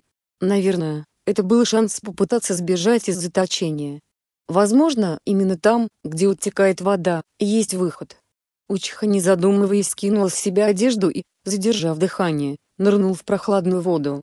Он чувствовал течение реки как поток беспрепятственно проходит через незримый барьер, однако, самого нуки не напряжалась силой воды к стене и он, отчаянно барахтаясь, пытался высвободиться от потока. Когда воздух в легких почти закончился, в голове промелькнула мысль, что ему не умереть в этом мире ни от голода, ни от огня, ни от холода, а значит не умрет и без воздуха. Медленно борясь с течением, Саски начал чувствовать под ногами дно. Он резко оттолкнулся и вынырнул с под воды, жадно глотая воздух. Все еще прижатый течением к невидимой стене, Саски медленно продвигался к берегу и, наконец, выбравшись из водяного плена, обессиленно упал на траву, кашляя и часто дыша. Осталось еще проверить другой вариант места, где он когда-то появился здесь. Может быть оно и окажется выходом из этой тюрьмы. Отдышавшись, он поднялся на ноги и побрел к выступу в скале. Поток воды был настолько сильным, что постоянно сносил не позволяя прощупать стену. Учиха в очередной раз пожалел, что чайкрой здесь он пользоваться совершенно не может. Все-таки, Переселив течение, он прощупал каждый миллиметр стены, но как и с утекающей рекой, вода просто лилась сквозь стену, которая не пропускал учиху. Он злобно прорычал, расслабляясь и давая потоку унести себя вниз. Падая он пожалел, что не может здесь погибнуть. «Какая же ты красавица!» Восхищенно шептала Ина, затягивая замысловатый узел на юкате Сакуры. Кунаичи подумала, что раз ее имя такое цветочное, то идеальнее всего будет купить белую юкату, усыпанную веточками цветущей вишни. Широкий пояс был точь-в-точь точь под цвет ее волос. «Спасибо, Ина». Сакура была явно смущена таким восхищением. «Скажи, я когда-то раньше носила такое?» «Конечно. Все кунаичи деревни листа умеют носить укаты. Фыркнула Иманука. Харуна спросила, почему же у нее нет своей юкаты, но Ина отказалась отвечать на этот вопрос. Яманока не знала, как отреагирует память девушки на тот факт, что все ее вещи были когда-то уничтожены взрывом, и уж точно не хотела, чтобы ее подруга страдала от головной боли в самый разгар праздника. Когда-нибудь Ина расскажет ей. Но, не сейчас. Сакура улыбнулась и немного покрутилась перед зеркалом, Ей нравилось ее отражение сегодня. Неприятные шрамы, что украшали ее виски, она скрыла передними прядями волос, а распущенные длинные волосы водопадом не спадали по спине. Эта прическа определенно шла ее красивому женственному образу. Ина еще не переоделась в свой наряд, но принесла его с собой и Сакура уже предвкушала рассмотреть эту женственную особу в таком чудесном наряде бирюзового цвета с белыми крупными облаками, расположенными по подолу. Покончив со сборами они дождались Саймеджи, которые пришли практически одновременно и выдвинулись в центр деревни, где все светилось и сверкало от красивых фонариков и украшений. Отовсюду доносилась музыка, каких-то духовых инструментов, смешанных с мелодией струнных. Сакура прикрыла глаза, принюхиваясь и улавливая множество вкусных ароматов, что источали сладкие угощения, продаваемые на каждом углу. Харуна подсмотрела, что Ина взяла своего спутника под локоть и поспешила сделать точно так же с Наджо, чего тот немного удивленно вскинул брови, но ничего не сказал. «Как ты себя чувствуешь?» — шепнула Харуна. «Спасибо, я в порядке. Это хорошо, и я очень рада. Я волновалась за тебя. Расскажешь, что это за ранение такое?» Она говорила достаточно тихо, чтобы слышно было лишь ему, но достаточно громко, чтобы перевели звуки громкой музыки, разносившейся по улице. Все это было для Харуна в новинку, однако, она чувствовала, что действительно уже не раз бывала на таком празднике. От Чугато театр тени показался знакомым, и она откуда-то знала, что ей понравится это выступление. А когда она увидела лавочку Сданова, то радостно потянула Имиджа туда, зная, что это ее любимое угощение. Ее ГТА быстро цокали по каменному покрытию дороги, а она взбудораженно подходила к каждой торговой лавочке и восторженно покупала на пробу вкусности.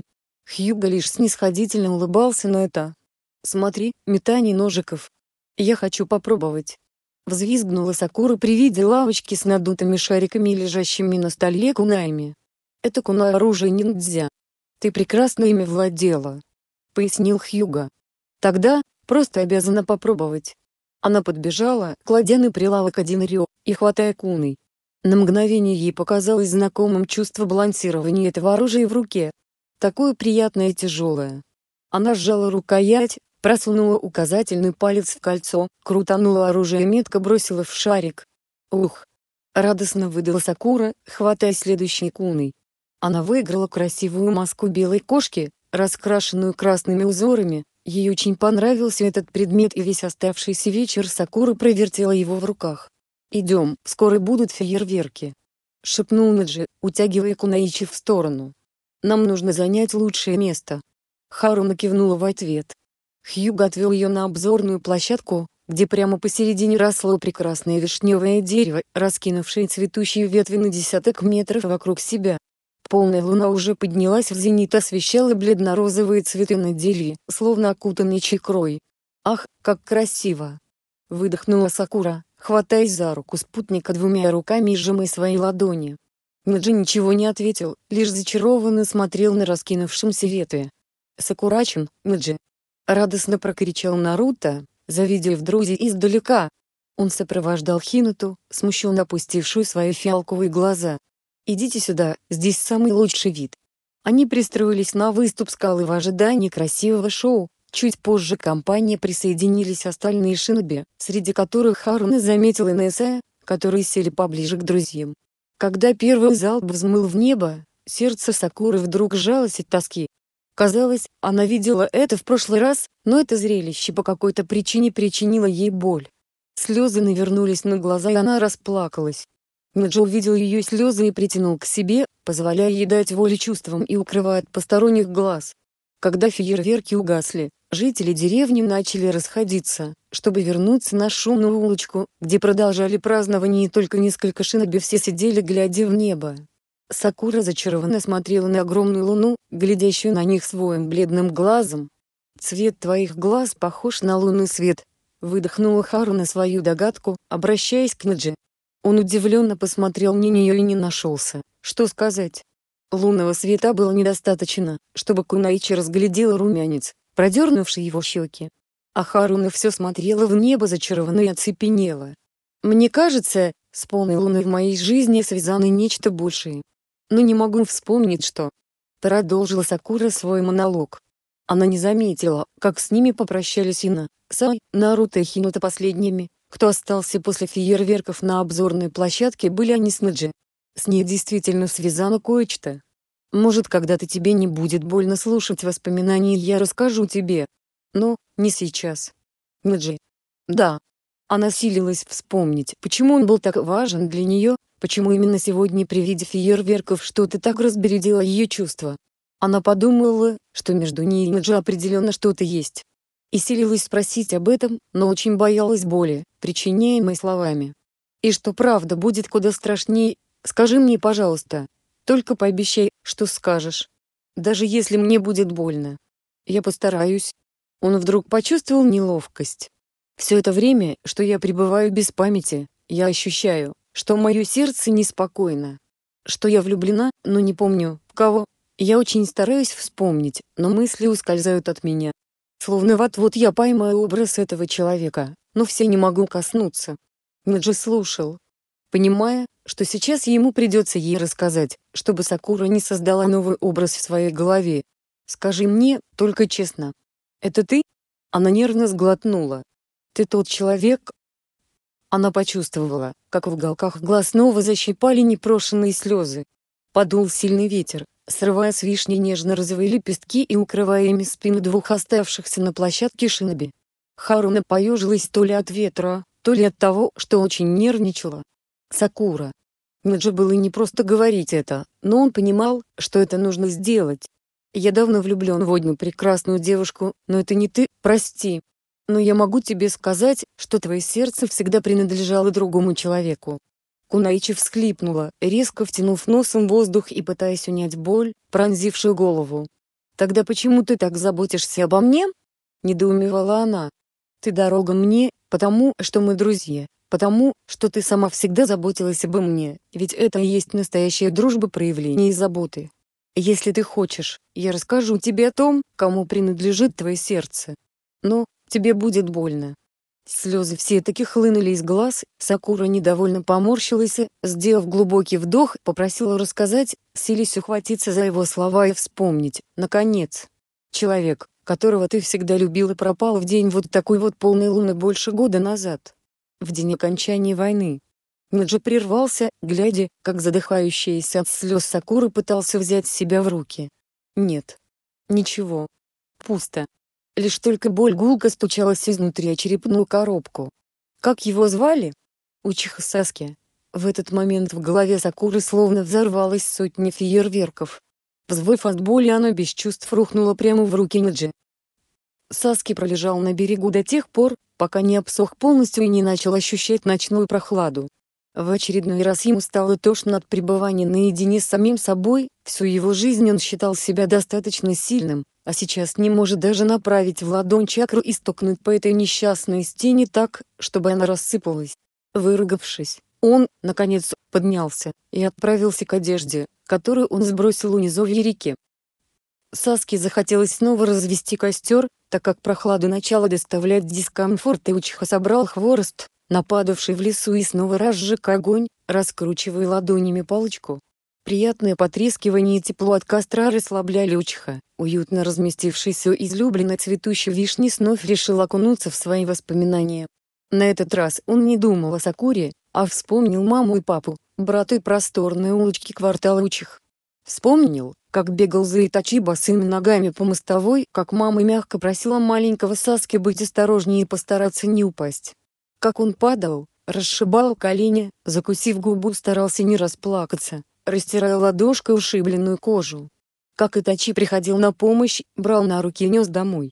Любовь брата, нежность матери и непоколебимость отца — это то, что сегодня согревало душу Саски вместе с костром. Эти воспоминания больше не вызывали приступов злости. Только тепло. Она пришла в себя спустя несколько минут, все еще забываясь от слез, сжимаемой в объятиях Наджи. Извинившись, она отстранилась и постаралась ровно сесть, но ее немного штормило. «Проводишь меня до дома?» «Конечно». Наджи помог ей встать и неспешно повел ее домой. Они молчали всю дорогу, слушая доносившиеся с центральной улицы звуки веселья и музыки. Сакуре уже не хотелось туда. Хотелось просто рухнуть на кровать без сил смотреть в потолок. Голова все еще болела, а осознание того, что она все никак не может вспомнить, душили обидой. Наджи, прости меня пожалуйста за сегодняшнее. Не извиняйся, Сакура. Ты ничего не помнишь и никто не может тебе ничего рассказать. И тебе приходится жить догадками. Мне кажется это очень тяжело. Наджи ободряюще улыбнулся и положил свою руку на макушку Кунаичи, взлохматив ее волосы. «Спасибо тебе за понимание». Она судорожно вдохнула и продолжила. «Можно еще вопрос?» «Попробуй». С самой первой минуты, я все не могу избавиться от мысли, что мне нужно позаботиться о тебе. И ты тогда сказал, что без меня ты не был бы жив. Что это значило? Это чистая правда. Ты спасла мне жизнь после окончания войны. Я был смертельно ранен, а ты вытащила бы меня. Признался Хьюга. Боль снова стукнулась о черепную коробку, но не так сильно, как тогда под ветвями вишни. Вот как. Значит, я медик. Вот как я смогла понять, что твое сердце не в порядке. Наджи кивнул. Мне пора идти. Спасибо тебе за этот вечер. Можно тебя обнять? Смущенно спросила Харуна. Всегда. Наджи улыбнулся и развел руки в приглашающем жесте. Сакура заключила его в объятия и он сжал ее в ответ. «Так тепло-тепло, Наджи!» Промычала она едва разборчиво. «Эм, я ее знаю». «Кого?» «Ту, кто украл твое сердце». «Да. Ее зовут Тентин». Наджи отстранился и, заглянув в глаза Сакуре, улыбнулся. «Я не помню, чтобы ты знакомил меня с ней. Сакура силилась вспомнить всех, кого встретила за это время. Почему она не пошла сегодня на фестиваль? Она на длительной миссии. Вернется уже скоро, практически через месяц. Улыбка Хьюга стала очень теплой. Скучаешь по ней? Да. А она знает об этом? Думаю, что нет. Хьюга отступил на шаг, намекая на том, что пора прощаться и Сакура, махнув на прощание рукой, развернулась и побежала вверх по лестнице к своей квартире. Уже добравшись до своей квартиры, но еще не открыв дверь, Сакура выглянула с общей балконной площадки, которая вела к дверям в другие квартирки, выхватила взглядом одинокую фигуру, бредущую в темноте и окликнула его. «Наджи! Спасибо тебе!» В ту ночь она вернулась в свою квартирку и вопреки всем ее желаниям лечь в кровать и бездумно пялиться в потолок, она решила заставить себя вспомнить хоть что-то, если до этого Харуна боялась исследовать свое прошлое и разглядывать фотографии, потому, что знала, что головной боли не избежать, теперь она пробовала вспомнить.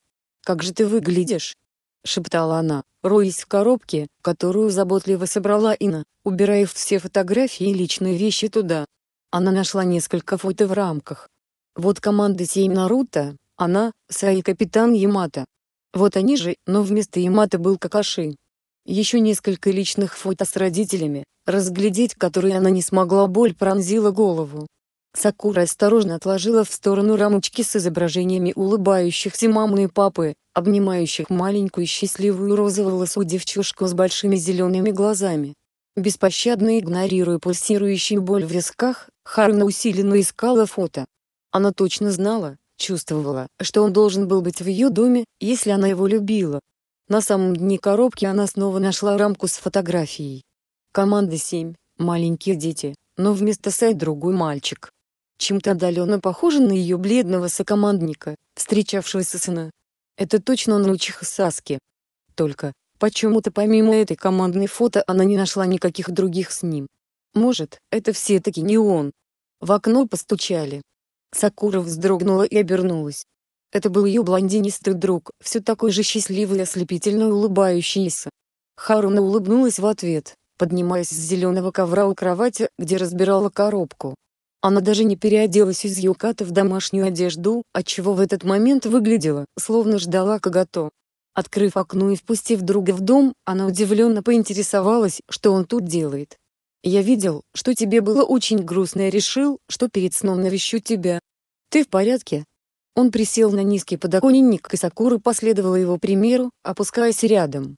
«Да». Выпалила она не подумав, а потом поправилась. «Нет, честно говоря, я не в порядке. Я могу тебе помочь?» «Думаю, да». Сакура поднялась с подоконника, перемещаясь на зеленый ковер, где лежала коробка. Наруто проследовал за ней. «Расскажешь мне об этом?» Она нежно провела пальцем по фотографии самой первой команды 7, передавая рамочку Наруто. В висках стучала боль, грозя снова лишить Кунаичи сознания. «Ты уверена?» Наруто явно сомневался. Сегодня Ниджи рассказал мне, что я влюблена в Ичху Саски, который пропал больше года назад на войне. Она поморщилась. Но, почему у меня нет его фотографий? Кроме этой. Ни одной. Ведь я правильно чувствую, это он? Да, это он. Наруто помрачнел. Сакура, это очень долгая история, тогда пообещай мне, что ты будешь рассказывать ее, пока я тебя не остановлю сама. Она впилась встревоженным взглядом в его голубые глаза. Даже если мне будет совсем плохо, ты продолжишь? Наруто знал, что ей будет тяжело от этого рассказа, что будет очень больно, но понимал, что она мучает себя в неведении и это еще сложнее. Он глубоко вздохнул. Эта Кунаичи была для него очень важным человеком, настолько важным, что он готов был умереть за нее. Однако, даже зная, что ей будет больно, и он был готов рассказать. Потому, что считал, что лучше знать. Этот маленький мальчик на фотографии, как ты уже догадалась, Учиха Саски. Начал Наруто и Сакуры обнаружила, что эта информация не приносит боли. Она уже знала это, он был членом нашей команды и одним из последних оставшихся в живых из клана Учиха. Остальные погибли от руки его брата в кровавой резне. В сердце Саски всегда жила ненависть и мечта отомстить. Но, рядом были мы. Мы не уберегли его и он покинул деревню и стал ниндзя-отступником. Наруто все рассказывал рассказывал, и Сакура понимала, что балансирует в сознании на грани вот-вот отключиться. Головная боль усиливалась, но ей очень хотелось услышать все. На минуту она приостановила друга, чтобы отдышаться. «Я налью нам чаю», — кивнул Наруто, поднимаясь и отправляясь на кухню. «Спасибо», — прошептала Сакура. В ту ночь она выслушала все про ниндзя-отступника, вернувшегося и вставшего с ними в один строй в самый тяжелый этап войны. Сакура удивленно открыл рот, слушая, как на войне сражалась на передовой и была одной из тех, кто поверг врага. Постепенно эта история перестала причинять боль, однако, не вернула воспоминания. Было похоже на какую-то сказку, которую Наруто рассказывает ей на ночь. Я до сих пор влюблена в него? До сих пор? Саски постепенно начал чувствовать себя комфортно в своей тюрьме. Он позволил своим мыслям, мечтам уйти далеко вперед, создавая семью, возрождая клан.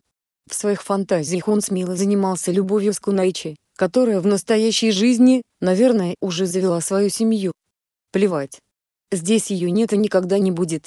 Здесь он один и поэтому смело может в своих мыслях делать все, что пожелает. Как только он отпустил себя, дал возможность своим фантазиям жить, мир снова изменился немного.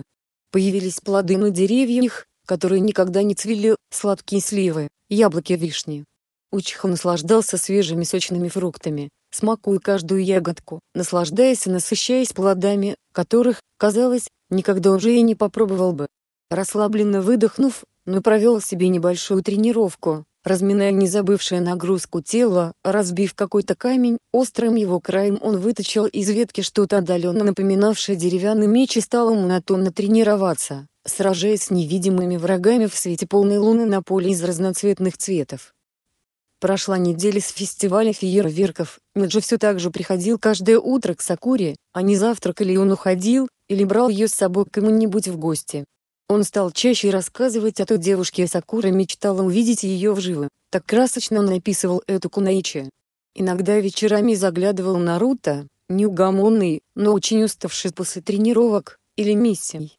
В один из дней Сакура напросилась к Ина в помощнице в госпиталь, потому что уже не могла сидеть без дела.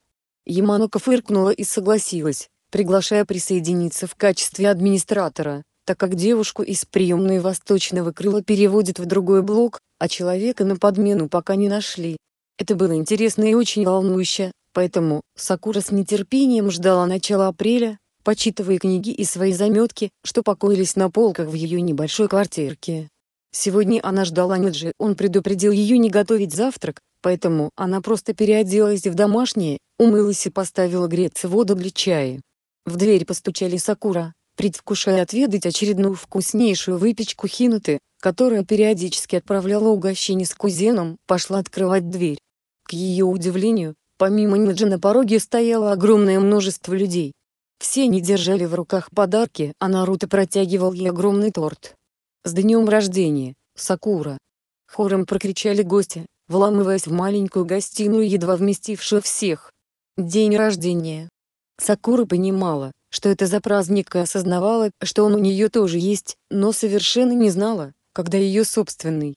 Расплывшись в счастливой улыбке, она вдруг почувствовала, что она невероятно счастлива. Утро задалось великолепно, а значит, и дальше все будет так же.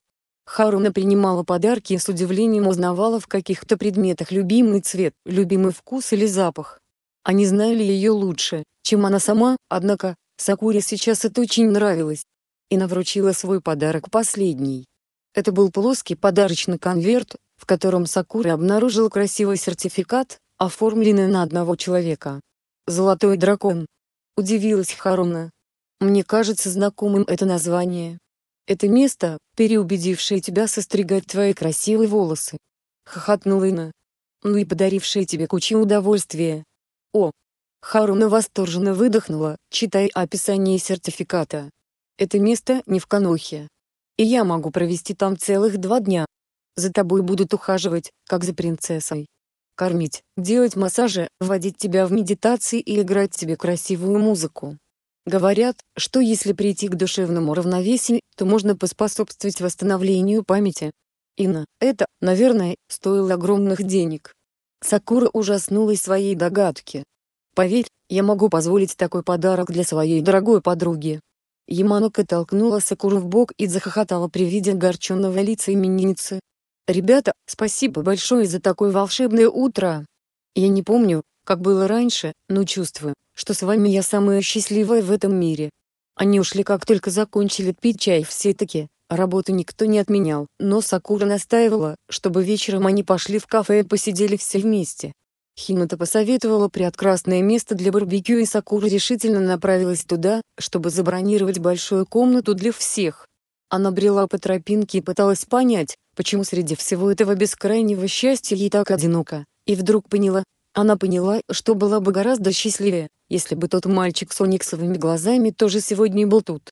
Сакура так и не осмелилась спросить Наруто, выжил ли Учиха Саски, она очень боялась узнать ответ. Хоть бы он был жив. «Где же ты, Учиха Саски?» прошептала она, глядя в небо. И, словно во сне, Сакура вдруг услышала тихий, как шелест ветра в листве, ответный шепот «Я здесь!» донеслось до ее ушей. Саски расслабленно погрузился в бассейн горячего источника, присев на камень и облокотившись о край Онсина. Он провел довольно утомительную тренировку и мышцы ныли с непривычки, а тело приятно гудело.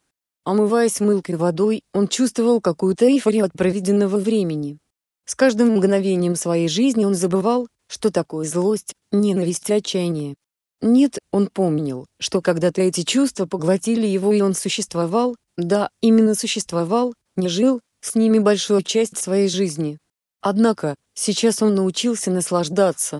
И это было прекрасно. Просидев не весть сколько в горячем источнике, Учиха поднялся, стряхивая с себя капли воды и натягивая на мокрое тело свою одежду. В принципе, здесь не было холодно, можно было ходить и совершенно голым, но почему-то ему было комфортнее в своих одеждах, которые, казалось бы, должны были износиться, сгореть или отплавиться за все время его существования в этом мире, однако, ни время ни стихия не тронули их. Подул ветер, Шелестя листвой Саски направился к единственному цветущему дереву в его мире тому, что раскинуло свои ветви у пруда. Ему нравилось наблюдать, как ветер срывает лепестки и уносит на воду, закручивая и взметая высоко вверх. Учха любовался этим прекрасным зрелищем, освещаемым все еще полной луной, когда вдруг услышал ее шепот. «Где же ты, Учха Саски?» Как-то сдавленно и очень грустно прошептала Сакура. Ее голос он узнал бы из сотен тысяч голосов. Его сердце вмиг охватила надежда. Учха оглянулся по сторонам в поисках ее, но снова это был лишь бесплотный голос. И тогда он точно так же шепотом ответил ей. Ее сердце бешено колотилось о ребра, а голова, казалось, вот-вот разорвется от боли. Сакура не знала, куда бежать и кого искать, ведь она даже не помнила, как он выглядит этот Учха Саски. Неужели он действительно ей ответил? Это странно, я здесь, просто свело Кунаич с ума. Ей повезло, что в этот момент мимо проходила Хинута, которая шла с такой же фелково-глазой девушкой, только чуть помоложе возрастом. Хьюга бросилась к Харуна, хватая ее под локти, как раз вовремя, иначе та бы точно рухнула вниз прямо на дороге. «Сакура. Что произошло?» — встревоженно спросила подруга. Хинута. Я, кажется, слышала его голос, она начала задыхаться от подступающих слез. Чей голос? Саски. Сакура выдохнула все-таки расплакалась, бросаясь в объятия подруги. Хинота торопела, не понимая, вернулись ли к ней воспоминания, или же она уже узнала от Кагато о существовании этого человека. В любом случае, Кунаичи решительно настроилась помочь подруге выяснить все.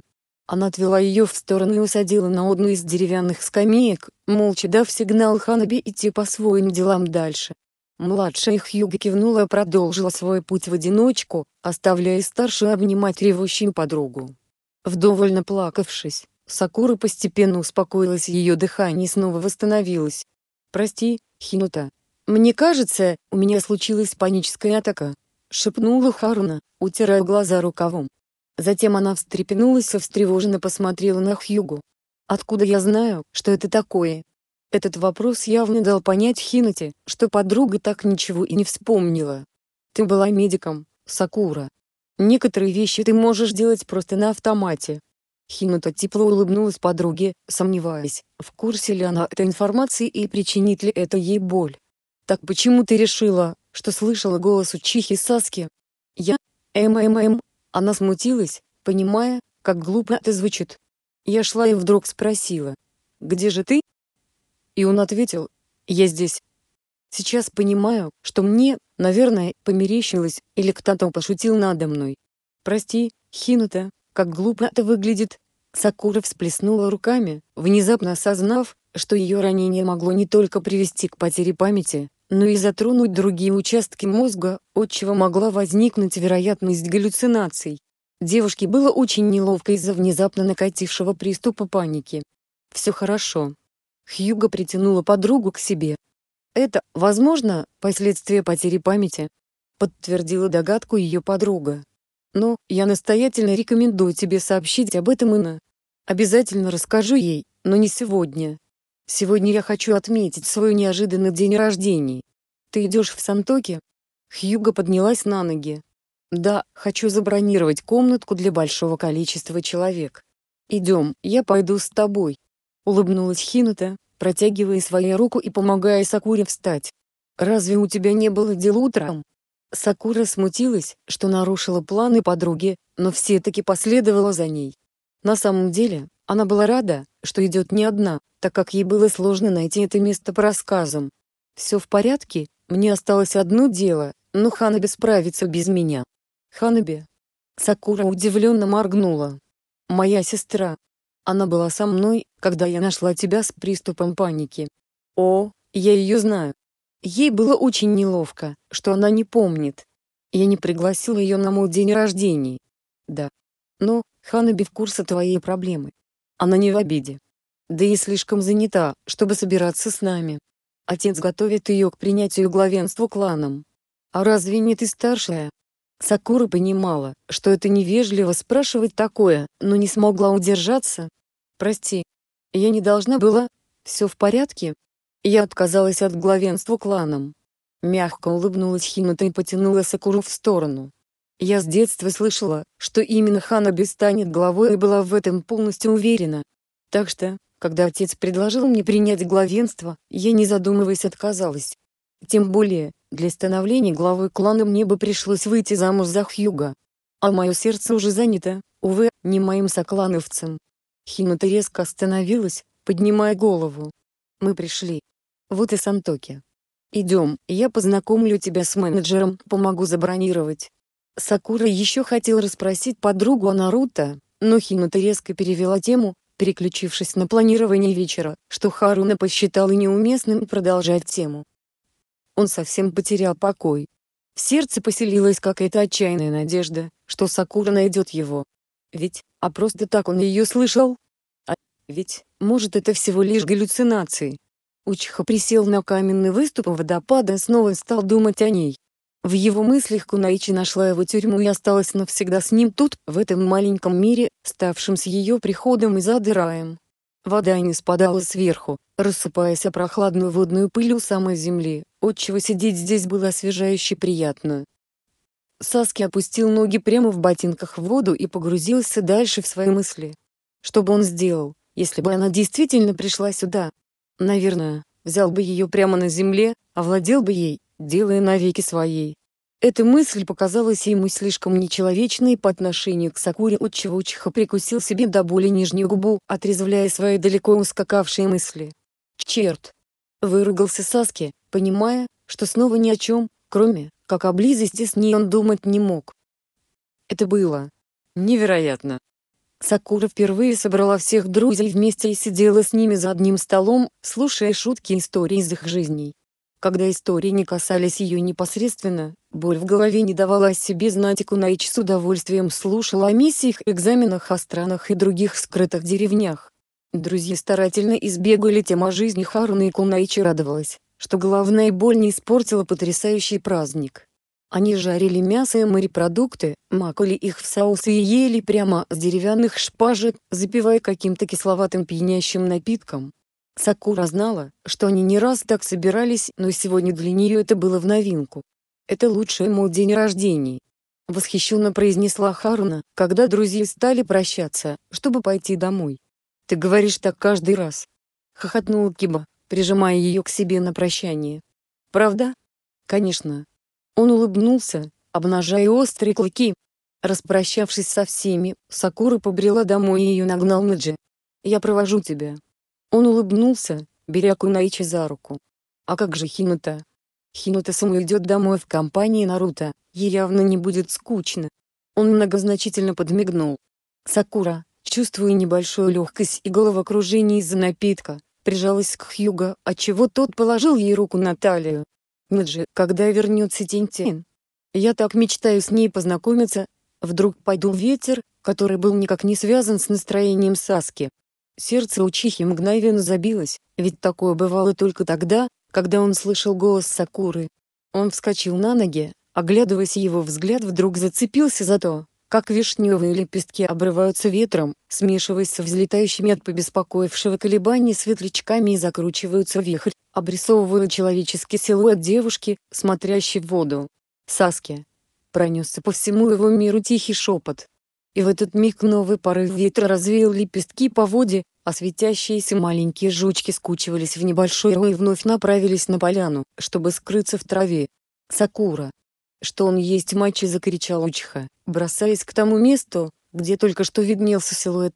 Тентин вернулась в Канаху в середине апреля, Наджи заприметил ее чакру еще на подходе в деревню, извинившись, покинул ставший привычным завтрак с Сакурой. Был выходной день, третий по счету за время ее работы в госпитале. Харуна закрыла за Хьюго дверь, нежно улыбнувшись, мысленно пожелала ему удачи. Такахаши, по словам Миджи, не была в курсе чувств напарника, к ней, отчего Сакура настоятельно рекомендовала ему сказать все, как есть. Однако, смелый и решительный Шиноби все никак не мог собраться с силами и сказать ей. Он обещал сегодня постараться. Но Харуна не была уверена в успехе. Слишком он нервничал, Приведя в порядок кухню, Харуна вышла из дома и решила пройтись до книжного магазина, который заприметила недавно. Было раннее утро и там не должно было быть много людей, Кунаичи хотела насладиться запахом свежих книг и в тишине выбрать себе что-то почитать. Например, про медитации и чакру, раз уж она у нее есть, или про методы восстановления памяти.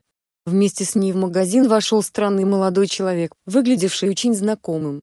Сакура заприметила у него точно такие же шрамы, что и у нее, что вызвало непреодолимое желание заговорить с ним. Набравшись смелости, она подошла к стоящему разделу с литературой о работе мозга. Сакура отметила для себя, что тоже хотела рассмотреть книги на этой полке. Слегка подрагивающими пальцами она не смело коснулась его плеча. «Извините, пожалуйста». Сакура дождалась, пока он обернется. «Мы случайно не знакомы?» Парень обернулся и злобно сверкнул глазами, сжав руки в кулаки. «Серьезно? Опять?» Злобно рыкнул он. «Простите, я не понимаю. В прошлый раз вы со своей подружкой точно так же говорили. Что? Сакура не находилась, что сказать. Его реакции и слова совсем выбили ее из колеи. Что ты задумала? Зачем преследуешь меня? Он схватил ее за плечи, больно сжимая и встряхивая. Ее волосы, не спадавшие вперед и прикрывавшие еще свежие шрамы, волны откинулись назад, открывая собеседнику вид на то, что она так старалась прикрыть. Я... Простите. Сакура выкрутилась из его рук и отшатнулась. Простите, пожалуйста. Я не думала, что мой вопрос вызовет такую реакцию. Я совершенно ничего такого не имела в виду. Она затараторила. С одной стороны, ей хотелось развернуться и убежать, с другой узнать, что же у него за шрамы. «Откуда у тебя эти отметины на висках?» — рыкнул он, слегка успокаиваясь. «Это шутка такая». «Нет, вовсе нет, не шутка. Это был несчастный случай. Я ничего не помню после него. А если пытаюсь вспомнить, то меня мучают головные боли. Она отступила еще на шаг и уперлась спиной в книжную полку.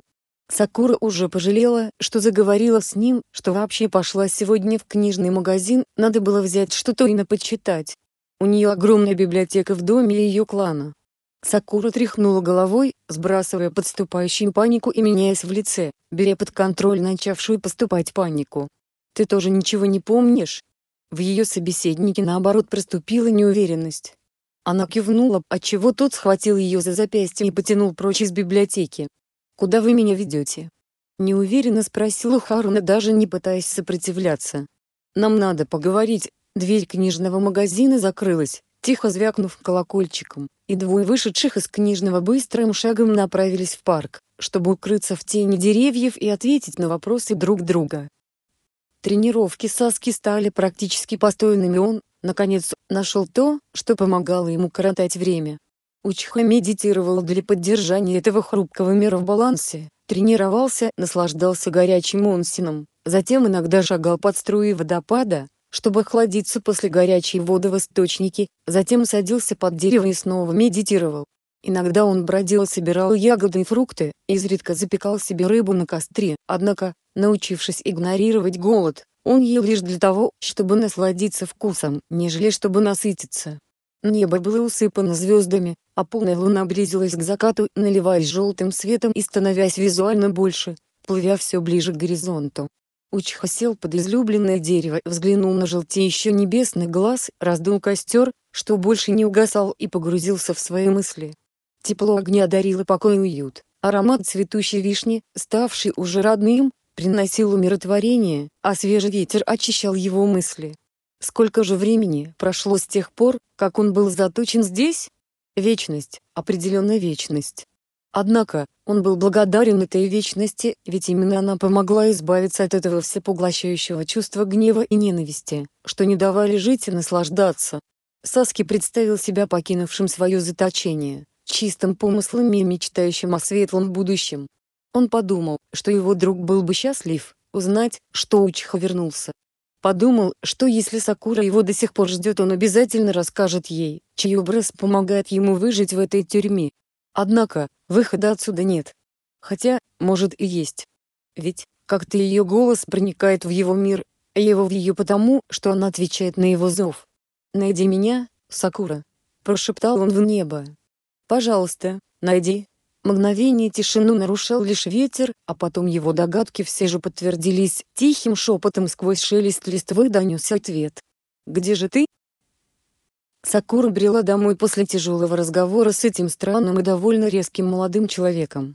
Он, конечно, извинился за то, что так себя повел и объяснил свое поведение тем, что в последнее время страдает от упаднического настроения из-за потери памяти. Харуна сильно огорчила, что имея схожие с ее болезнью симптомы, он до сих пор не восстановился и память не вернулась. Этот молодой человек перечитал множество книг и перепробовал множество медитативных практик, но ничего не помогло. Он также рассказал о странном поведении Сакуры и однажды в книжном магазине, отчего Сакура вдруг почувствовала, что они действительно до этого как-то пересекались с этим парнем. Она решила во что бы то ни стало выяснить у Яманока, что же они хотели от того, кто потерял память. Джирасан, я прошу прощения, мне правда жаль, что мы с подругой доставили вам беспокойство. И я действительно очень хочу помочь вам. Однако, я в точно такой же ситуации или ничего пока не могу сделать. Но, я обещаю, что постараюсь сделать все, что в моих силах. Сакура совершила уважительный поклон, а затем извинилась и попрощалась с молодым человеком. «Постой!» Он крепко схватил ее за руку. «Прости меня, что напугал тебя, не держи на меня зла. И, если тебе не сложно, не могла бы ты иногда просто общаться со мной?» После потери памяти я остался совершенно один, хотя, я даже не знаю, был ли одинок до. Мне просто очень тяжело. Она согласилась, назначив с ним встречу в следующий свой выходной, а затем направилась по дороге обратно домой. Покупать книги желание сегодня уже улетучилось. Сакура вздохнула и направилась в небольшой лесок в парке, тенистый и очень красивый, Наверное, она очень любила бродить в нем раньше, потому, что ноги сами несли ее к небольшому пруду. Возле него раскинулись несколько кустов уже почти отцветшей вишни, на которой завязались молодые зеленые листья. Сакура сняла сандалии и опустила ноги в прохладную воду, несколько рыб тут же подумали, что она бросила им еду, и ткнувшись ртами о ее кожу, быстро уплыли от Кунаичи подальше. Харуна подумала, что если не вспомнит ничего, Возможно, это будет и к лучшему. Отпустить прошлое, которое так было для нее чистым, как белый лист, принять, наконец, настоящее. Помочь Джира принять тот факт, что тот тоже живет без прошлого. И начать, наконец, создавать свое будущее. Кунаичи задумчиво водила ногами в воде, пытаясь понять, чего же она, наконец, хочет от себя придя к выводу, что сейчас нужно заняться восстановлением своих медицинских навыков, которые у нее неплохо получались на каком-то автопилоте, но когда она пыталась понять, проанализировать свои действия, все терпела полный провал. Сакура пообещала себе, что попросит Ина обучить ее. И обязательно поговорить с ней насчет этого Джира. Одинокого и потерянного молодого человека с такими же шрамами. В этот самый миг ветер принес ей знакомый, до боли голос. В груди защемило, а на глаза мгновенно навернулись слезы. «Найди меня, Сакура. Пожалуйста, найди». Этот голос явно принадлежал тому, кого она отчаянно любила. Сакура вскочила на ноги, поскальзываясь мокрыми ногами на молодой траве. Снова приступ паники охватил ее. Он где-то рядом. Но не здесь. «Где же ты?» – прошептала она в небо. Сакура так и не смогла объяснить, почему слышит голос Учихи, которого даже не помнит вовсе.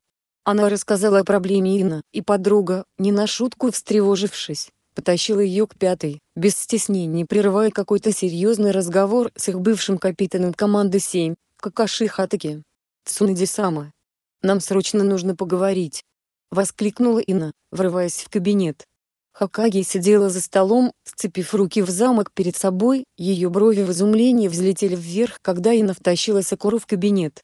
Сначала Синджу подумала, что Сакура всех вспомнила, поэтому и Манука так бесцеремонно вломилась, прерывая беседу, но когда она услышала, что возможно у ее потерявшей память ученицы начались галлюцинации, не на шутку перепугалась. Пятая тут же приказала им направляться в госпиталь и готовить Сакуру к обследованиям. Сказав Какаши, что обсудит с ним его вопрос позднее, она извинилась за прерванное совещание и последовала за своими ученицами.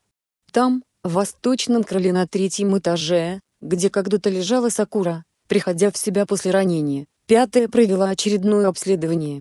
Никаких изменений. Заключила пятая после продолжительной диагностики. Все раны затянулись и воспалительный процесс после ранения уже прошел. Пришла пора начинать реабилитацию. Сакура. Возможно, голос — это последствие травмы с началом реабилитации он больше не станет тебя беспокоить.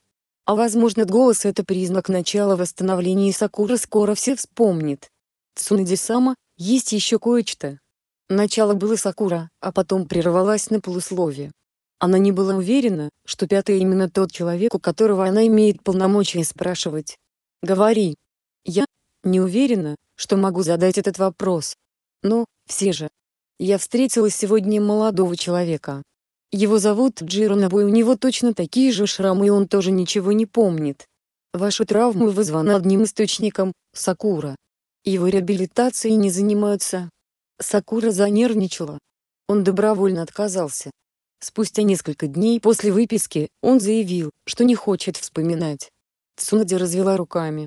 Но, мне сегодня показалось, что он совершенно подавленный, наоборот, хотел бы вспомнить. Сакура смущенно опустила глаза в пол. Понимаешь ли, я успела сообщить ему, что травму он получил из-за моей ошибки. И он обозлился на меня, а так как я глава деревни и по совместительству глава госпиталя он заявил, что дел с нами иметь он не хочет и найдет решение сам. Я присматриваю за ним издалека. Возможно, все-таки, он передумал. Это было бы замечательно, если бы он тоже начал реабилитацию. Вы расскажете мне, что со мной случилось? Сакура свесила ноги с кушетки, намереваясь встать, но пятая ее остановила. Сегодня ты останешься в госпитале, я расскажу тебе, что произошло с тобой. Ты должна знать, но тебе будет больно от этих воспоминаний. После этого я снова тебя осмотрю. Завтра на работу ты не выходишь. Как войдешь в нормальный режим реабилитации, сможешь вернуться к административной деятельности в госпитале. Спасибо, Цунади-сама. Ина принесла несколько обезболивающих настоек, пару поддерживающих пилюль, что должны были помочь Сакуре прослушать как можно больше. Когда пятая начала рассказ, ей казалось, что это будет легко. Рассказывая про эксперимент по восстановлению Шарингана, что это за вещь такая. В глазу Хатаки Кукаши про открытие порталов в другие измерения, что Пятая тоже отметила, что и ее ученица даже не поморщилась от полученной информации. Однако, когда рассказ дошел до попытки найти Учиху, Сакура схватилась за голову. «Так, вы все-таки его искали?» — выдохнула она. Внутри нее было стойкое ощущение, что делать это категорически нельзя. А почему она не знала? Да. Однако, едва этот страж появился в одной из пространственных дыр, все силы были брошены на борьбу с ним. Цунади рассказала, что множество шиноби было отправлено для сражения с этим монстром. Сначала это были ниндзямбу, коим и был Джиронбо, пострадавший от сражения сильнее всех. Затем, Частота атак увеличилась и было принято решение подключить одних из лучших воинов деревни. В этом бою Сакура и пострадала. Цунади вскользь упомянула, что до этой битвы в сражение вступила еще одна команда деревни, но там все обошлось без серьезных ранений. После того, как ты своим ударом вложила деревянный элемент на голову стража, Ямато захватил его в ловушку. Сай запечатал бумажной печатью, щупальца, наконец, больше не держали проход, и Кукаши смог закрыть эту дыру. Тебя тут же доставили в операционную и несколько часов мы боролись за твою жизнь. В этот момент голова Сакура безвольно откинулась на подушку. Ее мозг не выдержал такого количества болезненной информации и просто отключил Кунаичи. Учиха думал о своем прошлом и о своих ошибках.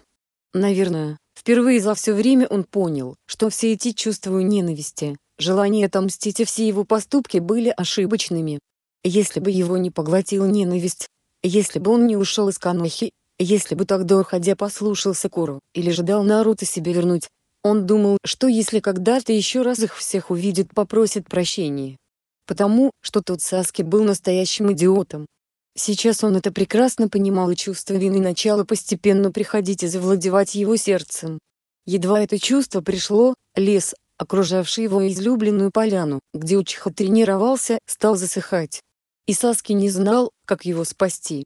Он совершенно не хотел, чтобы прекрасная природа, что приносила в его мире покой и умиротворение, погибла. Саски часто разговаривал сам с собой, точнее, говорил он с деревом, что цело у пруда. Оно все еще сохраняло на себе прекрасные розовые цветы, самые красивые в этом маленьком мире и самые благоухающие среди всех ароматов, что встречал Саски здесь. Вот и сейчас Учиха сидел под раскидистыми ветвями сакуры, оперевшись спиной оставший таким мощным ствол и признавался, наконец, себе, что он мудак. Точнее, был им. Он корил себя, зная, что от этого его гармония рассыпается в дребезге, а мир в его заточении погибает, но он ничего не мог с собой поделать, ему нужно пережить этот этап самобичевания, и, наконец, простить себя за все. Однако, у него это не получалось.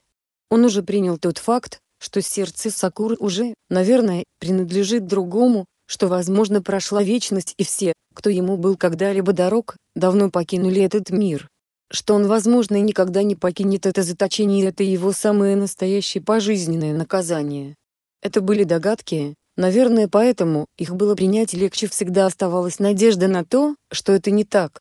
Однако, то, как он поступал в прошлом неоспоримый факт и простить себя он пока не смог. Пять оставила Сакуру отдыхать, пообещав зайти вечером и Сакура позволила себе вздремнуть, ведь в скучной палате делать совсем нечего. Заходил Хидеки, просмотрев ее канал и чакру сделала пометки в ее карте и Харуна, оставшись снова одна, принялась читать историю своей болезни, довольно небольшую. Все никак не восстанавливающейся Тёнкицу в голове, именно она не позволяла восстановить память. Сакура нервно выдохнула, ее голову посетила небольшая догадка. Она обязательно спросит у пятой Аниджи. Стук в дверь оповестил о том, что ужин принесли. Сакура пригласила войти медсестру, что разносила еду и та внесла небольшой поднос с мисо-супом, парой вареных креветок, пиалой с тефу, тушеным с овощами и пиалой с разваренным рисом. Больничная еда не была невкусной, наоборот, она была довольно сбалансированной и Сакуре очень нравилась, особенно потому, что не нужно думать о готовке, однако, есть ей не хотелось, Поблагодарив медика за заботу, Харуна отставила в сторону поднос и вернулась к чтению своей карты. И ничего. Все говорили, что она была сильным медиком, но все эти слова в истории болезни не говорят ей ровным счетом ни о чем. Как, собственно, и слово о ее опыте в работе Иринина. Черт! Выругалась Кунаичи, откладывая свою медицинскую карту. В дверь снова постучали и Харуна пригласила войти гости. Она думала, что это пятая, потому, что ты обещала зайти вечером. Но, это был Джиронабу тот самый потерявший память и способности шиноби. «Привет. Что ты здесь делаешь?» – удивилась Сакура. Ко мне заходила Хакаги-сама. Она рассказала тебе и том, что произошло с тобой. Он неуверенно подошел к креслу возле Крахали и присел. Она предложила присоединиться к твоей реабилитации, давно пора было начать. Харуна улыбнулась. Нет, я не мог. Я не был готов. Злился и винил Хакаги во всем. Но, я, ведь, даже не помню, что случилось. Выпалил. Он на одном дыхании. А ты хочешь вспомнять? И да и нет. Понимаешь, ты окружена друзьями, а с момента моего ранения ко мне так никто и не пришел. Это наталкивает на мысль, что я лишился всех, или у меня никого никогда не было. Мне страшно вспоминать.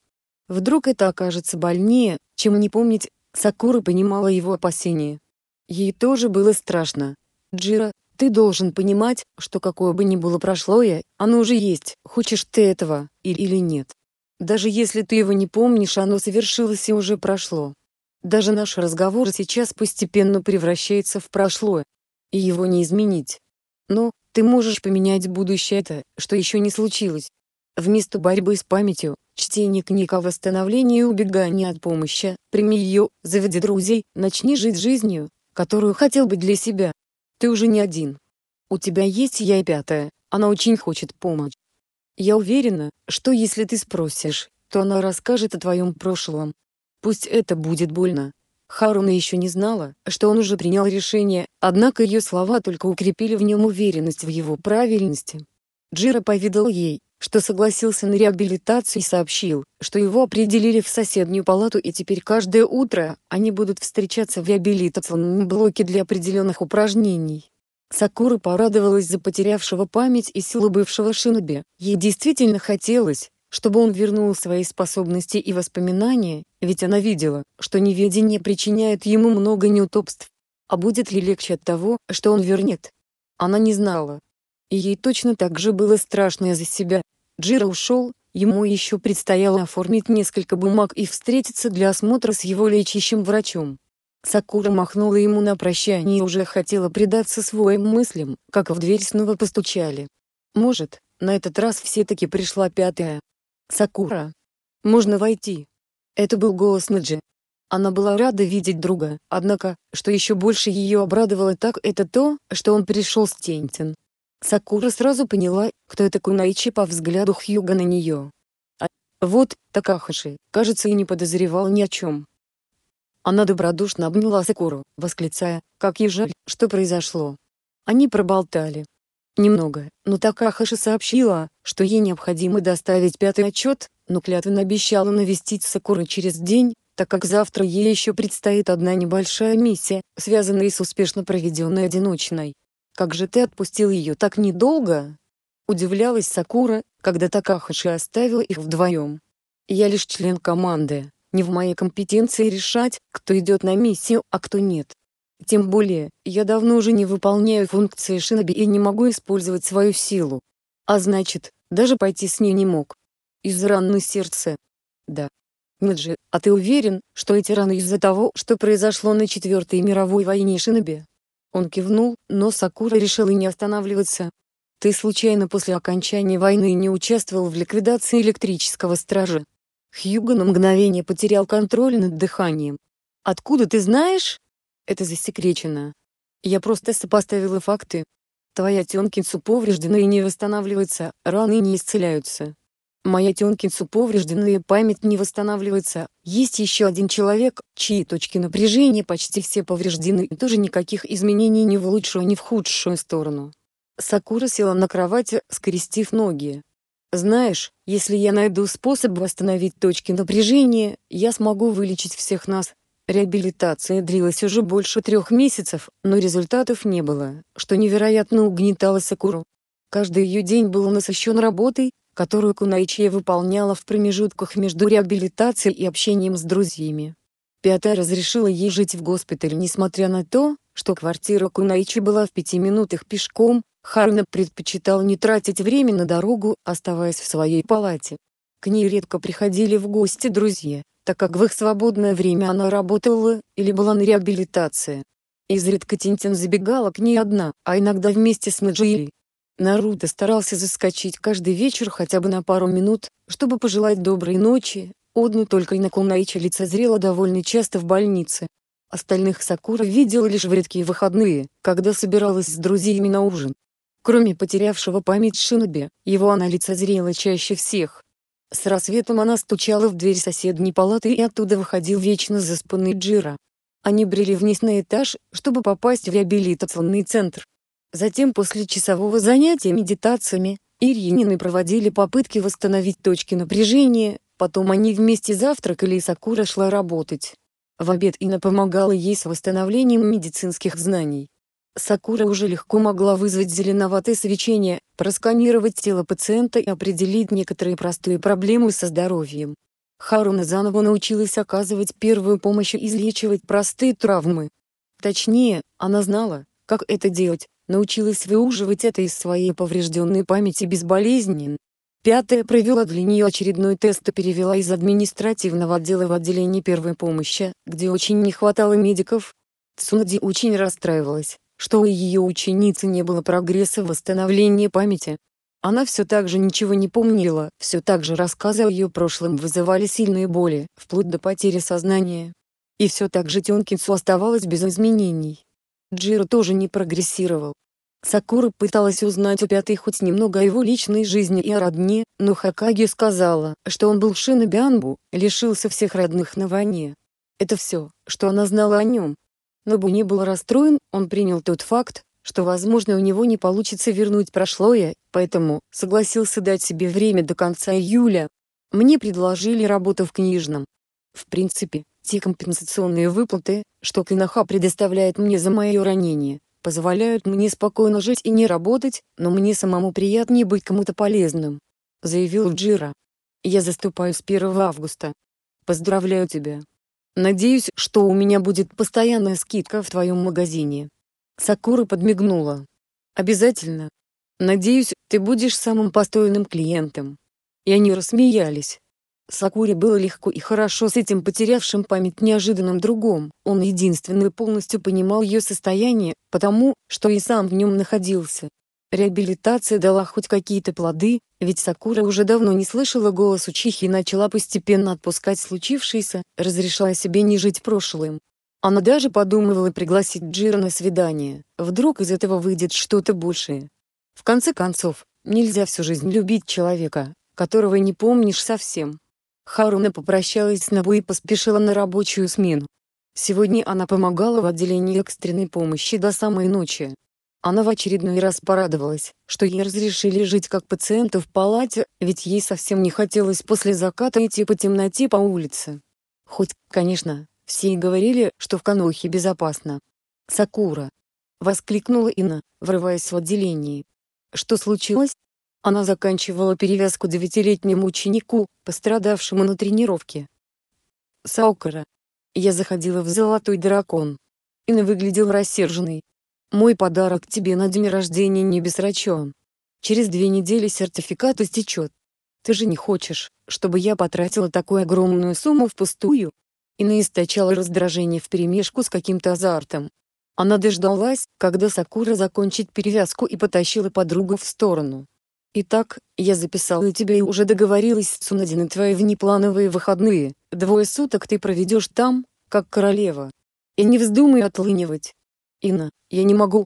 Начало было Сакура. С чего это вдруг ты решила, что не можешь?» Яманока топнула ногой. «Можешь еще как. Тебе три дня на сборы, Через три дня на закате, чтобы была в драконе, там переоденешься в юкату и тебя оттуда повезут на церемониальной повозке. С собой ничего не бери, поняла? Ина, если ты вздумала перечить мне, то предупреждаю, я страшна в гневе, лобастая. Она нарочито-сердито свела брови, но потом улыбнулась. Я знаю, тебе очень неловко отправляться в неизвестность, но, поверь, ты будешь довольна. Спасибо тебе, Сакура отвела смущенный взгляд в сторону все еще не веря не очень желая ехать. Но, и на права, это должно быть, стоило больших денег, если даже самая простая услуга в золотом дурака не показалась Сакуре дорогой. Харуна вздохнула немного обречено, что ж, значит, так тому и быть. Надо сказать Джира, что она уедет на пару дней. Саски заметил, что цветущее дерево вишни начало облетать. Из-за его чувства вины это, или просто время пришло он не знал. Лес же, наоборот, начал восстанавливаться. Для этого Учиха долго сидел в медитации и приносил извинения всем, кого мог вспомнить и пытался представить ответную реакцию. На душе стало легче, когда он попросил прощения у Итачи и тот ткнул своими пальцами ему в лоб, как попросил прощения у Наруто тот врезал Саски по затылку, а потом подружески обнял. Как попросил прощения у Сакуры, Та сначала чуть не снесла ему челюсть своим ударом, а потом, расплакавшись, кинулась ему на шею. Саски понял, что ему стало легче и вина уже не прожигала насквозь. Лес восстановился, а вот вишни начала облетать. Что же это значило? Саски понадеялся, что с Сакурой все в порядке. Почему-то он ассоциировал это дерево с розово-волосой Кунаичи. Учиха потрогал теплый сильный ствол, проведя по шершавой поверхности пальцами, а потом прижался к нему лбом, ему очень хотелось, чтобы Хару напомнила его. И все еще любила. И чтобы с ней было все в порядке. Она пришла прощаться с Джирой, это было непросто. За несколько месяцев совместных реабилитаций они очень сблизились и расставаться было тяжело. Он обнял ее на прощание очень крепко и пожелал хорошего отдыха. Если там к тебе вернется память, я тоже отправляюсь в этот тур выходного дня. Хохотнул он. Ина лишь предполагает, что это может помочь. Сакура ухмыльнулась в ответ. Завтра вечером я уеду. Поужинаешь со мной сегодня? Ты опередила меня? Я сам хотел попросить поужинать со мной. Но бы улыбался. Чур место выбираю ю. Встретимся у главных ворот госпиталя, я хочу забежать домой перед ужином. Сакура была рада его словам и поспешила попрощаться, чтобы, наконец, сменить рабочий халат на что-то посимпатичнее. Джира отвел ее в потрясающий ресторан с видом на деревню. Огни Канохи только зажигались на фоне темнеющего неба и создавали поистине волшебный вид. «Я не знала об этом месте!» — воскликнула Сакура, садясь за стол окна. «Как же красиво!» Моя память упорно молчит, но я чувствую, что это место было моим любимым. каким-то особенным для меня, признался Джира. Значит, действительно было. Сакура улыбнулась в ответ. Ей было знакомо это ощущение, что это казалось значимым и важным, значит действительно так было в прошлом. Просто, причину значимости невозможно вспомнить. Джира предложил выпить рисового вина, но Сакура напомнила, что они все еще принимают лекарства и алкоголь им нельзя. Он ухмыльнулся в ответ, но согласился с ней. «Так необычно видеть тебя в внебольничной обстановке». Сакура чувствовала смущение. «Я так привыкла лицезреть тебя каждое утро в пижаме. Я тоже привык видеть тебя каждое утро». Он не улыбался и Харуна почувствовала, что начало краснеть. Разговор становился каким-то вязким и неловким. Они все время смущались и краснели, как два малолетних подростка, только-только взявшиеся за руки. Сакури одновременно и хотелось переступить через свое смущение и сказать ему о своей симпатии, но при этом в голове тяжелым молотом стучала фраза «это неправильно», и возникал образ Саски, которого она все никак не могла разглядеть. «Джира, мне нужно тебе кое-что сказать. И мне. Давай ты первая». Ты очень нравишься мне. Сакура залилась краской. И я бы даже хотела попробовать с тобой нечто большее, чем просто общение. Но, она запнулась, пытаясь подобрать правильное слово, но Набу не перебивал и терпеливо ждал. Ты знаешь, это как с твоим чувством про этот ресторан. Ты его не знаешь и не помнишь, но чувствуешь, что это было твое любимое место. Так же и у меня. Я чувствую, что-то, что я сейчас хочу сделать неправильно. Как бы я ни хотела, мое сердце уже принадлежит кому-то. Тому, кого я не помню. И мне от этого очень тяжело. Прошло и никак не отпускает меня, хотя я хочу, чтобы оно наконец дало мне свободу. Джира помолчал, выглядя явно огорченным, но потом, вздохнув, взял ее за руку и признался. «Ты мне очень нравишься, Сакура. С самого первого дня, когда вы сына зажали меня в книжном между полками, ты понравилась мне. Я тоже хотел бы перейти черту приятельских отношений и стать тебе кем-то большим, чем другом. Но, точно так же чувствую, что это неправильно. Я, как сломанная игрушка. Вроде интересен, но играть мной уже не получится. Добавил он обреченно. Что ты, ты не сломанная игрушка.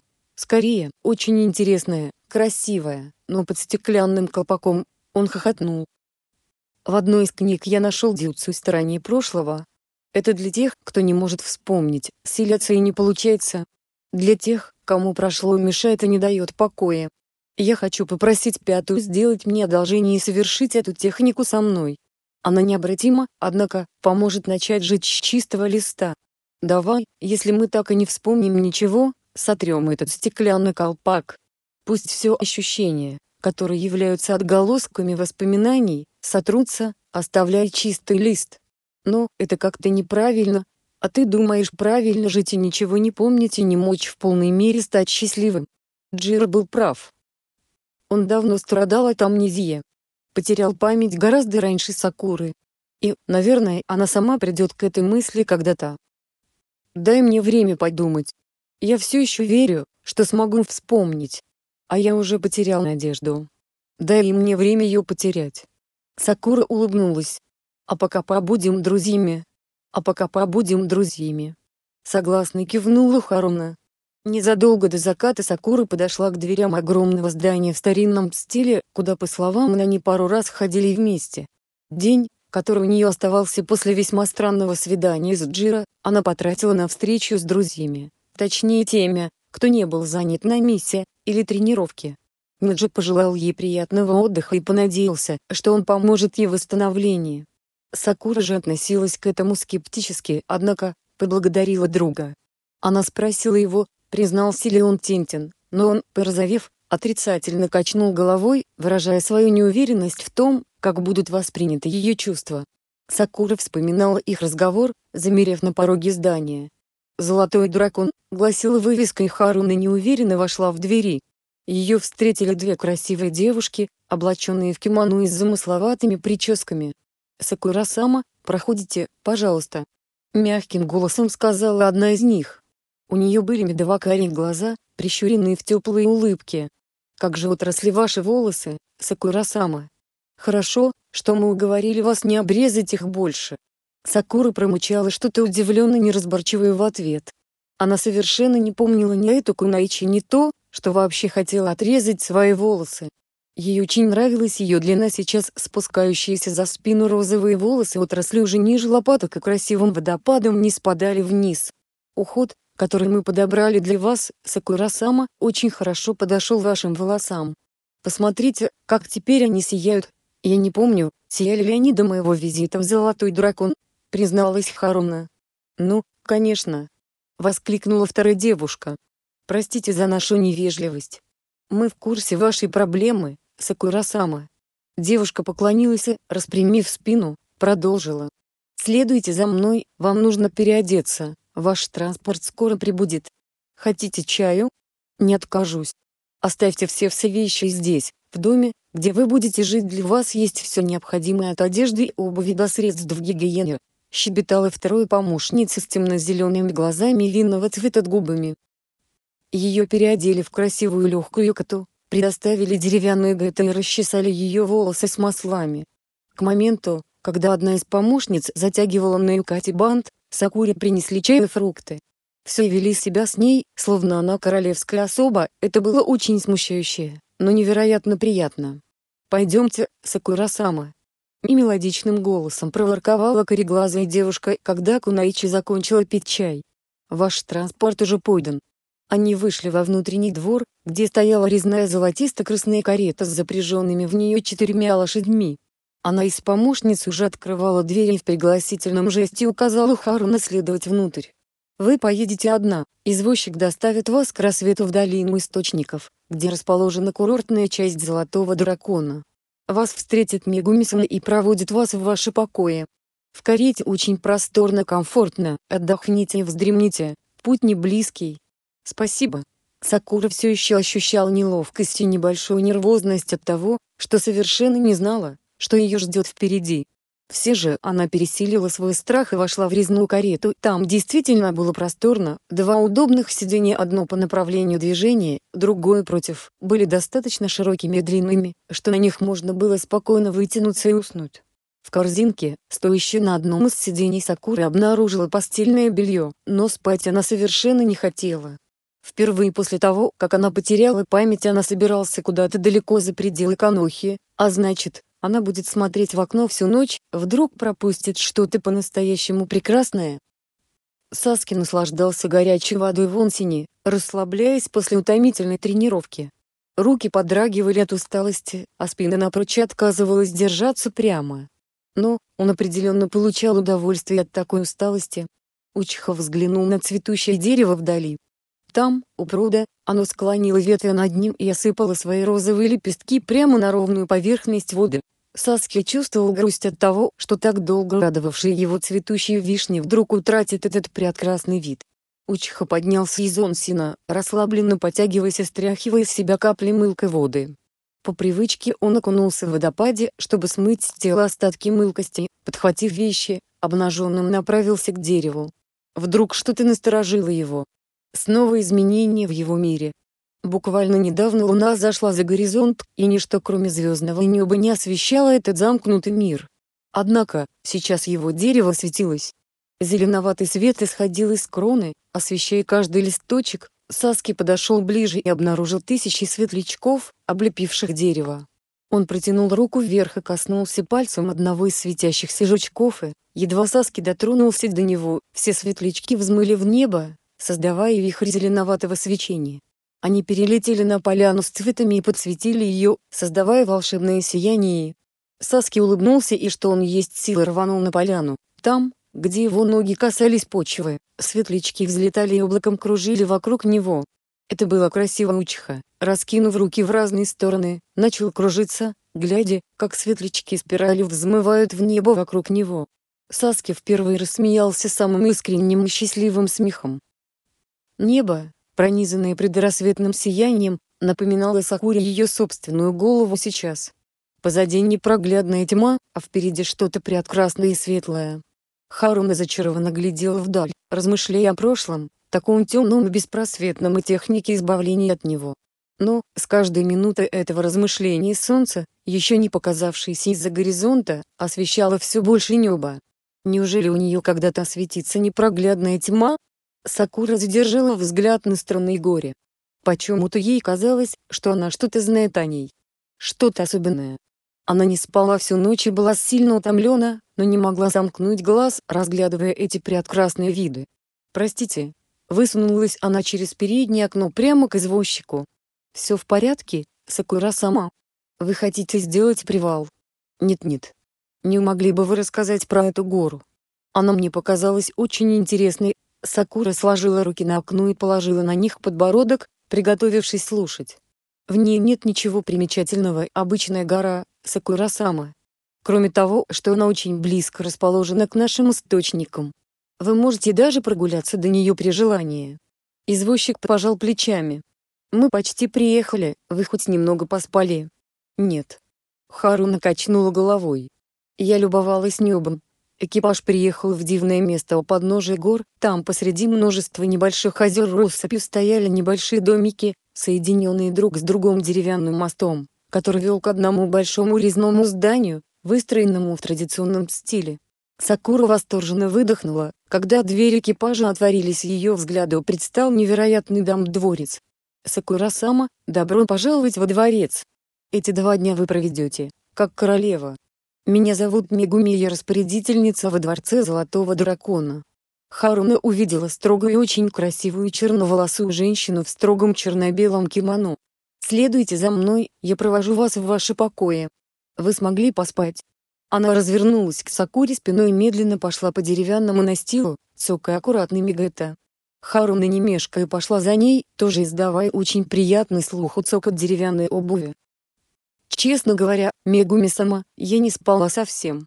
Я любовалась прекрасными видами неба и не заметила, как наступил рассвет. Да, небо летом выглядит прекраснее всего. Вы видели падающие звезды сегодня? Нет. Тогда обязательно присмотритесь сегодня ночью, ведь днем вы хорошо отдохнете на массажах и в источниках. Благодарю за совет, Мегуми-сама. Они пришли к красивому домику, окна которого выходили на каскад гор. Сакура тут же узнала ту самую гору, что привлекла ее внимание. Ее верхушка виднелась из-за ближайшей к ним сопки. Вы можете переодеться, принять душ и осмотреться. Помощница прошла в дом, сняв Гайта Парова, Харна проследовала за ней. Домик был совершенно небольшой и состоял всего лишь из одной комнаты, примыкающей к ней ванной. Что очень удивило Сакуру, так это огромная кровать прямо посередине комнатки, которая занимала почти все пространство. Харуна задумчиво оглянулась, заприметив небольшой скрытый шкаф, заделанный под комнатную дверь небольшой стол со стулом у окна с видом на ту самую гору. «Это ванная, если хотите искупаться, скажите мне, я ее приготовлю для вас», — сказала Мегуми, вскидывая руку в сторону открытой двери. «Но, советую просто принять душ, если желаете освежиться с дороги, Сегодня вас ждет много водных процедур. Мегуми улыбнулась и поклонилась. Я приду за вами через час и провожу вас на завтрак. Отдыхайте. Спасибо, Мегуми-сама. В очередной раз произнесла Сакурая, едва за распорядительницей закрылась дверь, направилась в душ. Это был невероятный день, насыщенный и при этом промелькнувший, словно короткий миг. После легкого завтрака Сакура отправилась в большой природный онсен, вымощенный гладкими, но не скользкими камнями. Температура в термальном источнике была равна температуре тела и заходить в нее было приятно. Мегуми надела на шею Сакура плотный ошейник поплавок и предупредила, что находиться в этой воде можно не больше получаса и что она придет и разбудит Харуны минута в минуту. Но я не планировала спать. Хохотнула Сакура. Эта вода богата природными минералами, которые очень быстро расслабляют мышцы и человек впадает в дрему. Именно поэтому я надела на вас поплавок, Сакура-сама. Харуна действительно уснула. Это было нечто невероятное ощущать себя практически невесомой в воде и при этом полностью расслабившись, отдаться спокойным мыслям, утягивающим в дрему. Ее разбудило нежное прикосновение прохладной руки Мегуми и ее добрый голос. Совершенно обнаженную, помощница повела ее в комнату, где пахло травами и маслами и ложила на белоснежную высокую кушетку, где ловкие руки двух девушек размяли каждый сантиметр ее уставших мышц. Потом ее перевернули лицом вверх и, накрыв горячим мокрым полотенцем, начали массировать голову, осторожно касаясь уже бледнеющих шрамов на висках. Затем Сакуру облачили в юкату и направили в еще одну комнату, где она медитировала, однако, совсем иначе, чем во время реабилитации. Одна из девушек жгла благовоние и играла на каком-то странном инструменте, издающем хрустальные звуки, рассыпающиеся по комнате, словно осколки. Вторая девушка периодически говорила тихие едва различимое слово. Сакура не понимала, говорит она на другом языке или же просто в голове все смешалось и она перестала понимать даже родной язык. Мысли странно спутывались, превращаясь в обломки фраз и обрывки картинок. Иногда Харуна морщилась и вздрагивала, иногда на ее лице проступала улыбка. Но, она почти не запомнила времени, что провела в медитации, казалось, Прошло не больше четверти часа, однако, когда Мегуми тихим шепотом направила Сакуру на выход из медитации, оказалось, что та просидела вот так целых три часа. «Невероятно!» Выдохнула Кунаичи, осторожно поднимаясь после того, как Мегуми уложила ее на бок. «Я рада, что вам нравится, Сакура-сама». Поклонилась распорядительница. Затем ее проводили в то же место, где она завтракала, там Мегуми провела Сакури чайную церемонию, предлагая фрукты в качестве обеда. После еды Харуна немного прогулялась, цокая своими деревянными гетто по мосту, затем ее снова проводили в одну из комнат главного строения.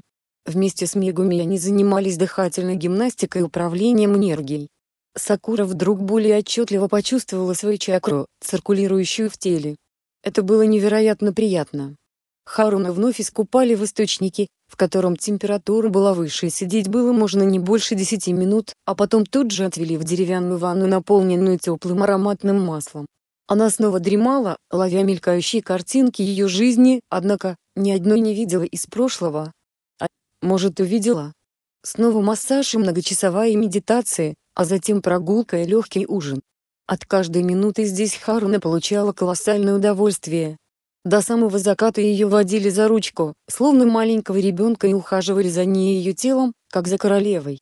В завершение дня, после ужина, Сакуре снова сделали массаж головы, а затем две девушки вымыли ей волосы, потратив на эту процедуру по меньшей мере час, втирая в розовые пряди масло и какие-то питательные кремы. «Пойдемте, Сакура-сама, я провожу вас до домика, где вы отдохнете», прошептала распорядительница, помогая подняться. Я отдыхала сегодня весь день, Мегумисума. Спасибо большое за это. Сакура поклонилась. Тогда вы можете осмотреться. Хотите, я вас сопровожу? Нет, все в порядке. Я могу прогуляться сама? Куда пожелаете, Сакура-сама. Доброй ночи. Мегуми поклонилась и грациозно ушла, оставив Сакуру одну. Харуна блуждала по деревянным мостам, разглядывая странные темные отвороты в лесок, который окружал озеро. На небе взошла луна, которая начала уже убывать и теперь казалась немного обкусанной с одного бока. Мысли все так же спутран бегали в голове, выхватывая разные картинки из памяти. Вот Джира предлагает ей избавиться от прошлого. Вот Наджи рассказывает ей имя человека, которого она всегда любила. Вот Наруто рассказывает историю о бедном мальчике, потерявшем всех близких. Вот Сунади рассказывает о том, что случилось с ее памятью. А потом гулка, с многократным эхом, в голове пронесся обрывок диалога. «Я до сих пор влюблена в него?» «До сих пор?» Ответ Наруто был необычайно громким и больно стучался о голову Сакуры, заставив ее схватиться за поручни моста. Сакура посмотрела в воду, силясь победить свое забытие и ей вспомнить хоть немного. В отражении воды она увидела луну, звезды, фонарики, освещавшие дорогу и свой силуэт. Саски, прошептала она, и вдруг почувствовала, как сердце ускорило свой ритм. Это имя вызывало у нее трепет, пусть даже она и не помнила его. Учхо сидел на поляне, поигрывая пальцами с летающими светляками. Они уже не взлетали таким красивым вихрем в небо, а лишь изредка взмывали по одному или двое, чтобы переместиться на теряющую свои лепестки цветущую вишню. Те, что находились рядом, иногда заползали на руки и тогда Саски шевелил пальцами, заставляя их снова взлетать. Светлячки не улетали, а лишь кружили вокруг, иногда садясь на руки, иногда отдаляясь чуть-чуть, чтобы снова вернуться. Это было приятно и очень красиво, ведь цвет этих жучков был даже ярче звездного. Они чертили свои светящиеся траектории, оставляя быстро растворяющийся зеленовато-голубой след, завораживая и умиротворяя. Вдруг подул ветер, который был никак не связан с настроением Саски. Сердце Учихи мгновенно забилось, ведь такое бывало только тогда, когда он слышал голос Сакуры. Он вскочил на ноги, оглядываясь его взгляд вдруг зацепился за то, как вишневые лепестки обрываются ветром, смешиваясь с взлетающими от побеспокоившего колебаний светлячками и закручиваются вихрь, обрисовывая человеческий силуэт девушки, смотрящей в воду. Саски. Пронесся по всему его миру тихий шепот. И в этот миг новый порыв ветра развеял лепестки по воде, а светящиеся маленькие жучки скучивались в небольшой рой и вновь направились на поляну, чтобы скрыться в траве. Сакура. Что он есть мачи закричал Учиха, бросаясь к тому месту, где только что виднелся силуэт. Глядя в воду, Харуна вдруг снова услышала этот голос. Его голос «Сакура», — позвал он. Точнее, он кричал. Громко и надрывно. Харуна завертела головой, оглядываясь по сторонам, но снова ничего не увидела. Зато, почувствовала. Чакру. Его чакру. Она не знала, почему так решила, познала, что это точно он. Где-то там завет ее. И это не галлюцинации. Я иду к тебе. Она развернулась, прислушиваясь к источнику чакры и последовала по темной тропинке куда-то в сторону гор, цепляясь за ощущение отголосков силы человека, который только что так надрывно звал ее, она идет. И найдет его, во что бы то ни стало. Идти было неудобно, так как одеяния, что были на ней сейчас юката, повязанные поясом сзади деревянные гетто, были не очень приспособлены для блуждания по лесным тропинкам. Но, Харна не останавливалась, чтобы не упустить эту такую до боли знакомую, зовущую чакру из своих ощущений. Пройдя по тропе мимо двух гор у подножия которой был расположен дворец Золотого Дракона, Сакура вышла к той, что так привлекла ее внимание с самого начала. Что-то в этой горе отличалось от всей этой местности. Из нее исходила сила. И сквозь монотонный фон этой силы она чувствовала, как магнитом тянет ее внутрь чакры Учихи Саски. «Я иду к тебе», — услышал он. И сердце едва не выскочило из груди. «Это правда? Или же галлюцинации? Неужели она действительно идет?»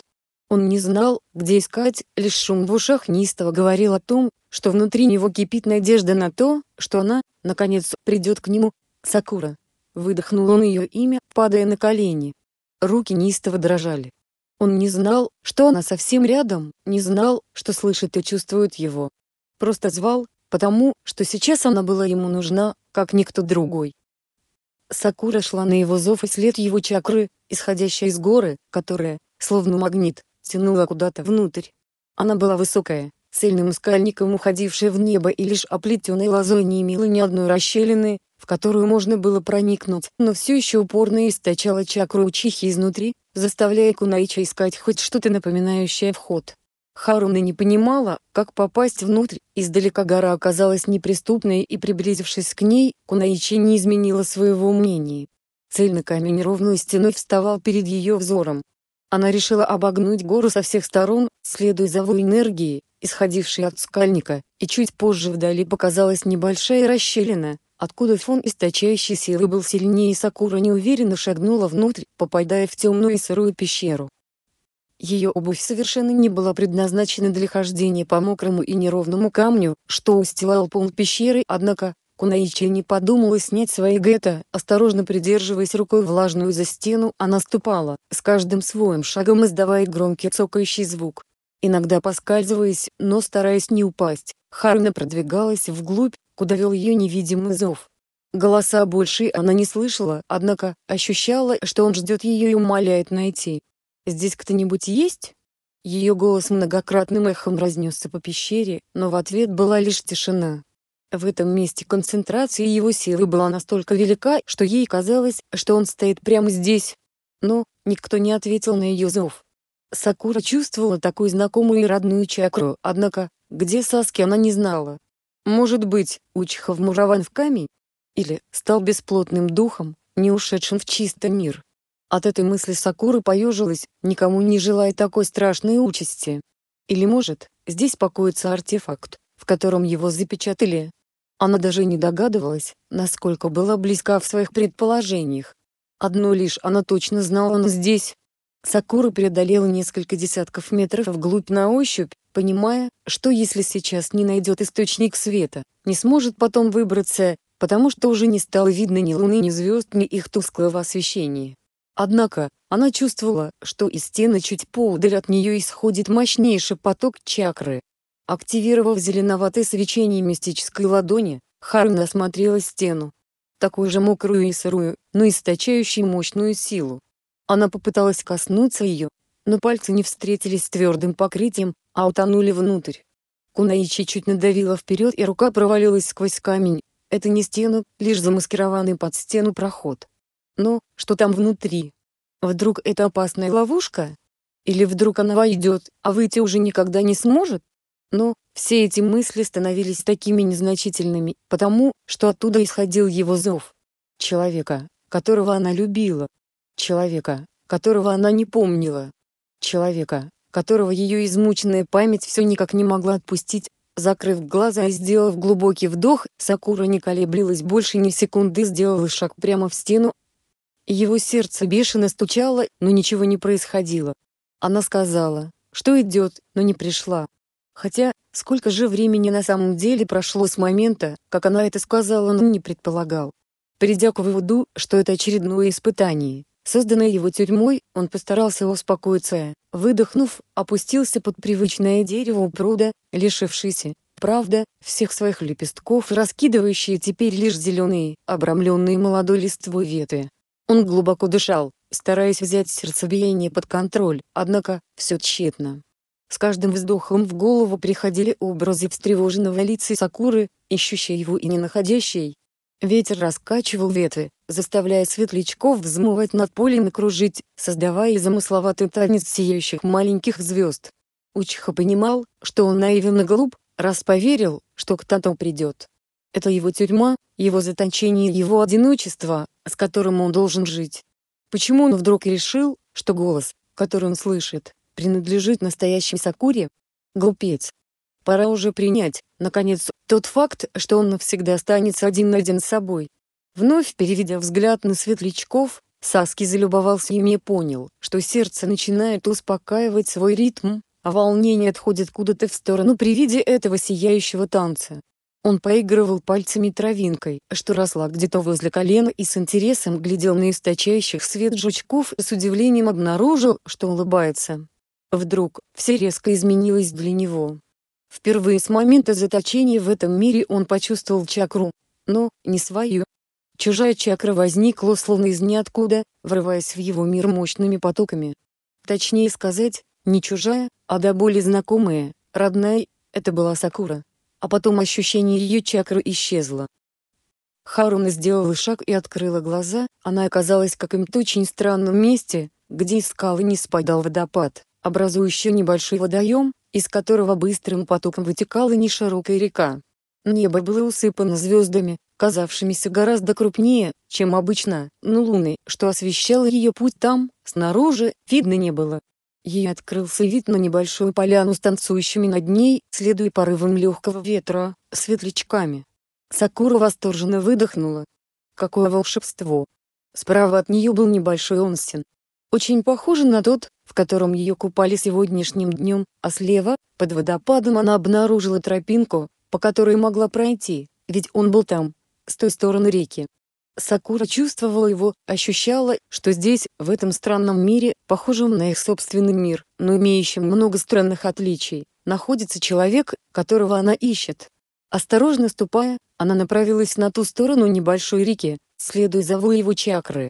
Едва она отошла от скалы, ощущение зовущей силы пропало, но это не остановило Кунайчи и она продолжила свой путь. Тропинка вильнула в сторону, открывая ее взору вид на ту самую поляну, где танцевали светлячки и на небольшой пруд с огромным деревом, раскинувшим зеленые ветви над водой. Светлячки путались среди ветвей, освещая молодые листья, играя с тенями и создавая какую-то волшебную живую подсветку кроне. И она увидела его сидящего под этим деревом, словно изваяние. Он сидел в медитативной позе, но глаза его были открыты и смотрел он только на нее. Сакура не была уверена, что это действительно тот самый человек, что так беспокоил ее измученную беспамятством голову. Однако, ей казалось, что она знала его именно его искала здесь, Человек был одет в странно знакомую серо-синюю одежду, его волосы складывались в узнаваемую прическу, а темные глаза, Сакура даже издалека могла угадать, что знает этот цвет даже не видя его в темноте звездного неба. Он поднялся. Неуверенно и как-то обреченно. Словно не верил, что это на самом деле происходит. Сакура шла к нему по натоптанной тропинке, ступая своими деревянными гетто неровной поверхности и изо всех сил стараясь держать спину ровной он двинулся ей навстречу. Сердце готово было выпрыгнуть из груди, в глазах защипало, но она старалась держаться. «Сакура!» — выдохнул он все тем же голосом, что звал Харуна все это время. Кунаичи понимала, что это должен быть он.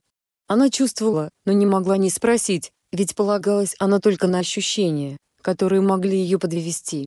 Его бездонные черные глаза, пронизывающие взглядом насквозь его лицо. Это именно тот человек, ради которого ее сердце было готово выпрыгнуть из груди, но это были лишь ощущения, ведь она совершенно его не помнила. Не помнила, как обнимала его в лесу смерти, как он защищал ее, как плакала над израненным телом, как умаляла его не покидать деревню. Не помнила его, спасибо, перед страшным ударом по затылку. Не помнила, как в слезах умаляла Наруто спасти и вернуть этого заблудшего человека. В ее голове было совершенно пусто. Но, она чувствовала, что знает его, что любит его, что всегда ждала только его.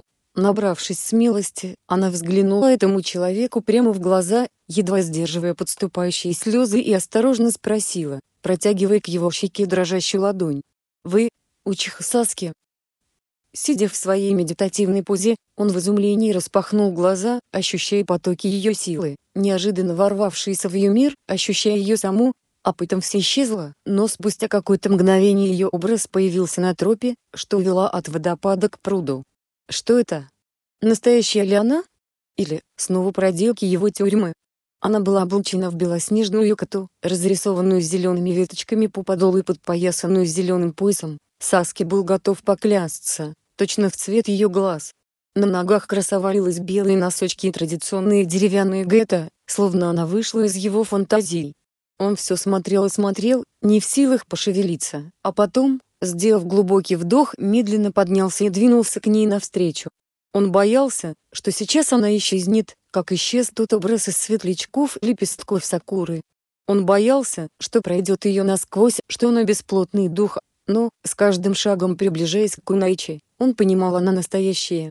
Чувствовал тепло ее тела, а приблизившись совсем вплотную, заглянув в глаза, что так долго приходили к нему в его мечтах, почувствовал, что сейчас задохнется от нахлынувших эмоций.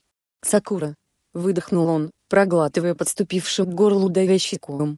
Ничего другого он не мог сказать. Он всегда выдыхал ее имя при встрече, ведь она всегда, он сейчас это понял, всегда была в его сердце. Она заглянула ему в глаза как-то робко и неуверенно, словно силилась узнать, протянула руку к его лицу. И вдруг задала самый страшный вопрос, который можно было услышать. «Вы, Учиха Саски?»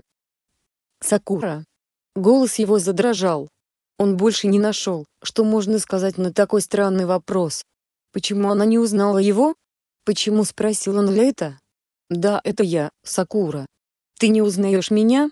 Кунайчи виновато опустила голову, стараясь больше не смотреть в глаза этому человеку, слишком много боли в них было. «Прости, пожалуйста, за такой глупый вопрос», — прошептала Сакура. Только сейчас он понял, что она уже давно в своем шепоте, доносившемся сквозь ветер, не добавляла к его имени такой привычный суффикс «кун». «Почему ты не узнаешь меня?» Сердце его болезненно сжалось. «Я, Прости.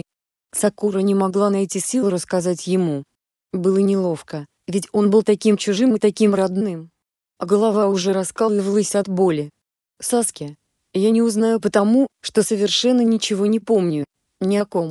Прости меня. Со мной произошел несчастный случай.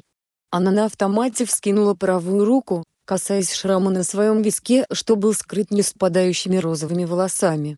Учиха тут же протянул к ней свою ладонь, убирая прядь волос и обнажая уже бледнеющий след, словно паутина расходящаяся от виска. Он провел по нему большим пальцем, зарываясь рукой в ее волосы. По коже пробежались мурашки от прикосновения к ней. Видя эту отметину, он хотел кричать от боли, сжавшей сердце, от сожаления и вины за то, что сидел в этом проклятом заточении, пока она сражалась, рискуя жизнью, получая страшные ранения и теряя часть себя. Его рука соскользнула с головы Сакуры, и он рухнул перед ней на колени, задыхаясь от нахлынувших чувств. Он обхватил ее руками за талию, крепко обнимая прижимаясь щекой к ее животу и смог выдохнуть лишь извинений. «Прости меня». Харуна не знала, как себя вести с ним, замерев едва сдерживая слезы. Она лишь чувствовала, что ее тело мечтало оказаться в его объятиях, такого родного, любимого, но одновременно чужого человека. «Саски, пожалуйста, не надо». Он отстранился, но не отпустил рук, положив свои ладони ей на талию. Он посмотрел на нее снизу вверх, глядя в словно светящиеся изнутри глаза. «Я причинил тебе слишком много боли», — прошептал он. «Я так виноват». Ему было тяжело. Ему было больно. Настолько, что он готов был выйти от того, что творится внутри, но не мог, видя, что пугает ее все сильнее. А розово-волосые Кунаичи, словно вышедшая из его фантазии, облаченная в прекрасную юкату, стояла, бесшумно роняя слезы, и смотрела в его глаза, склонив голову. Сакура никогда не видела его таким. Да, она точно знала, что Учиха Саски никогда не проливал слез, глядя вот так ей в лицо, никогда так не обнимал и уж точно никогда не просил прощения. Она смотрела на него сверху вниз, видя, как его невероятно глубокий взгляд до краев наполняется виной, изливаясь крупными слезами, подсвечиваемыми парящими вокруг светлячками. Она знала, но не помнила. «Пожалуйста, вспомни меня», — шепнула над ними губами. «Я очень хочу вспомнить», — прошептала она. «Но, не могу. Сколько бы я ни старалась, после этих слов Саски виновато опустил голову и Сакуре вдруг очень захотелось его утешить. Он, ведь, не виноват в том, что произошло. Не он атаковал ее. Все позади, Саски. Харуна присела, чтобы их лица были на одном уровне. Я нашла тебя, даже не помню. Я узнала тебя, и это главное. Он снова взглянул на нее.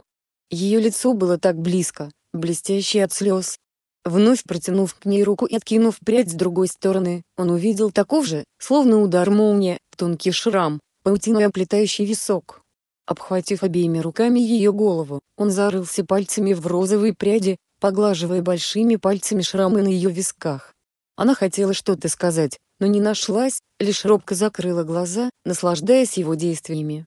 Его пальцы своими прикосновениями вызывали тысячи мурашек, блуждающих по телу. Харуна вздрогнула от нахлынувшего приятного ощущения Саски, неверно истолковав это, опустил свои руки слегка отстраняясь. Он больше не ронял слез, однако, его взгляд все еще был полон вселенской тоски. «Прости», — вновь прошептал он, глядя Сакуре прямо в глаза. «Это не твоя вина. Тебе ни за что просить прощения». Она утопала в его взгляде. Казалось, это все, о чем она когда-либо мечтала. Меня не было рядом, ты бы ничего не изменил. Я не давала бы этому произойти. Ей было больно смотреть на этого тонущего в вине и извинениях человека. Сердце сжималось от того, что она не могла помочь ему, зная, что он корит себя из-за того, что было ему неподвластно. Кунайчи решила отвлечься от такого гнетущего момента. «Ты живешь здесь?» Сакура поднялась на ноги, оглядываясь. «Это место моего заточения». Саски последовал ее примеру, тоже поднимаясь на ноги. Он стоял так близко, что Сакуре хотелось прижаться к нему, почувствовав крепость его тела и его тепло.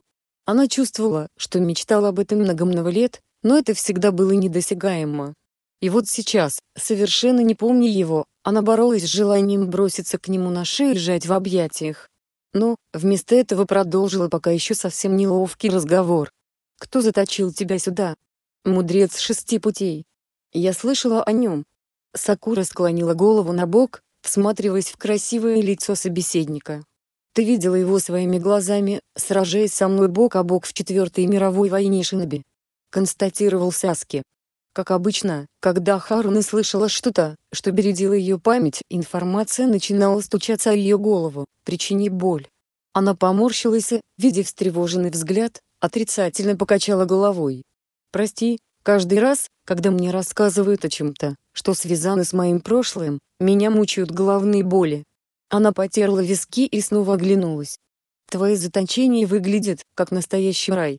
Так красиво вокруг. Это стало раем не так давно, но сначала было настоящим адом, признался Саски.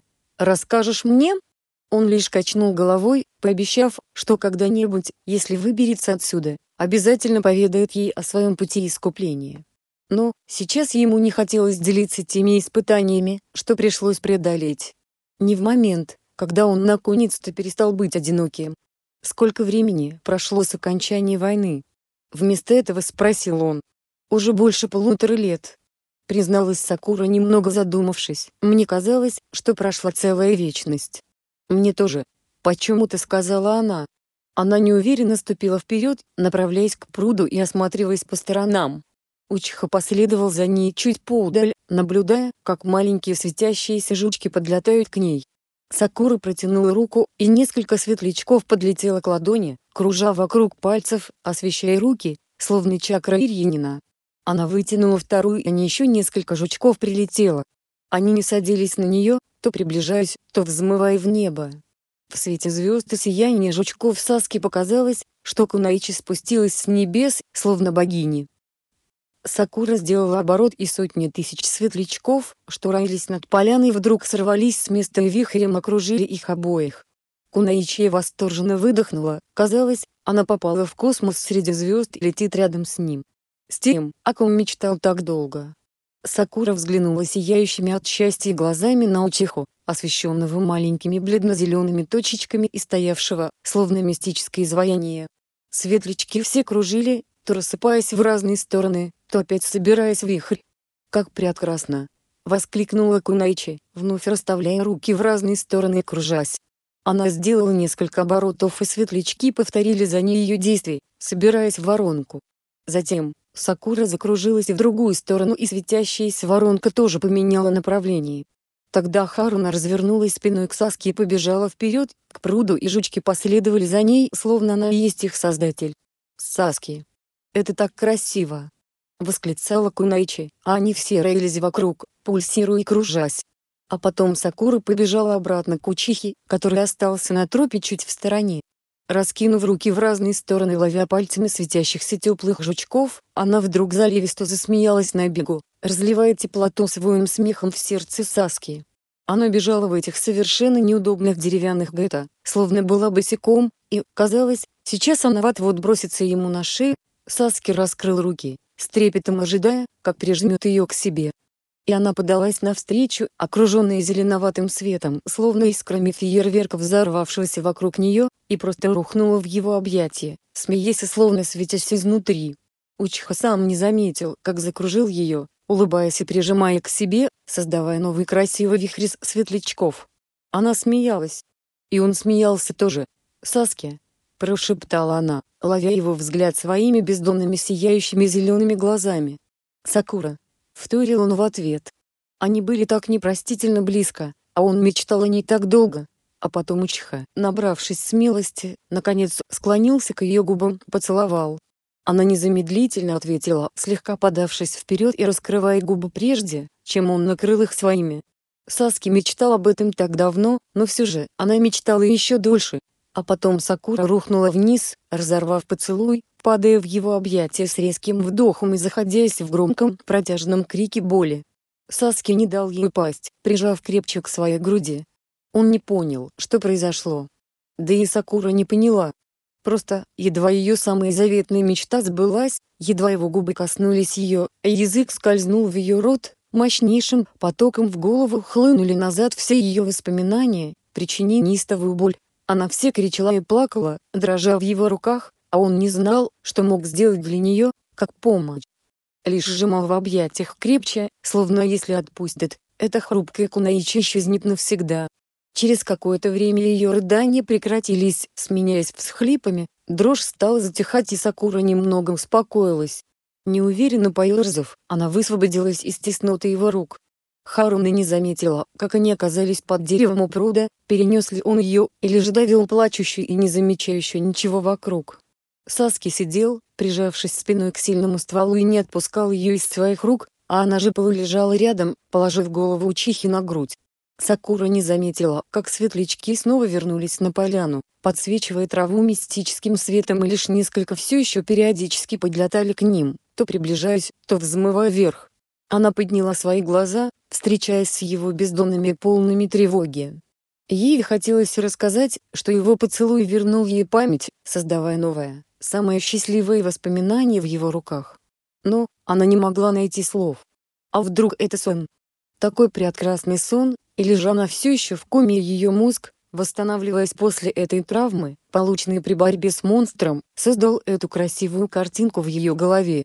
Протянув руку к его лицу, она коснулась прохладной кожи. Это было так по-настоящему. Саски. Робко начала она. «Я помню тебя. Ты помнишь?» Он выглядел совершенно сбитым с толку. «Ну, это ты, ты рядом. Я нашла тебя». Словно в бреду, она обхватила ладонями его лицо, начиная гладить его кожу, по щекам снова полились слезы. «Теперь я помню. Я все помню. Ты нашла меня?» — вторил он, облегченно выдыхая и касаясь лбом ее лба. Она просияла улыбкой и обвела свои руки вокруг шеи Саски, помни каждое слово, что доносилось ветром до нее во времена заточения, помни все свои чувства, помни все. Я всегда верила, что найду тебя. Я так тебя ждала, Сакура. Для него это были ответы на все его страхи и мысли, что столько раз посещали в этом заточении. Ты даже не представляешь, как ты нужна мне. Он силился сказать ей, что только воспоминания о ней помогли ему пережить все эти испытания, что привели к очищению его мыслей и сердца от ненависти, пережить всю эту боль, выжигающую жаром и сковывающим холодом. Но, он не мог. Почему-то слова застревали в горле и не выходили наружу, ускоряя сердцебиение. Он лишь пошевелился, удобнее усаживаясь у дерева и наслаждаясь жаром ее тела в своих руках. «Спасибо тебе, Сакура», — прошептал Саски, зарываясь лицом в ее волосы. Время тут действительно шло иначе. Харуна казалось, что она была в его объятиях целую вечность, такую волшебную и приятную вечность. Однако, звезды на небе так и не сдвинулись со своих мест. Ей было хорошо в его объятиях, таких новых, нежных, наполненных чем-то сакральным. Не хотелось прерывать этот момент ни на секунду, но она понимала, что рано или поздно это закончится. Сакура. Эм. Как ты попала в этот мир? Харуна поерзала в его объятиях, чувствуя, как он сжимает руки сильнее, не давая ей высвободиться, вызывая приятные мурашки по всему телу. Она считала это настоящим чудом, что нашла его, а помня, не узнавая, лишь чувствуя. И это действительно было чудо. «Ты позвал меня и я пришла», — неуверенно ответила Кунаичи, понимая, что этот исчерпывающий ответ совсем не то, что он хотел услышать. «Расскажи мне, и она рассказала, как слышала его зов, как отвечала на шепот, приносимый ветром, как увидела гору, такую обычную и одновременно манящую, как почувствовала его чакру, когда в последний раз он позвал ее, как последовала за зовом, придя к той самой горе, как нашла пещеру и вошла сквозь бесплотную каменную стену. И вот я здесь. С тобой. Ты здесь. Саске казалось, что это сон. Прекрасный сон оживших фантазий, иначе как можно было назвать то, что Сакура Харуна пришла к нему, облаченная в юкату, напоминающую божество в телесной оболочке. Он всегда помнил ее другой в боевой экипировке, потрепанную, серьезную и готовую к битве, или же маленькую и беззащитную, в красной форме с клановым гербом на спине. Однако, сейчас герба на ней не было. Сейчас в его руках было нежнейшее создание, полное трепета, тепла и заботы. Она все еще любила его, он чувствовал это всей душой, но была ли она настоящей? «Почему ты в Юкате?» Одна моя подруга подарила мне на день рождения поездку в чудесное место. Поделилась она. Именно поэтому я оказалась так близко к горе. Там все носят традиционные одежды, поэтому нам не Юката и Гетто. Я оставила все свои вещи в Канухе и у меня даже не было шанса надеть что-то более удобное для путешествия по горной местности. Она хохотнула. Да я бы и не стала. Я так боялась упустить это чувство связи с тобой. Саски все еще держал ее в руках, боясь, что если отпустит она исчезнет. Ее голова покоилась у него на груди и, она нежно поглаживала его руку своими пальчиками и размеренно дышала. Он чуть крепче обнял ее, вдруг подумав, что она сейчас исчезнет, словно наваждение. «Ты правда настоящая». Она помедлила с ответом, в который раз поднимая на него свой взор и встречаясь с его темным взглядом, то же самое я хотела спросить у тебя. В этих объятиях, полных тепла и нежности, ей было хорошо и тепло, однако, что-то ей подсказывало, что настоящий Учиха Саски не стал бы так делать. Тот Учиха, которого она помнила, был холоден на проявление эмоций и совсем не любил прикосновений и объятия. Этот же человек не отпускает ее, сжимая так нежно и трепетно, что в животе начинают порхать бабочки. Я не знаю, настоящий ли я, настоящая ли ты, правда ли все, что происходит сейчас, или я уже умер и, пройдя путь очищения, попал в чистый мир. Я был заточен здесь неимоверно долго. Мне кажется, словно прошло не чуть больше полутора лет, а вся сотни, и если это так ты не можешь быть настоящей, попробуй почувствовать мою чакру. Разве ты не помнишь, какая она? Сакура улыбнулась. В этом мире я не могу использовать своих сил. Здесь я обычный человек без способностей. Лишь раз на мгновение я ощутил твое присутствие перед тем, как ты появилась здесь. Сакура задумчиво подняла руку, пытаясь вызвать свечение мистической ладони, но у нее ничего не вышло. Странно, когда я вошла сюда, я чувствовала тебя и твою силу. Сейчас тоже ничего. Она пожала плечами. В нашем мире действительно прошло чуть больше полутора лет. Сакура всматривалась в его бездонные глаза, излучавшие лишь спокойствие. «Идем со мной, оставь это место. Давай вернемся в наш мир. Я не могу покинуть свое заточение. Я пытался сотни тысяч раз, но не смог. Саски». Сакура вдруг осенила. Хайгарма запретил искать тебя. Это из-за того, что Цунади пыталась тебя найти против его воли, появился электрический страж. Ее глаза просияли. Но, он сказал, что ты сам позовешь нас, когда будешь готов к свободе. И ты позвал. Я нашла тебя, а значит пришло время возвращаться домой. Сакура в мгновение ока, схватив за руку Учиху, вскочила на ноги и потянула его за собой. Она была уверена, что сейчас та стену, сквозь которую она попала в этот мир, пропустит их обоих и она приведет его в Канаху. Вернет домой. Идем, попробуем вместе. Саски не верил, что есть даже призрачный шанс для него покинуть это место и ему становилось тоскливо от того, что сейчас она сможет выйти, а он нет, но почему-то, вместе с неверием появился какой-то трепетный огонек надежды. Возможно, сейчас Сакура покинет его, оставляя в этой проклятой тюрьме на еще одну вечность, вечность с мыслями о ней. Цокающий звук, издаваемый Гэтто утонул в шуме водопада, когда они приблизились к скале. Сакура потянула его к тропинке под неспадающей с того самого выступа водой и вывела на другую сторону реки, там, где был его излюбленный онсен. Харума остановилась у скалы, развернулась к ней лицом и, протянув руку к камню, победно улыбнулась, потому что рука тут же прошла сквозь материю. «Видишь?» Сакура обернулась на удивленного учиху. Он трогал эту скалу множество раз, колотил ее, разбивал о нее кулаки, и никогда его рука не находила выход в камне. Саски в надежде протянул руку к стене, но пальцы уперлись в шероховатую поверхность, слегка влажную от брызг водопада. «Я все еще заперт, Сакура». Харуна сделала шаг внутрь, утопая наполовину в скале, но даже когда она стояла в этой стене, проходя ее насквозь, Саски касался лишь камня, или ее, но не находил выхода из этого мира. Небольшой огонек надежды внутри погас, оставляя ощущение холода и пустоты. Наивно было полагать, что сейчас он выйдет вместе с ней и заживет жизнью, о которой мечтал, сидя здесь в заточении. «Ты ведь еще вернешься ко мне?» В надежде спросил он, понимая, что Сакуре пора идти. «Ты ведь еще вернешься ко мне?» Услышала Сакура вопрос и поняла, что он прощается с ней. «Нет», — прорычала она, не понимая, что это «нет» звучит, как ответ на его вопрос. «Я не собираюсь тебя оставлять здесь. Мы уйдем отсюда вместе, даже если мне придется в одиночку уничтожить эту скалу». Стоя наполовину в камне, она активировала зеленоватое свечение чакры, схватив Саски за руку, резко рванула на себя. Харуна оказалась в пещере. Зеленоватое свечение ладони освещало ее руку и она обнаружила, что все еще сжимает руку Саски. Та немного высунулась сквозь невидимый барьер, но что-то мешало пройти дальше. Сконцентрировавшись, она пропустила свои чакры чуть дальше по его руке и смогла еще немного вытянуть его. Однако, тот мир действительно блокировал ее силы, потому что если раньше она спокойно могла объять зеленоватым свечением все тело человека, то сейчас не могла дойти до локти. Сделав шаг обратно в его мир, Сакура выдохнула, чувствуя, как ее чакра затухает внутри, Саски. Ты видел? Твоя рука прошла сквозь стену. Конечно же он видел. В тот момент его сердце чуть не выпрыгнуло из груди от мысли, что Учха вот-вот покинет это проклятое место.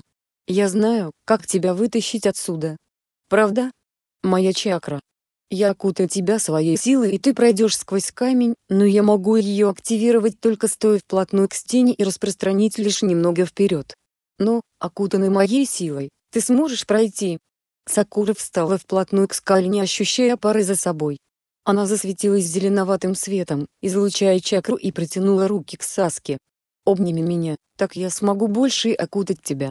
Он шагнул в ее объятия, сжимая наслаждаясь теплым ее тела, ароматом каких-то цветов, источаемых ее кожей ощутил, как теплая чакра касается его и подался за ней. Сакура слегка провалилась в камень распространяя все дальше по его телу свою силу. Саски чувствовал, как проходит сквозь невидимый барьер, как разгорается огонек надежды на свободу, как растет внутри ощущение эйфория, как ноет низ живота от тесных объятий. А потом вдруг уперся лбом невидимую стену, не пускающую его голову на свободу. Саски чувствовал, как Сакура обхватила руками его лицо, пытаясь накрыть его чекрой, но тщетно. Он сделал шаг назад, потянув слишком резко назад и не ожидая, что Сакура не будет сопротивляться. Они валились обратно в мир его заточения вновь гася огонек надежды на свободу. «Все тщетно», — прошептал он одними губами. Он все еще сжимал ее в своих объятиях, лежа на спине ощущая жар ее тела сквозь ткань, чувствуя, как начинают затуманиваться мысли от нахлынувших слишком смелых фантазий, врывающихся в голову. Сакура приподнялась, все еще лежа на нем и глядя Саски прямо в глаза. Вдруг ее осенило. Нам надо попробовать еще раз. Ее лицо залилось румянцем, Харна робко отвела взгляд в сторону, прежде чем сказать. «Только в этот раз, ты, поцелуешь меня». Саски постарался взять под контроль мысли, которые уже галопом скакали гораздо дальше, чем поцелуй. Дыхание уже не поддавалось контролю и его грудь тяжело вздымалась от глубоких вдохов. Харуна уже успела подняться, Учиха задумался на миг, Почувствовала ли она его возбуждение, что так не кстати все еще продолжает туманить голову и сковывает движение. Они поднялись с каменистой земли, отряхивая одежды, и Сакура вновь повернулась спиной к проходу, поднимая на Саске смущенный взгляд. Учиха подошел как можно ближе к ней, нежно обнял, кладя одну ладонь ей на лицо. Это было странным желать поцеловать ее и понимать, что она делает это возможно лишь из необходимости. Но, ее глаза говорили иначе. Слегка склонившись к девушке, он почти коснулся ее губ своими, оставляя какие-то жалкие миллиметры расстояния между ними. Она скользнула руками по его спине, вызывая мурашки от прикосновений и приоткрыл рот, словно приглашая его. Саски не стал больше колебаться, сокращая дистанцию и впиваясь в ее губы жарким поцелуем и Сакура впустила его язык, покрываясь зеленоватым светом чакры.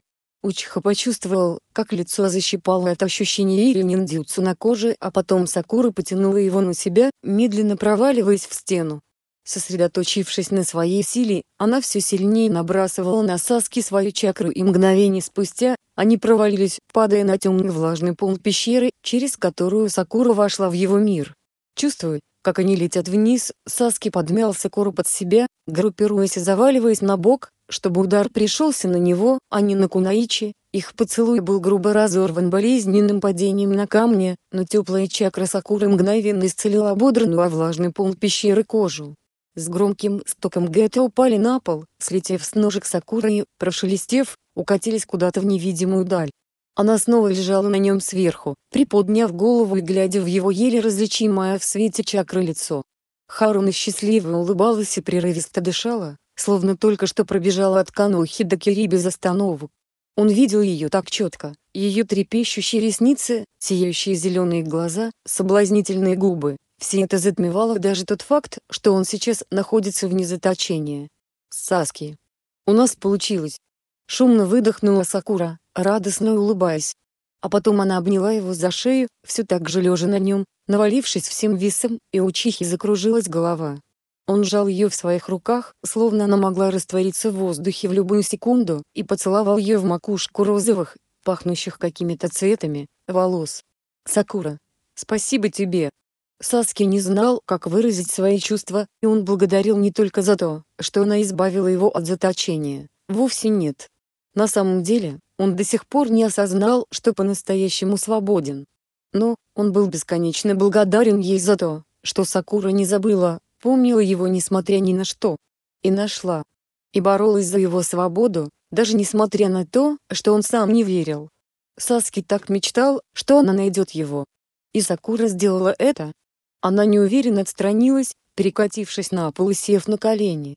Огляделась в кромешной тьме, погасив свечение ниндзюцу и пригляделась, ища выход. Саски последовал ее примеру и тоже сел. За их спинами далеко-далеко был виден слабый отблеск темного неба. Это и был их выход. Сакура осмотрелась в поисках своей слетевшей обуви все еще сидя на коленях и обнаружила небольшой источник света. «Саски. Смотри». Она указала на источник светящаяся точка, словно светлячок, затем зажглась еще одна, потом еще с десяток. Они стали взмывать вверх, как искра от костра, плавно кружась и танцуя в этом абсолютно темном месте и освещая его. «Твоя гета». Учиха поднялся, чтобы взять их, но на них тоже появились светящиеся точки и он замер, опасаясь их трогать. А затем деревянные башмачки начали испаряться, источая светящиеся бело-голубые искорки, пока не исчезли вовсе. Пещера наполнилась ярким светом от сотен тысяч таких искорок, кружащих и плавно танцующих в неподвижном воздухе этого места. Та стена, через которую они только что вышли, стала прозрачной, открывая им взор на то, что и Долина, где провел Саски свое заточение, испаряется тоже. «Нам нужно уходить», — шепнула Сакура, поднимаясь на ноги. «Идем», — согласился Саски. Они поспешили к выходу, однако, босыми ногами по мокрому, каменистому полу идти было совершенно неудобно, а уж бежать тем более. Сакура несколько раз соскальзывала с острых выступов едва не падая и Саски, поняв причину, притянул ее к себе и, обняв покрепче, подхватил на руки, переходя на более быстрый бег и направляясь к выходу. «Старайся не касаться этого света», — шепнул он ей. «Да, она робко прижалась к его груди, ощущая тревогу, смешанную с невероятным чувством радости того, что он держит ее в своих руках. Саски старался обходить появляющиеся светящиеся огоньки и аккуратно перепрыгивал образовывающиеся пустоты, стараясь как можно скорее покинуть это место. И вот, приближаясь к заветному выходу, который уже весь сиял и испарялся, Учха ощутил, что его сила вернулась. Он снова чувствует чакру и глаза снова видят глубже, чем он видел в заточении. Направив силу в ноги, он совершил последний прыжок, высвобождаясь от этого, казалось, вечного плена, уже навсегда. А свет взрывающимся фейерверком за его спиной словно преследовал, догонял их, пока они не покинули эту пещеру. В несколько мощных скачков он добрался до подножия другой горы, спеша поскорее удалиться от той, в которой был запечатан долгие месяцы, Саски даже не оборачивался, направляя все больше чакры в ноги, чувствуя, как сила приятно покалывает тело. Сделав еще с десяток мощных прыжков, он оказался на вершине горы. Наконец-то он остановился и обернулся. Теперь можно выдохнуть и полюбоваться исчезающим прошлым. Как красиво! Выдохнула Сакура, когда он остановился и развернулся лицом к испаряющейся горе. Свет, исходящий от нее, становился все ярче, освещая все за многие километры вокруг, словно наступил день, а уходящие высоко в небо искры, казалось, долетали до самого космоса. Гора становилась все меньше с каждым мгновением, а Саски все стоял, держа Сакуру на своих руках и любовался тем, как тюрьма, в которой он провел больше полутора лет, исчезала из этого мира. «Саски, опусти меня, пожалуйста», – прошептала Сакура, и он послушал, аккуратно поставив ее на землю, но не дал отстраниться, притягивая к себе. Так они остались стоять, любуясь этим невероятным зрелищем, сжимая друг друга в объятиях, пока последние искорки света не поднялись в небо и не растворились в лучах восходящего солнца. Сакура. Саски перевел взгляд на нее. «Спасибо тебе», — снова повторил он. А потом он снова поцеловал ее. Трепетно, нежно и долго, так, как давно уже мечтал поцеловать именно ее. Разорвать их поцелуй казалось чем-то невозможным, Саски наслаждался каждым мгновением единения с Сакурой, целуя ее, как давно мечтал. Солнечные лучи поднялись из-за горизонта, облизывая кожу теплыми касаниями, а Учиха почувствовал, как по коже пронеслись мурашки Кунаичи блуждала своей ладонью по его спине, коснувшись участка кожи, не приоткрытого тканью. Он вздрогнул, а Сакура отстранилась, Глаза были влажные от слез. «Сакура, почему ты плачешь?» Сердце, казалось, пропустило несколько ударов, замерев в ожидании ответа. Он ожидал, что сейчас она начнет проклинать его, бросится с кулаками или признается, что давно уже не чувствует ничего и поцелуй ей был противен. Хотя, конечно, если бы он сейчас смотрел на эту картину со стороны, он точно бы знал, что ей далеко не противно было целовать Учху. «Прости». Она виновато опустила голову, вытирая мокрые щеки рукавом юкаты. «Я просто так давно мечтал об этом. Не могу сдержать своих эмоций». Он облегченно выдохнул, притягивая ее к себе и снова обнимая. Я тоже мечтал об этом. И уже очень давно. Сакура счастливо улыбнулась, прижимаясь крепче к его телу. И Саски улыбнулся тоже. Они простояли там, пока солнце совсем не взошло над горизонтом, оповещая мир о наступлении нового утра. Кунаичи немного отстранилась и указала куда-то в сторону, где расположились озеро и небольшие домики с огромным дворцом по центру. «Я остановилась здесь», — показала она, Пойдем со мной. Ты сможешь отдохнуть в моем домике, я просканирую твое тело в спокойной обстановке и мы выдвинемся в Канаху. Саски был не против. За больше, чем полтора года заточения, не считая глубоких медитаций и потерь сознания от боли, спал он всего несколько раз. И именно сейчас он ощущал, что его тело просто смертельно утомлено. Несмотря на чувство сильнейшей усталости, Учха все же подхватил Сакуру на руки в несколько прыжков преодолел крутой спуск, используя силу, по которой так скучал. У самого домика Сакуры обнаружила Мегуми, облаченную в строгое кимоно, что и вчера, которая склонилась над водой, опираясь на бамбуковые перила и глядя на карпов, мирно плещущихся в воде. Лицо ее выражало легкое беспокойство, но при этом она расслабленно стояла, любуясь видом озера. Едва распорядительница повернула голову, выражение лица сменилось с беспокойства на ужас, когда Мегуми повернула голову, услышав шаги приближающегося Учихи. «Сакура-сама!» — воскликнула помощница, обнаружив немного потрепанную девушку на руках у не потрепанного молодого шиноби, облаченного в боевую форму. «Что произошло с вами?» «Мегуми-сама, простите меня, пожалуйста, за мой внешний вид и за вторжение моего друга. Это долгая история, Кажется, мне сейчас нужна ваша помощь. Ко мне вернулась память. И вернулся близкий мне человек. Я обязательно все расскажу вам. Сакура попросила Учиху опустить ее на пол и подошла к облаченной в кимоно девушке, что бросал тревожные взгляды на весьма потрепанного шиноби. Конечно же Мегуми знала, кто такая Михаруна Сакура и что она сделала для этого мира, пусть никогда не видела ее в лицо, как и Узумаки Наруто и Учиху Саски. Но, она знала историю и знала, что Учиха пропал и был объявлен пропавшим без вести героем. «Давайте зайдем в домик». Осторожно попросила Сакура, ощущая, что Саске нужен отдых. Мегуми кивнула и последовала за Харуна. Едва не вошли, Кунаичи усадила его на кровать, активируя дюцу Иринина. Она чувствовала, как переутомлено тело, поэтому, вместо диагностики, Поспешила снять напряжение с мышц и слегка приглушить усталость, чтобы сначала все-таки ввести распорядительницу в курс дела. Мегуми терпеливо ждала, когда Кунаичи закончит и приступит к рассказу. Харуна извинилась за ожидание, собравшись с духом, начало. Она поведала подробности появления Саски здесь, опуская некоторые очень личные и совсем не нужно для чужих ушей детали. Распорядительница лишь шумно вдохнула, когда Сакура рассказала про исчезающую в белоснежном сиянии гору и едва слышно прошептала. «Так вот, что это было. Так выучих Саски». С трепетом глядя на него уточнила Мегуми. Он лишь кивнул в ответ. Его немного пошатывало от резко накатывающего бессилия, но Саски изо всех сил старался держать спину прямо и выглядеть немного отрешенно. Какая честь принимать в гостях вернувшегося героя. Мегуми всплеснула руками, а затем, спохватившись, что это сильно выходило за рамки этикета, сложила руки впереди себя и поклонилась. «Добро пожаловать во дворец Золотого Дракона, Саскесума. Мы рады приветствовать вас и оказать теплый прием. Подождите немного, я принесу ключ от домика для вас, вы сможете принять душ и отдохнуть». Мегуми-сама, он может отдохнуть в этом домике, не утруждайте себя, пожалуйста.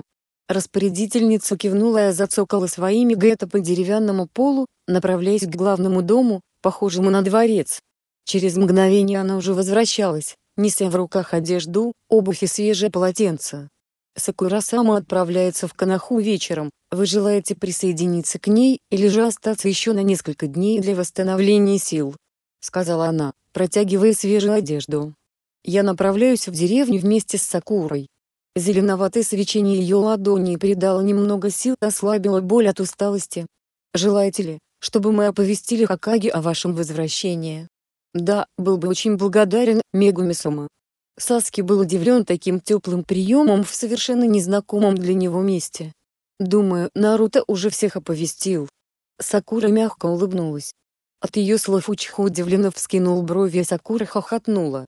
Он постоянно проверяет этот мир на присутствие твоей чакры. Думаю, Наруто уже побывал у пятой с хорошими новостями. Она снова хохотнула, Саски ухмыльнулся, не найдя, что сказать. Учиха не ожидал, что его так ждали, что Узумаки искал его чакру, что Хакаги и Кукаши пытались найти его в других мирах, что обычные люди знают его не как Нукинина, а как героя. Приятная теплота разлилась по его телу. «Спасибо», — снова сказал он. Мегуми предложила позавтракать перед отдыхом. Саски, вспомнив, что за все время своего заточения ел лишь ягоды, немного фруктов и пару раз жареную на костре рыбу, вдруг почувствовал головокружение от голода, что разум накатил на него. Через полчаса в главном доме вам подадут завтрак, а пока вы можете освежиться и переодеться», — сказала помощница, протягивая Саске одежды и тот снова поблагодарил ее.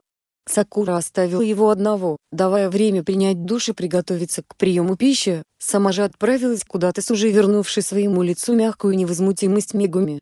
В назначенное время он явился к завтраку, где Кунайчи уже ждала его, облаченная в новую коту, такая прекрасная и свежая. Стол был накрыт на двоих и распорядительница тут же покинула их, закрывая Сёдзи и оставляя двоих в красивой комнатке с видом на озеро. Сакура. Поприветствовал ее Учиха, коротко кивнув. Он все еще чувствовал слабость от накатившего голода. «Ты не против, если я сейчас просканирую тебя?» Харуна видела, что ему нехорошо. Она уже провела первичное тестирование еще тогда, когда ее чакрата исцелялась от дыраную камни кожу при падении, однако, ее очень волновало изможденное выражение лица учихи. Не против. Хотя, я бы сначала поел. Саски сконфуженно улыбнулся. Я не помешаю приему пищи. Ты можешь приступать. Сакура усадила его на татами, встав на колени за его спиной, активировала зеленоватую чакру и положила руки ему на спину. Учиха прикрыл глаза от удовольствия, чувствуя, как успокаивающее тепло проникает в каждую клеточку его тела. Ее чакра такая родная и теплая, такая желанная, он не притронулся к еде, несмотря на дикий голод. Все-таки, за время своего заточения он привык его игнорировать. И сейчас сконцентрировался лишь на самых приятных ощущениях от прикосновения теплых пальцев, пронизывающих все тело зеленоватой силой. Как приятно! Выдохнул Саски, вызвав улыбку Иринина. Сакура продолжала сканирование еще несколько минут, а потом, убрав теплые ладони, вздохнула. Это можно было сказать и без обследования. Ты переутомлен, довольно истощен и обезвожен. Но, в целом, совершенно здоров. Сейчас тебе нужно поесть, выпить горячей воды и отдохнуть. Заключила Харуна. Приступив к завтраку, Саски признался, что нормально не ел все это время, не считая рыб, запеченных на костре, которые быстро осточертили ягод. Да и не спал тоже. Интересно.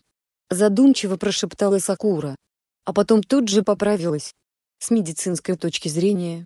А потом он рассказал ей, как горел заживо, замерзал, снова горел, тонул и разбивал руки в кровь, как пытался умереть, но смерть отказывалась приходить за ним как по его ощущениям прошло много-много лет. Как он обнаружил, что все в его мире зависит от его эмоционального состояния. Как исцелял свою голову насильно от негативных мыслей и как помог ему ее образ в избавлении от гнева. Сакура зачарованно слушала, чувствуя, как в глазах начинает щипать от накатывающих слез. Она шумно втянула носом воздух, прерывая его рассказ. «Ты в порядке?» — встревоженно спросил Учиха. «Да. Просто, я не знаю, как описать все мои чувства.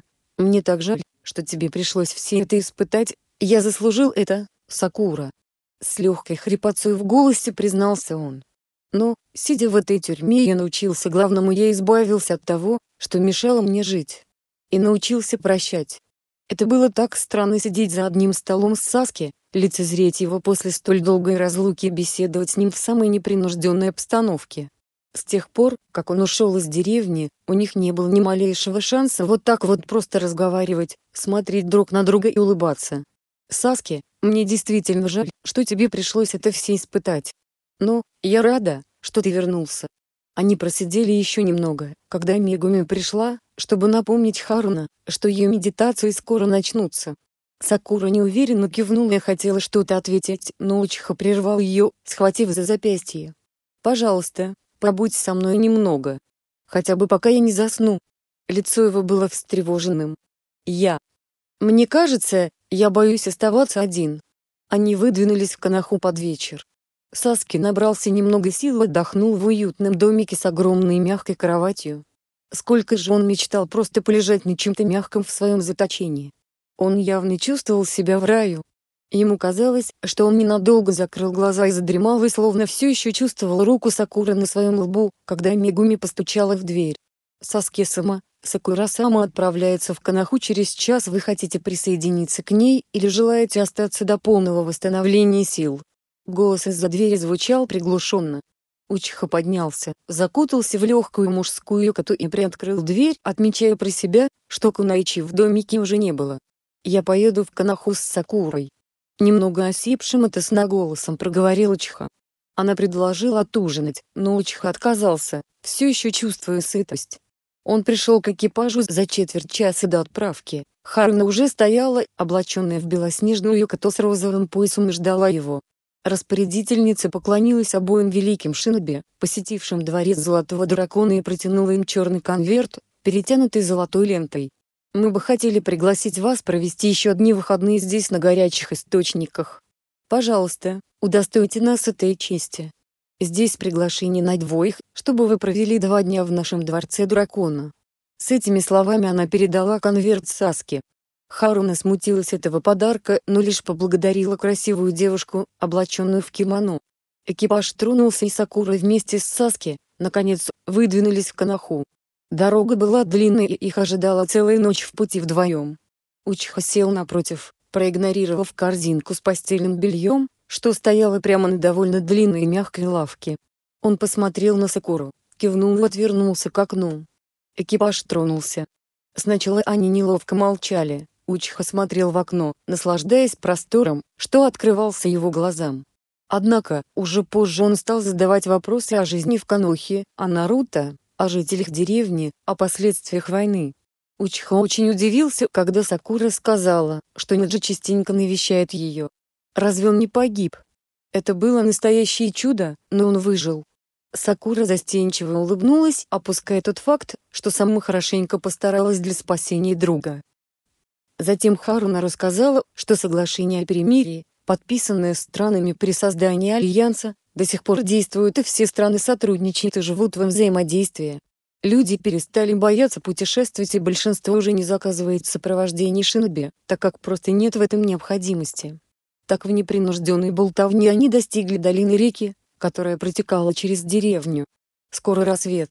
Мы почти прибыли в деревню, Сакура указала на виднеющееся зарево от деревни. «Смотри, огни Канохи.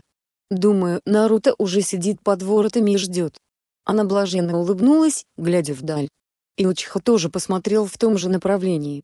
Было невероятно приятно наблюдать за сменяющимися пейзажами, уходящими за горизонт и увидеть огни такой некогда родной деревни, что приближалось с каждой минутой. Сакура оказалась права. Облаченный в свой оранжево-черный костюм, Джинчурики Девятихвостого стоял прямо по центру дороги, скрестив руки на груди и широко улыбался. Их встреча была самой необычной для Сакуры и, наверное, самой долгожданной. Экипаж остановился и Саски вышел, замирая прямо напротив Наруто.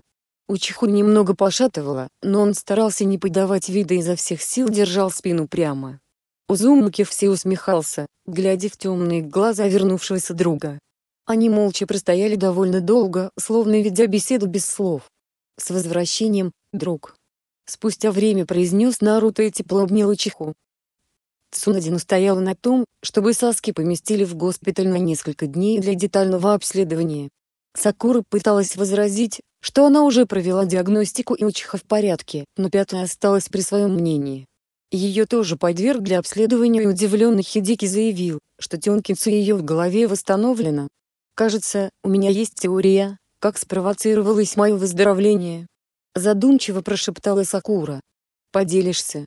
Пятна явно была заинтересована ее словами. «Надо сначала проверить. Дайте мне пару дней».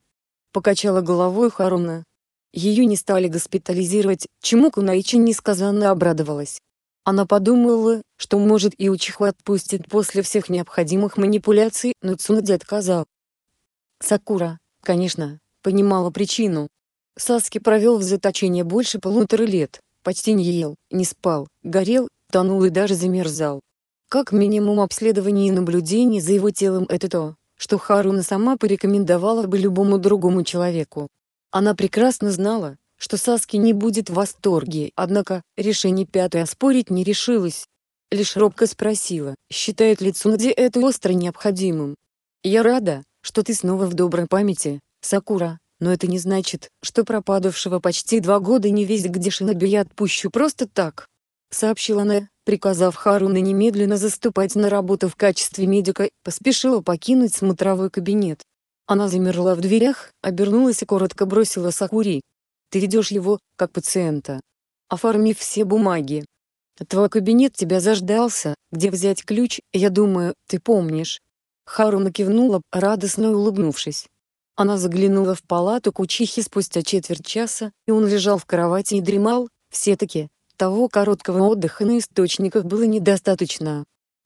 По сердцу разлилось тепло, он наконец-то дома, в Канохе, как она и мечтала. Сакура взяла необходимые документы на заполнение и направилась в кабинет, пустовавший с самого ее ранения. Там, на столе она взяла в руки календарь, сились понять, какая же сегодня дата, перелистнула несколько страниц, а затем установила бегунок на нужный день, вспоминая какого числа она уехала во дворец Золотого Дракона и сколько провела там времени. На мгновение Сакура замерла, глядя на число и поняла, что у нее появилось еще одно срочное дело. Облачившись в свой рабочий халат, она быстро расправилась с бумажной работой. Имея пока лишь одного пациента это несложно. Затем, взяв медицинскую карту, Ирьянин отправилась обратно в палату спящего учихи. «Сакура, ты вернулась». Услышала она на полпути к своему пациенту и тут же обернулась. В коридоре стоял Хьюганиджи человек, который заботился о ней, пока в голове было совершенно пусто без воспоминаний. Сакура радостно заулыбалась и бросилась к нему на шею. «Я смогла всех вспомнить», — шепнула она. «Моя Тёнкинцу восстановлена. Мои поздравления. Неужели медитации и процедуры в золотом не так хорошо сработали?» Они медленно пошли по коридору в холл небольшой приемной, где стояли диванчики. «Возможно. Но у меня есть другая теория». Наджи присел в кресло и Сакура села рядом с ним. Наджи, я нашла Саски, он в Канохе. Вернулся. Она понизила голос до шепота, и наклонилась так, чтобы слышал только он. Она видела, как глаза его расширились от удивления, он силился что-то сказать, но она положила указательный палец ему на губы. Я не знаю, могу ли я делиться этой информацией, но пятая вроде не запрещала. В общем, так получилось, что... МММ, ей было неловко рассказывать о том, что все воспоминания вернулись в момент такого долгожданного поцелуя, о котором она мечтала и даже не помня ничего.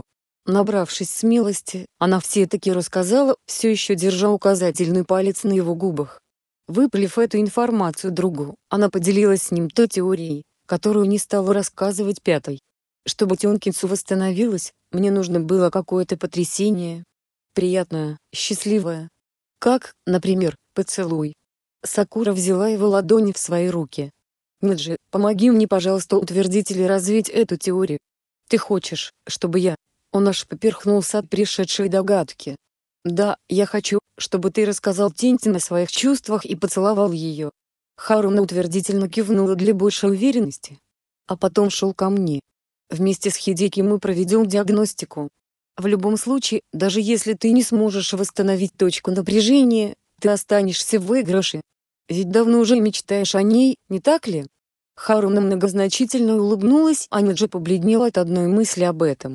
Сакура, Но если она ничего ко мне не испытывает и попытка ее поцеловать лишь обидит ее. Он выглядел потрясенным и немного неуверенным. Ниджи. Сакура хлопнула его ладонью по руке. Ты один из сильнейших шиноби Канохи, гений своего клана и прекрасный воин, смелость и отвага которого не знают границ. Но, признаться девушке в чувствах ты почему-то не можешь. Хьюго устало вздохнул, переводя взгляд на ее ладонь, которая буквально мгновение назад обожгла хлестким ударом его руку. «Ты права, Сакура. Наверное, стоит попробовать, я вселю немного надежды в тебя». Сакура хитро улыбнулась. «Вы, мальчики, такие невнимательные, когда дело касается чувств. Ты нравишься ей». И она, ободрительно потрепав друга по плечу, поднялась с кресла. «Мне пора. Есть еще кое-какие дела вне госпиталя. Ты найдешь меня в восточном крыле. Не мешкай. Я уверена, что тебя можно исцелить этим способом. Харуна подмигнула ему. Сакура. Спасибо тебе. И, поздравляю тебя с возвращением памяти. И, человека, которого ты так ждала.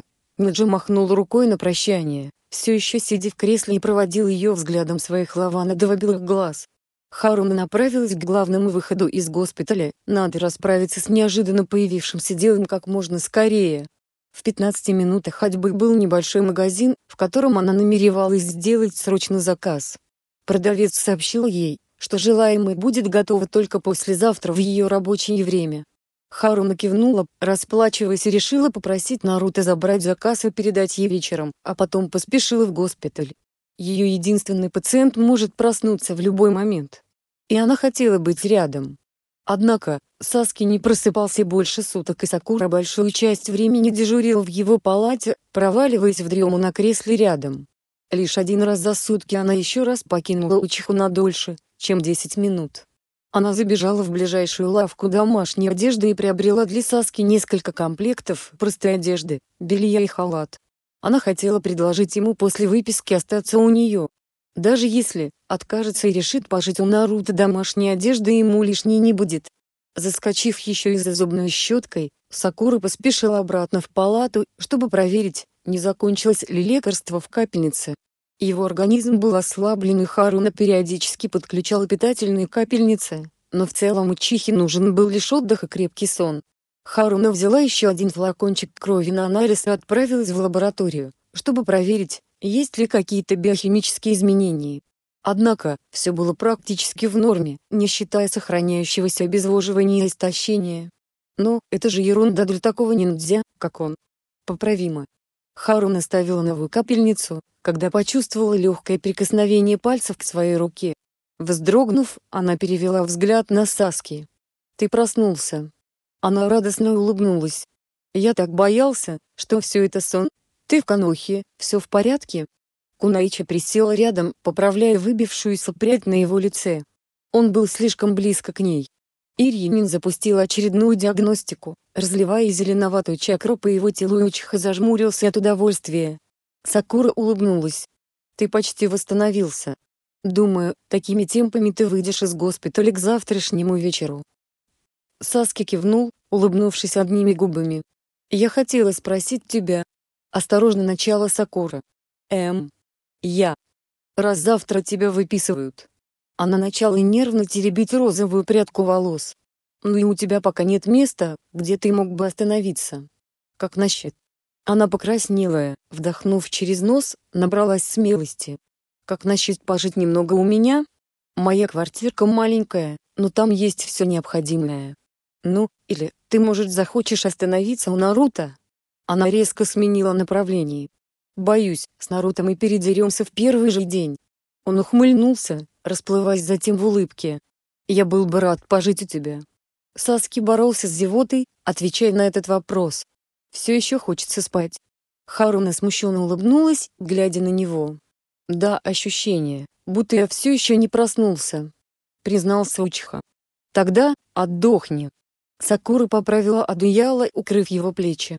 «Поспи еще. Я сегодня сообщу пятый, что тебе есть куда идти после выписки».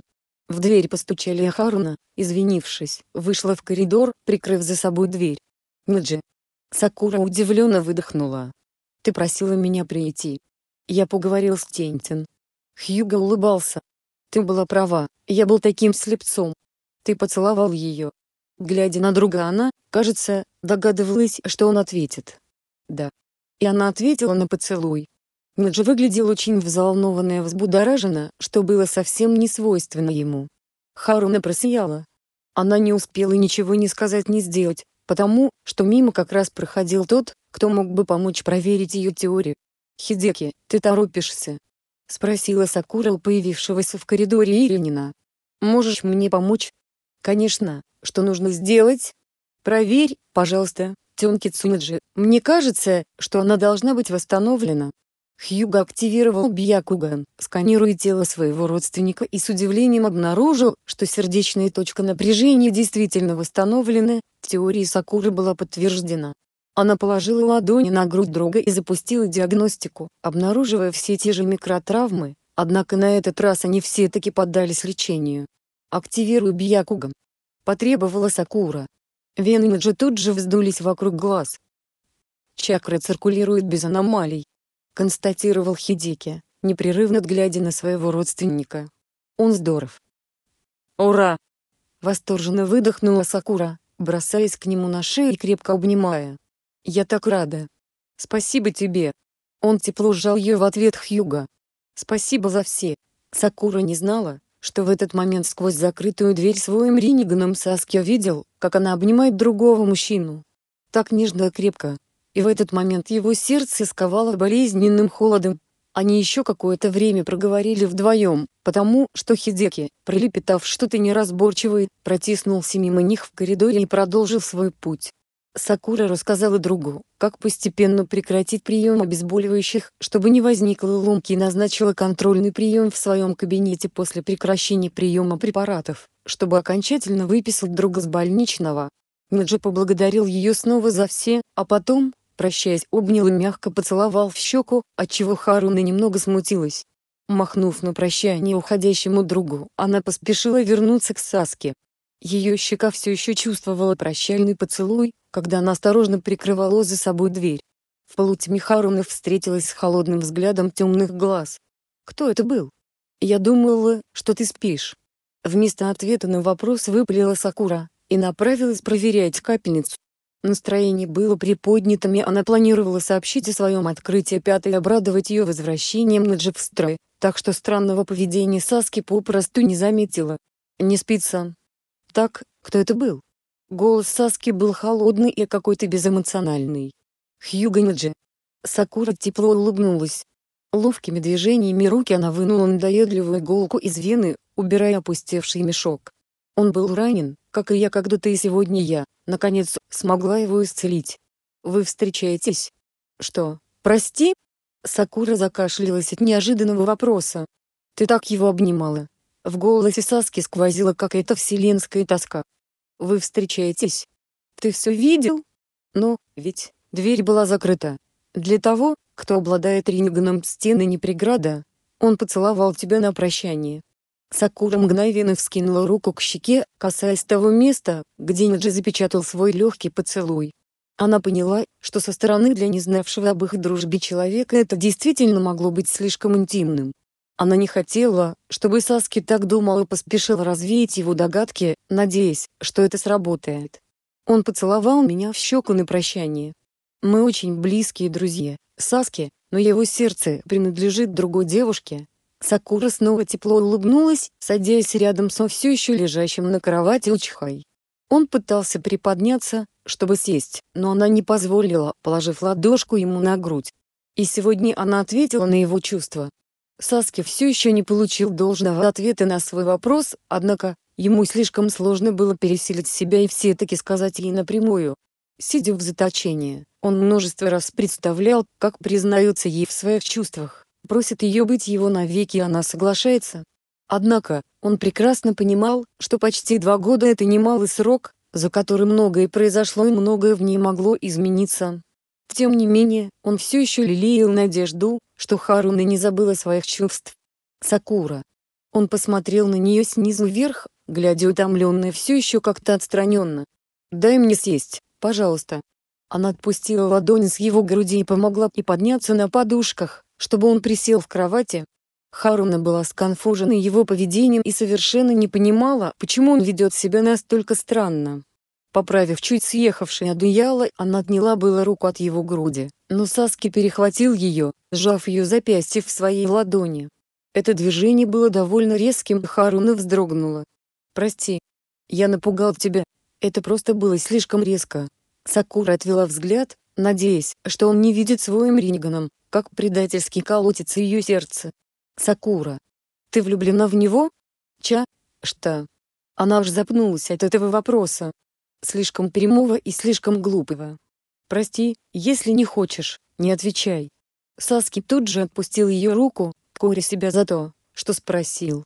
Это, наверное, слишком личный, ты прав. Это слишком личное. Но, нет, я не влюблена в него. Она присела снова на край его кровати, беря его за руку. Знаешь, я, ведь, вытащила его с того света. И с тех пор веду его, как врач. Он тоже участвовал в битве с электрическим стражем и получил ранение, микровзрыва на еще не окрепшем после Четвертой мировой сердце. Из-за поврежденной точки напряжения я не могла его исцелить.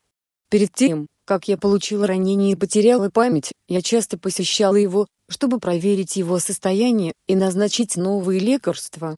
Сакура вздохнула. Она делилась сейчас очень сокровенным, но с кем, как не с человеком, которого она так ждала, говорить об этом? Она немного помедлила и залилась краской. Немного покрутив слегка онемевшую руку, Харуна высвободила свое запястье из ладони учихи, а потом, переплела свои пальцы с его. «Знаешь, когда я пришла в себя, а помню ничего, любая информация, рассказанная мне кем-то о моем прошлом, причиняла мне невыносимую боль, во мне сохранились лишь ощущения. Например, чувство, что мы сына подруги, чувство, что Наруто близкий мне человек, словно член семьи. Когда я увидела Наджи, я почувствовала, что должна о нем заботиться. А еще, я чувствовала, что давно уже в Кагато влюблена. И вдруг решила, что это он. Он заботился обо мне, был рядом, но держался на расстоянии. Она замолчала, а Саски все сидел и слушал внимательно, понимая, что немного завидует Хьюге, что тот мог быть рядом в этот момент. Однако, Сакура сейчас сидела с ним и держала за руку именно Учихуя это вселяло в него надежду. Он дал ей возможность собраться с мыслями, видел, как лицо горело от смущения, а глаза старательно избегали прямого контакта с ним. Немного подождав, Харуна собралась с мыслями и продолжила. Он повел меня на фестиваль фейерверков, где я попросила его быть честным со мной. Я все чувствовала, что мое сердце кому-то принадлежит, и думала, что Неджи и есть тот самый человек. Просто боится сделать больно своей правдой, однако, он сказал, что он влюблен в другую. И рассказал мне, что я всегда любила лишь одного человека. Сакура перевела взгляд на Учиху, в ее глазах плясали тревога и уверенность. Она знала, что скажет ему это, ведь уже говорила когда-то. Он назвал твое имя, Саски. Отрезала Сакура. Он шумно втянул носом воздух, Сердце заколотилось сильнее, а в глазах потемнело от волнений. Учиха никогда еще не испытывал этих чувств и не понимал, как совладать с ними. И я поняла, что он сказал правду. Саски не знал, что сказать ей в ответ, лишь притянул Кунаичи к себе и жал в объятиях. «Прости меня, Сакура». Только лишь и смог прошептать он.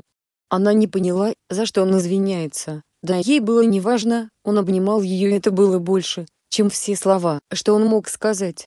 Ей было так тепло и хорошо с ним. «Ина!» — воскликнула Сакура, входя в свой кабинет и обнаруживая подругу в своем кресле. Харуна радостно бросилась к подруге на шею, едва не снеся ее из кресла. Она была безумно рада видеть ее и чувствовала вину за то, что не зашла к Ина в первый же день, однако, все свое время Харуна проводила в палате Саски и у нее совершенно не было возможности выкроить минутку, чтобы с кем-то повидаться.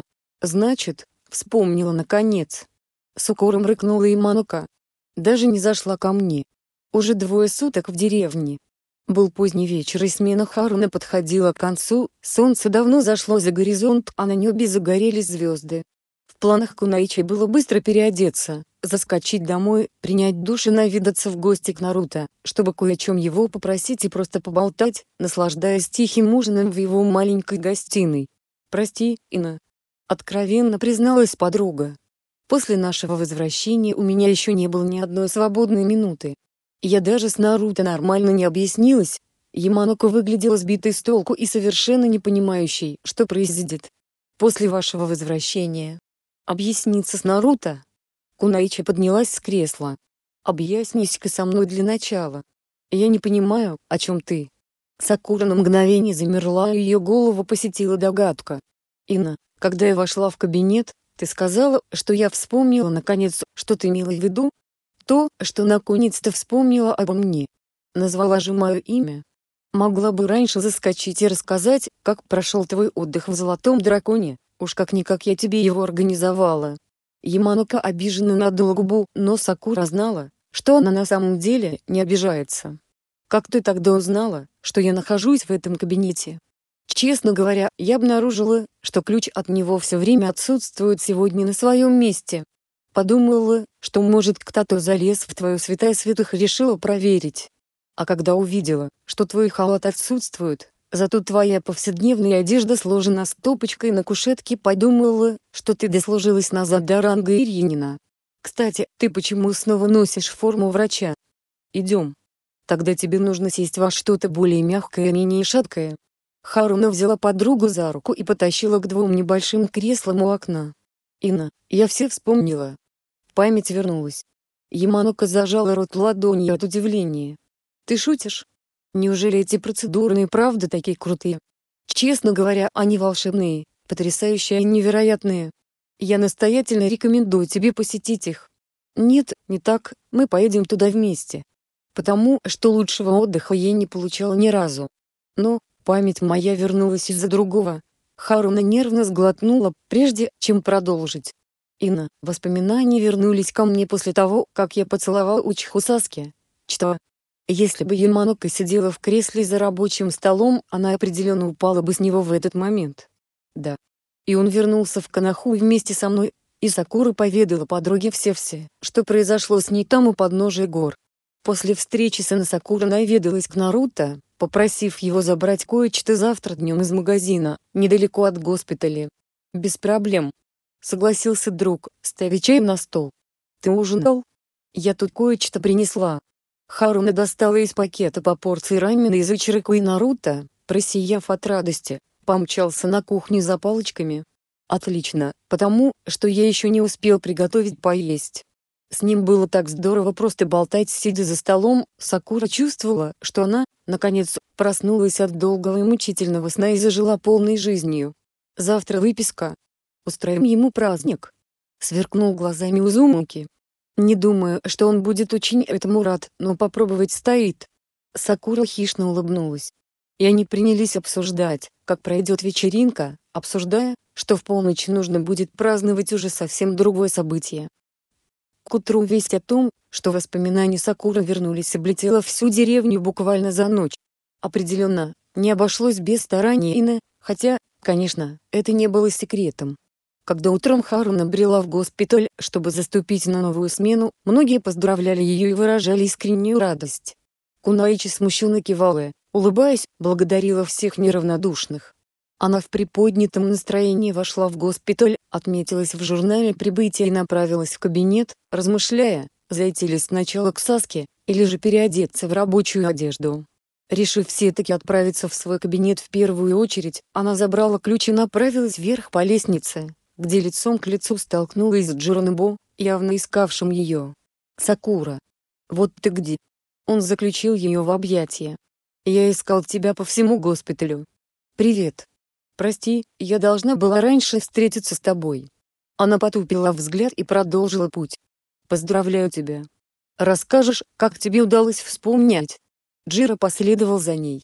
Харуна провела его в свой кабинет и не стала закрывать двери, оставляя ее настежь распахнутой.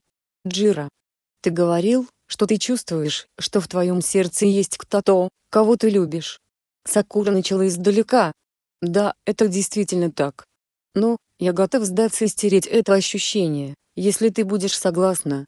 Набу подошел вплотную и взял ее за руки. Ты же помнишь? Сакура очень хотела ему помочь, для нее было важным его восстановление, ведь она медик, но как девушка, она не готова была его поцеловать. Джира, я знаю, как помочь тебе. Восстановить Тёнкинсу получится, если ты испытаешь сильные эмоциональные потрясения. Например, как при поцелуе любимого тобой человека. Харуна сделала шаг назад. Вот как. Набу двинулся синхронно с ней, кладя ей руки на талию и мгновенно меняясь в лице. «Тогда разреши мне поцеловать тебя». Сердце Харуна заколотилось так бешено и болезненно, что она едва нашла в себе силы вырваться из рук парня, с которым провела долгое время на реабилитации. «Стой, погоди. Я боюсь, что это так не сработает». Слишком громко сказала она, отскакивая назад. «Прости». Парень вдруг осознал свою оплошность. «Мне не следовало это делать. Да, действительно не следовало». Сакура схватила себя за плечи, неуверенно их потирая. «Знаешь, мне кажется, это должна сделать та, кому по-настоящему принадлежит твое сердце. И это не я, Джира. Но, я не знаю, кто это. Возможно, нам стоит это выяснить. Сегодня я буду занята, Позавтра вечером мы пойдем в одно место и попытаемся выведать информацию о тебе. А до этого я попрошу пятую поделиться максимально возможными данными о твоем прошлом. Хотя, конечно, о членах Анбу хранится невероятно мало информации. Спасибо, Сакура. Он ушел, получив ее обещание, что она приложит все усилия, чтобы помочь. А Сакура, переодевшись, направилась в палату Учихи, где ее уже ждал человек, без которого она не могла прожить больше ни мгновения, Сакура. Поприветствовал Учиха, сидя на кровати и свесив ноги вниз, волосы его были влажными, что говорило о том, что он недавно вышел из душа. «Доброе утро! Как ты?» «Я хорошо себя чувствую». Как всегда, короткие и исчерпывающие ответы, Харуна активировала Ирьяниндзюцу и просканировала тело своего пациента, который снова выглядел максимально напряженным. «Саски. Все хорошо. Ты выглядишь странно». Харуна смутилась. «Прости». Учиха перевела взгляд на нее. «Сегодня, когда ты пришла в госпиталь, тебя снова обнимал мужчина, однако, это был не Хьюга. В Конохе принято обниматься при встрече? Саски. Мне кажется, или ты ревнуешь?» Сакура залилась румянцем от смелости сказанного, однако еще в больше румянец ее выгнула ответная реакция Учихи на этот вопрос. «Прости», — повторил он, а затем подался к ней, кладя свои руки на талию так же, как Джиро сегодня сделал это в ее кабинете. «Он хотел тебя поцеловать, да. Почему ты так решил?» Она не отстранилась, но, едва могла совладать со своими эмоциями. «Потому что он вел себя так, как веду себя сейчас я», «Я хочу тебя поцеловать». Голос его был тихим и четким, глаза напоминали темную бездну, в которую Харуна была готова утонуть без остатка. «У Джиро ничего бы не вышло», — прошептала она. «В отличие от тебя. Значит, Джира. Саски, ты ревнуешь?» На этот раз она уже не спрашивала, все догадки были подтверждены его поведением. «Я ревную», — выпалил он, сокращая дистанцию и касаясь ее нежных губ своими. Он поцеловал ее так страстно, томно, но одновременно трепетно и нежно. Она, казалось, вот-вот обмякнет в его руках, а Учха вдруг разорвает поцелуй, утыкаясь лбом в ее лоб, часто дыша. Он еле совладал со своим возбуждением, что вот-вот готово было сорвать голову. «Пожалуйста, будь моей, всегда только моей», — прошептал он. «Я и так вся твоя, всегда была», — ответила Сакура. «Я люблю тебя», — выпалил он сам не понимая, как это произошло, как слова, которые он так долго боялся принести, вдруг сами вырвались из его горла. Сердце Сакуры было готово выпрыгнуть из груди от услышанного. Слово, что она и не мечтала от него услышать, кружившее голову, сводившее с ума, он все еще прижимался лбом к ней, отчего заглянуть Саске прямо в глаза в этот момент было довольно трудно. «Пэм? Правда?» Запинаясь на полуслове переспросила она. «Я люблю тебя, Повторил он уже смелее, отстраняясь наконец ловя своими глазами взгляд Кунаичи. И всегда любил. Хоть и всегда отрицал это. Она бросилась к нему на шею, крепко обнимая и забывая дышать от переполнявшего легкие счастья. «И я тебя люблю», — шепнула Сакура ему на ухо. Весь день она провела, как в тумане. Признание любимого человека не давало ей покоя и Сакура все время витала где-то в облаках. Предаваясь мечтам, она даже не заметила, как прошел день. Кунайчи успела запросить у пятой папку с информацией от Джирая, сидя за своим столом поздним вечером, читала подробности о члене Анбу Джиронабу. Оказывается, у него было совершенно другое имя, не прописанное в отчете, Джир кодовое имя, набу название его отряда. Как же его зовут на самом деле? Какая-либо информация о нем отсутствовала, за исключением маленькой приписки, что этот ниндзя приглашенный из другого селения очень способный воин. Ни названия селения, ни других зацепок не было. Она не заметила, как в кабинет вошел Учха, облаченный в темно-серые хлопковые брюки и тонкую футболку с длинным рукавом. Сакура обнаружила его, стоящего в дверях лишь спустя какое-то время. Мог бы и постучать. Она удивленно вскинула брови и ухмыльнулась, но Учха проигнорировал ее комментарий. Наруто заходил ко мне перед выпиской. Он сказал, что мы все идем праздновать мое возвращение. Саски не выглядел счастливым от этой новости. Если хочешь, я, как твой медик, могу запретить это тебе и ты отправишься отдыхать. Но, я бы советовала тебе пойти. Сакура хитро улыбнулась. Я думаю, нам есть что отпраздновать. И не только мое появление здесь. Саски явно боролся с собой, уж очень ему хотелось согласиться на запрет, но Узумаки умел убеждать, да и сам Учха считал, что пора прекращать думать, что мир вращается вокруг него одного. В конце концов, для него искренне готовили праздник а к этому нужно проявить как минимум уважение. Например, твои исцеление и возвращение в строих юга. Наруто рассказал мне во всех красках, как ты поставила его на ноги. Оказывается, ты выдающийся медик Канохи, о чем, вероятно, ты забыла сообщить мне. Я не считаю себя таковой. Сакура захлопнула папку Джира и поднялась из-за стола. Саски тут же увидел именно обложки и нахмурился.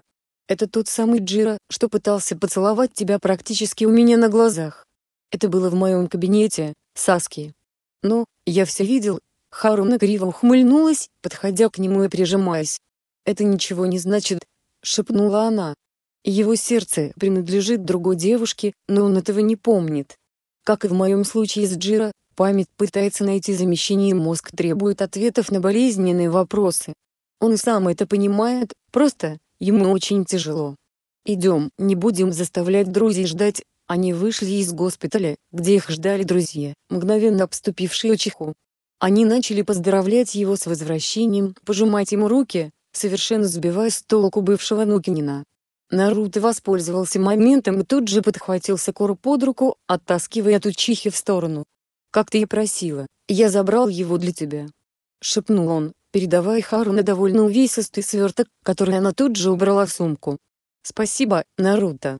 Она чмокнула его в щеку, вдруг понимая, что возможно снова допустила ошибку, так как Саски точно это заметил. «Уверена, что не хочешь, чтобы он пожил у меня?» «Нет, все в порядке. Нам есть что обсудить».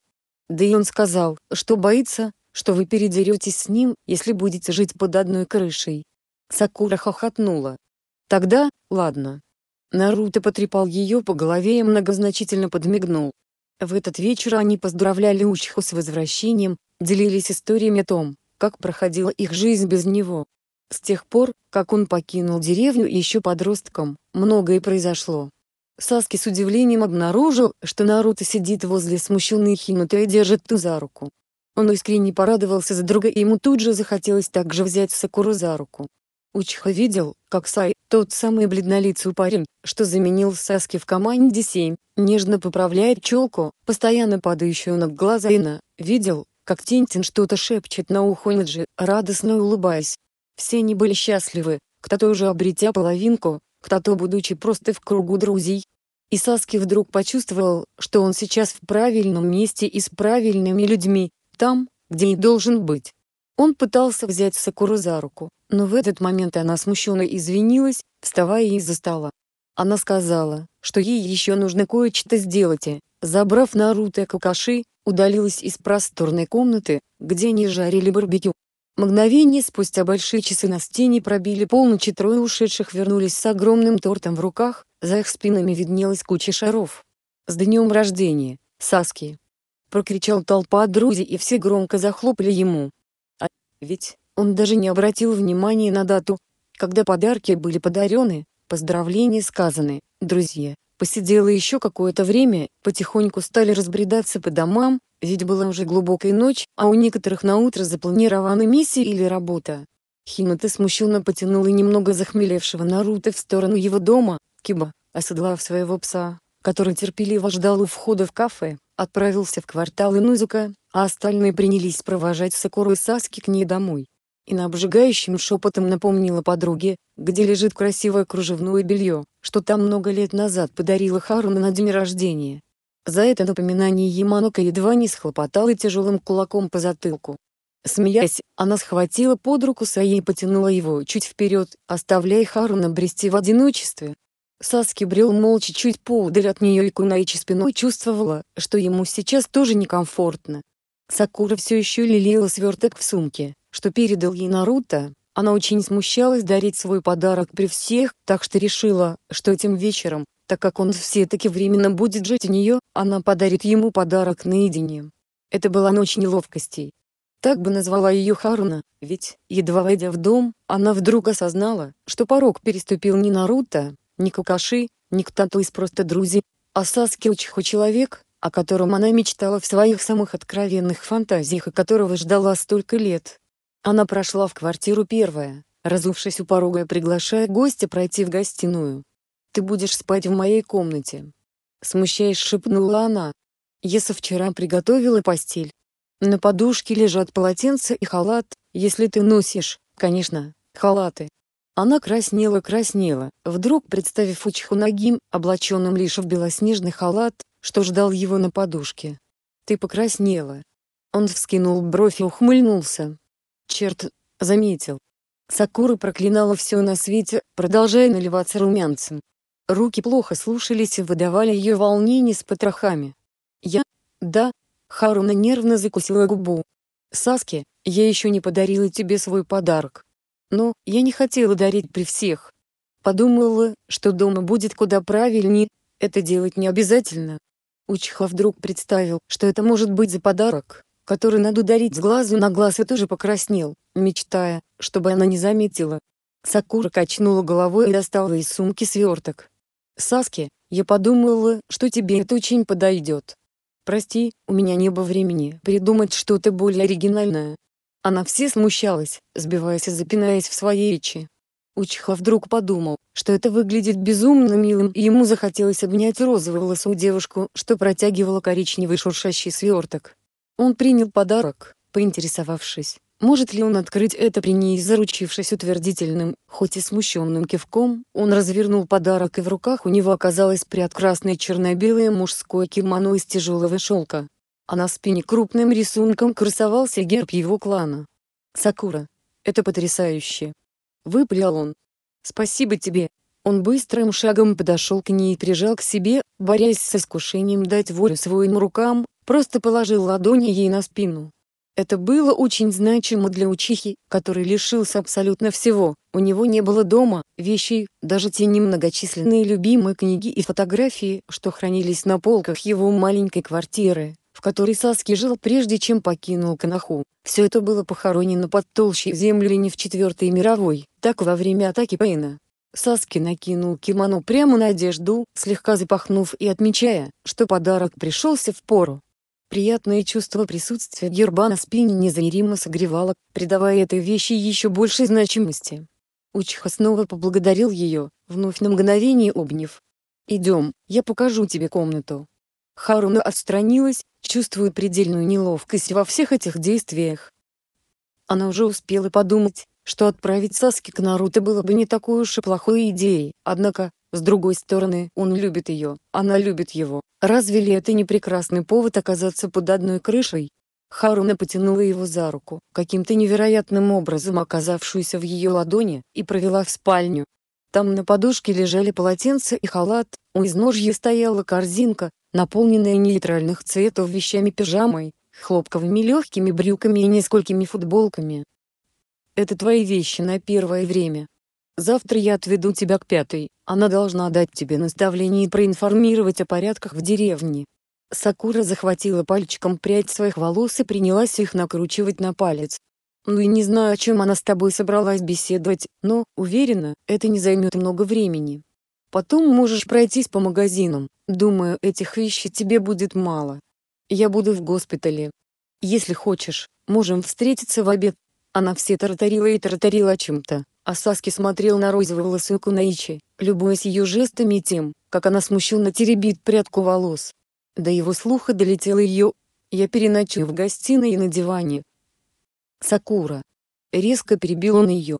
Она хотела сказать еще что-то про ванную комнату и что купила ему щетку, но замолчала, изумленно уставившись на него. «Прости. Я много болтаю. Просто нервничаю», — призналась Кунаичи. «Да, я тоже», — выдохнул он. «Не оставляй меня одного, пожалуйста. Просто будь рядом. Я столько был один и теперь, когда я свободен от заточения, я просто не могу выносить одиночество. Прости, я должна была догадаться. Извиняющимся тоном выплела Харуна. Располагайся, ванная комната там. Я приготовлю чай. Он кивнул, беря полотенце и направляясь в небольшую комнатку, примыкающую к спальне и включил ледяную воду, чтобы смыть с себя возбуждение, мешавшее двигаться и мыслить трезво. Сакура же тем временем стоя на кухне пыталась унять дрожь в руках. Учиха вышел в гостиную, кутаясь в белоснежный халат, удивляясь его мягкости и приятному аромату свежести, исходившей от ткани. Кунаичи в этот момент ставила на стол две чашечки и прозрачный чайничек, наполненный чаем. «Я заварила Мелису, она приносит успокоение и добрые сны», — мягко проговорила Харуна, вкладывая чашечку в его руки.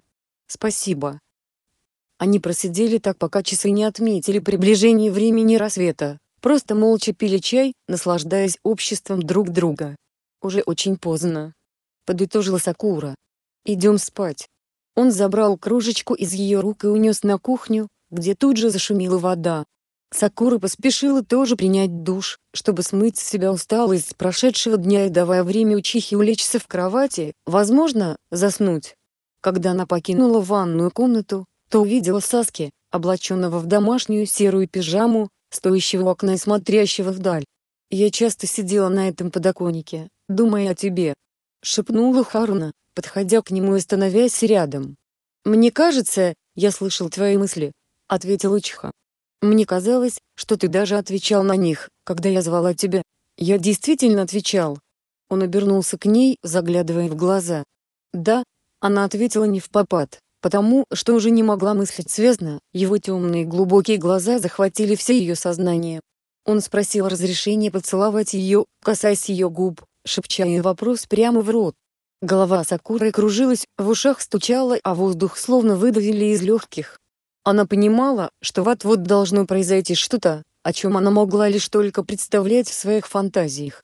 Ей хотелось этого и одновременно было очень страшно. А Саски все целовал и целовал, томно, нежно, перебирая пальцами по ее спине и вызывая мурашки по всему телу. «Сакура!» Выдохнул он ей прямо в рот, спускаясь поцелуями по ее шее и зарываясь рукой ее волосы. Ноги подкашивались от ощущения и она готова была рухнуть в его сильные объятия, но вместо этого обвела его шею руками и притянув к себе, сделала несколько шагов назад, падая на кровать. Саски навалился на нее сверху, прижимая всем своим весом и она ощутила его возбуждение своим телом. Учиха приподнялся немного встревоженно глядя ей в глаза.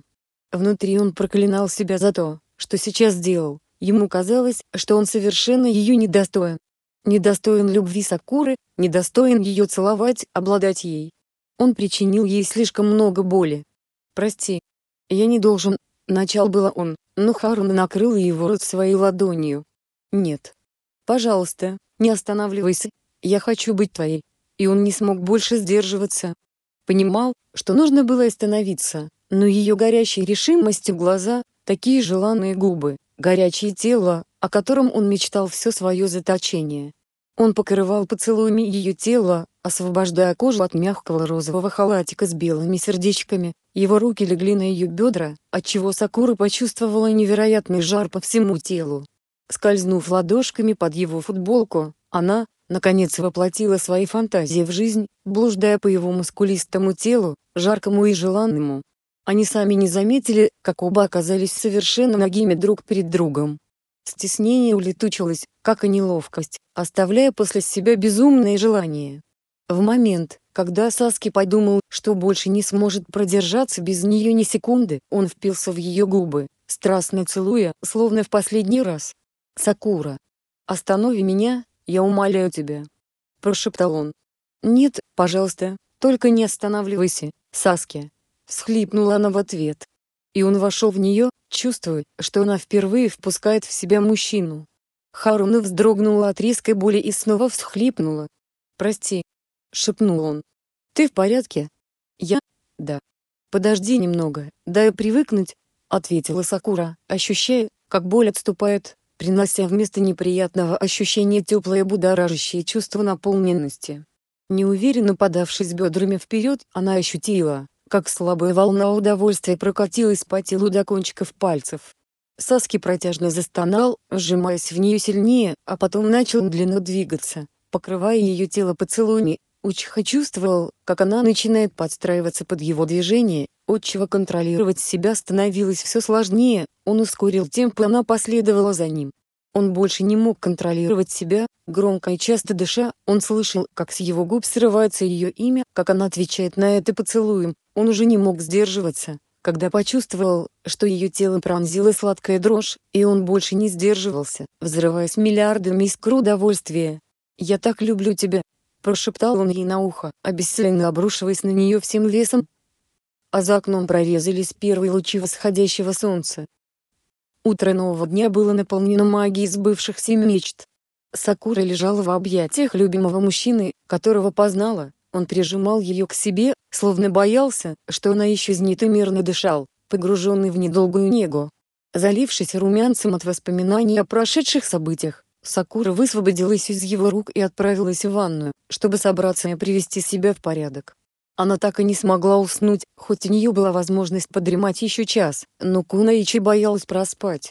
Пятая все-таки приказала привести Саски утром в ее кабинет, а заставлять ждать главу деревни весьма неправильно. Харуна наспех приняла душ, умылась и, закутавшись в халат, вернулась в спальню, где все еще спал Саски. «Проснись!» — шепнула она, поглаживая его по лицу. Не открывая глаз, Саски перехватил ее руку и поцеловал тыльную сторону ладони.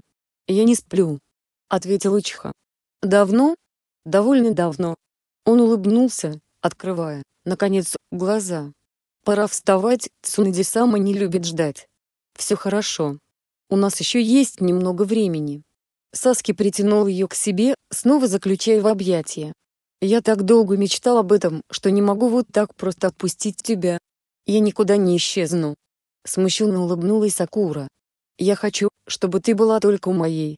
Всегда. Отозвался он. Мы можем попробовать. Сакура высвободилась из его объятий, краснее. Давай попробуем. Вторил Учиха.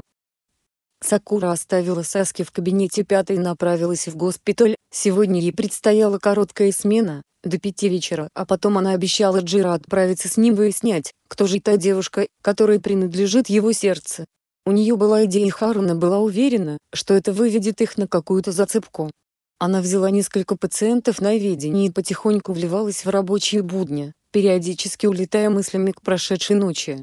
Надела белье вчера, Ина появилась из ниоткуда, подхватывая подругу за талию и шепча ей прямо на ухо свой наглый вопрос. «И тебе привет». Сакура залилась краской. «Так что?» «Нет». Харуна покачала головой, ускоряя шаг. «Не пригодилось? Или не успела?» Яманока догнала подругу. Ина. Харуна развернулась, делая свое лицо строем, но ее выдавало предательски пылающее лицо. «Значит, не успела». Ина просияла, хлопая в ладоши. Сакура фыркнула в ответ, не зная, что ответить на это. Она совсем забыла про Советана, да и в действительности, вчера ей было совершенно не до ее советов. Она смущенно посмотрела на подругу и робко кивнула. «Да. Я знала это». Яманока радостно обняла подругу. «Поздравляю. Вы теперь вместе, да. Мы решили попробовать». Сакура все никак не могла унять свое смущение. И начмокнула подругу в високе, Сказав, что у нее много дел, потребовала позже подробный рассказ, Сакура же в ответ бросила ей в спину свое «ни за что на свете» и двинулась дальше по коридору, чтобы посетить первого своего пациента в эту смену. Все утро она заполняла бумажки, диагностировала, опрашивала и назначала лечение. Однако, Харна не чувствовала утомления несмотря на довольно короткий сон ночью, наоборот, в ней как будто бы было в разы больше энергии, чем обычно. Так, в приподнятом настроении, она вернулась в свой кабинет, чтобы заполнить кое-какие документы и расписать маршрут, по которому они пойдут с Джира, чтобы выяснить хоть что-то о его прошлой жизни. Она неожиданно вздрогнула, когда Саски наведался к ней в кабинет. Без предупреждения и стука. Просто ворвался, заключая ее в объятия. Саски, это неправильно вот так вламываться ко мне во время рабочей смены. А вдруг я в этот момент занималась бы осмотром пациента? Она хотела произнести это с укором, но получилось как-то очень робко. «Ты забываешь, что я могу видеть, одна ты или нет?» Прошептал он ей в ответ, целуя макушку. Ты сама вчера пригласила меня встретиться в обед. Вот я и пришел. Сакура отвела его в столовую, где, набрав еды, они сели за столик у окна. Саски рассказал, что пятая представила ему порядок правил в деревне, что передала ему ключ от хранилища, которое благодаря усиленному укреплению выстояло в обоих сражениях и не было разрушено. В хранилище были собраны деньги и артефакты кланучих, а так как Саски являлся единственным его представителем, то ключ полагалось передать ему, как главе своего клана со всеми правами належащие внутри. А еще она сказала, что я буду восстановлен в миссиях в ближайшую неделю и смогу приступать к тренировкам уже с завтрашнего дня. Закончил Саски свой рассказ. Поздравляю. Это очень здорово. Сакура просиял от хороших новостей. Во сколько ты сегодня заканчиваешь работу? Я сегодня закончу в пять, но после у меня есть еще дела в деревне. Призналась Харуна. Что за дела? Я иду с Джиро в пару мест, чтобы выяснить о его прошлом. Честно ответила Сакура. Я очень хочу вернуть ему память. Значит, ты идешь с тем парнем куда-то? Тогда я иду с вами, если ты не против. Я не против.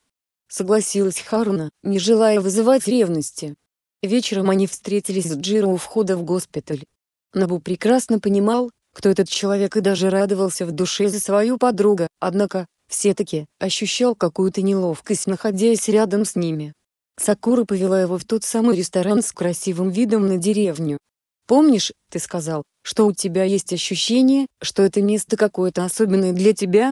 Если ты повел меня сюда, значит, возможно, приходил сюда и со своей второй половинкой. Идем, я выясню у менеджера, кто может нам помочь». Саски пропустил мимо ушей тот факт, что Набу водил Сакуру сюда, хотя, нет, острый укол ревности все же кольнул его. Но, он повел этого несчастного шиноби за столик у окна сел, взяв в руки меню, чтобы хоть чем-то занять себя. Джира последовал его примеру. «Я рад, что ты вернулся к ней», — заявил Набу спустя какое-то мгновение. «Она страдала без тебя. Даже не помня». Учиха не нашелся, что ответить, лишь кивнул. Сакура пришла через пару минут огорченная. Менеджер ресторана сказал, что помнит его, но не помнит, с кем он приходил, так как посетителей довольно много, я могу помочь с этим. Саски поднялся, активируя шарингом. «Идем». Он нагло влез в голову к человеку, не обладавшему силой шиноби и не способному защитить свое сознание. Извинившись перед проникновением, он стал просматривать воспоминания, ища хоть какие-то намеки на физиономию этого парнишки. Вот он пришел с Сакурой, сердце у Чихи снова кольнула ревность, потом долго его образ не появлялся, а потом он промелькнул снова. Он был с красивой девушкой со светло-зелеными волосами и розовыми глазами. Он никогда такое не встречал, однако, это и понятно на сегодня вообще первый день после длительного отсутствия гулял свободно по Канохе и мало кого успел увидеть. «Идем, я опишу ее», — сказал Саски, отпуская менеджера из гиндзюцу. «Извините за неудобство. Эта информация причинит ему боль», — заявила Сакура. «Он мужчина. Потерпит». Безразлично выдал Учиха. С тех пор они несколько месяцев усиленно искали информацию о Кунайче с зелеными волосами, но все безуспешно. Пятая тоже не знала, кто это такая и снарядила поисковую миссию в другие скрытые деревни, чтобы найти эту девушку, однако, тщетно. Каждый вечер Сакура возвращалась из рутины работы в госпитале в дом, где царила любовь. Она не могла насытиться от прикосновений, поцелуев, ласк, их занятий любовью, Почти каждую ночь они предавались страсти и засыпали без сил, словно стараясь наверстать все то упущенное за многие годы разлуки. «Я люблю тебя». С каждым разом все смелее произносилась эта фраза. Саски отправлялся на миссию, стараясь вернуться до захода солнца, Однако иногда ему приходилось покидать деревню на несколько дней, оставляя Сакуру в квартирке, которую они постепенно начали обживать совместными вещами. Учиха забрал из хранилища пару клановых украшений на стены, а также, в ее шкафу появилась мужская одежда. Кунаичи не скучала в его отсутствии было много работы, в которую она погрузилась с головой. Близился октябрь и Сакура помнила, что за сутки до празднования годовщины победы они прооперировали Джира год назад. Он пребывал в довольно скверном расположении духа, однако единственное, что помогало ему сохранять ее хорошее настроение и работы в книжном магазине, куда Харуна наведывалась в свой обед, когда Саски отправлялся в очередной поход. «Сегодня ровно год, как ты потерял память», — заявила Харуна, сидя в книжном и попивая с ним обеденный чай. «Я помню. Знаешь, Канаха открыла сегодня ворота для всех желающих посмотреть парад. Сегодня будет очень шумно, тебе точно не нужна будет помощь у прилавка вечером. Я справлюсь. Спасибо. Завтра ты обязан участвовать в параде. Пообещай, что пойдешь с нами. Сакура не унималась. Нет. Я останусь здесь. Никто не пойдет за покупками в этот момент. Она грозно звякнула кружкой о столик. Все приехали в деревню за зрелищем, а не шопингом. А ты, помнишь ты это, или нет, тоже сражался на войне.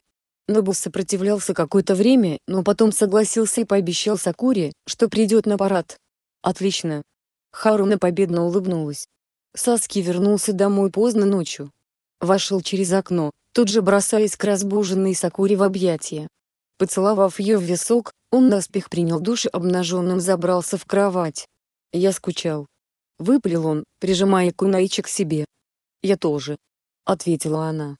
Утро выдалось ярким и солнечным, подготовка к параду шла полным ходом, но в Шинобе, что бились на передовой, собрались далеко от деревни на поляне, чтобы отметить день рождения Узумаки Наруто, их близкого друга. Народу было слишком много и ни один ресторан в деревне не смог вместить такое количество людей, так что, Джинчурики просто принял решение отметить праздник на природе. Харуна никогда еще не была так счастлива находясь в кругу всех своих друзей, что, наконец-то собрались все вместе. Поздравления длились недолго, к обеду пятая грозно заявила, что если они не вернутся в деревню, она разжалует всех собравшихся до ранга Чунина. Смеясь, Наруто парировал, что он и так Чунин, отчего все, кто слышал его ответ зашлись в хохоте, даже сама Хакаги. Сакура все искала лицо Джира в толпе когда пришло время построения на парад, но он все не приходил. «Ну же, ты обещал!» Рыкнула она взволнованно себе под нос, ища парня среди людей. «Обещал что?» Саски переспросил ее сконфуженно. Джир обещал прийти на парад и участвовать. Саски просканировал толпу в поисках человека, чакра которого не циркулировала совсем, однако покоилась в теле, как вода в шарике. «Он идет». Коротко ответил Саски, отворачиваясь к Наруто, который в этот момент схватил друга за руку, показывая тому что-то.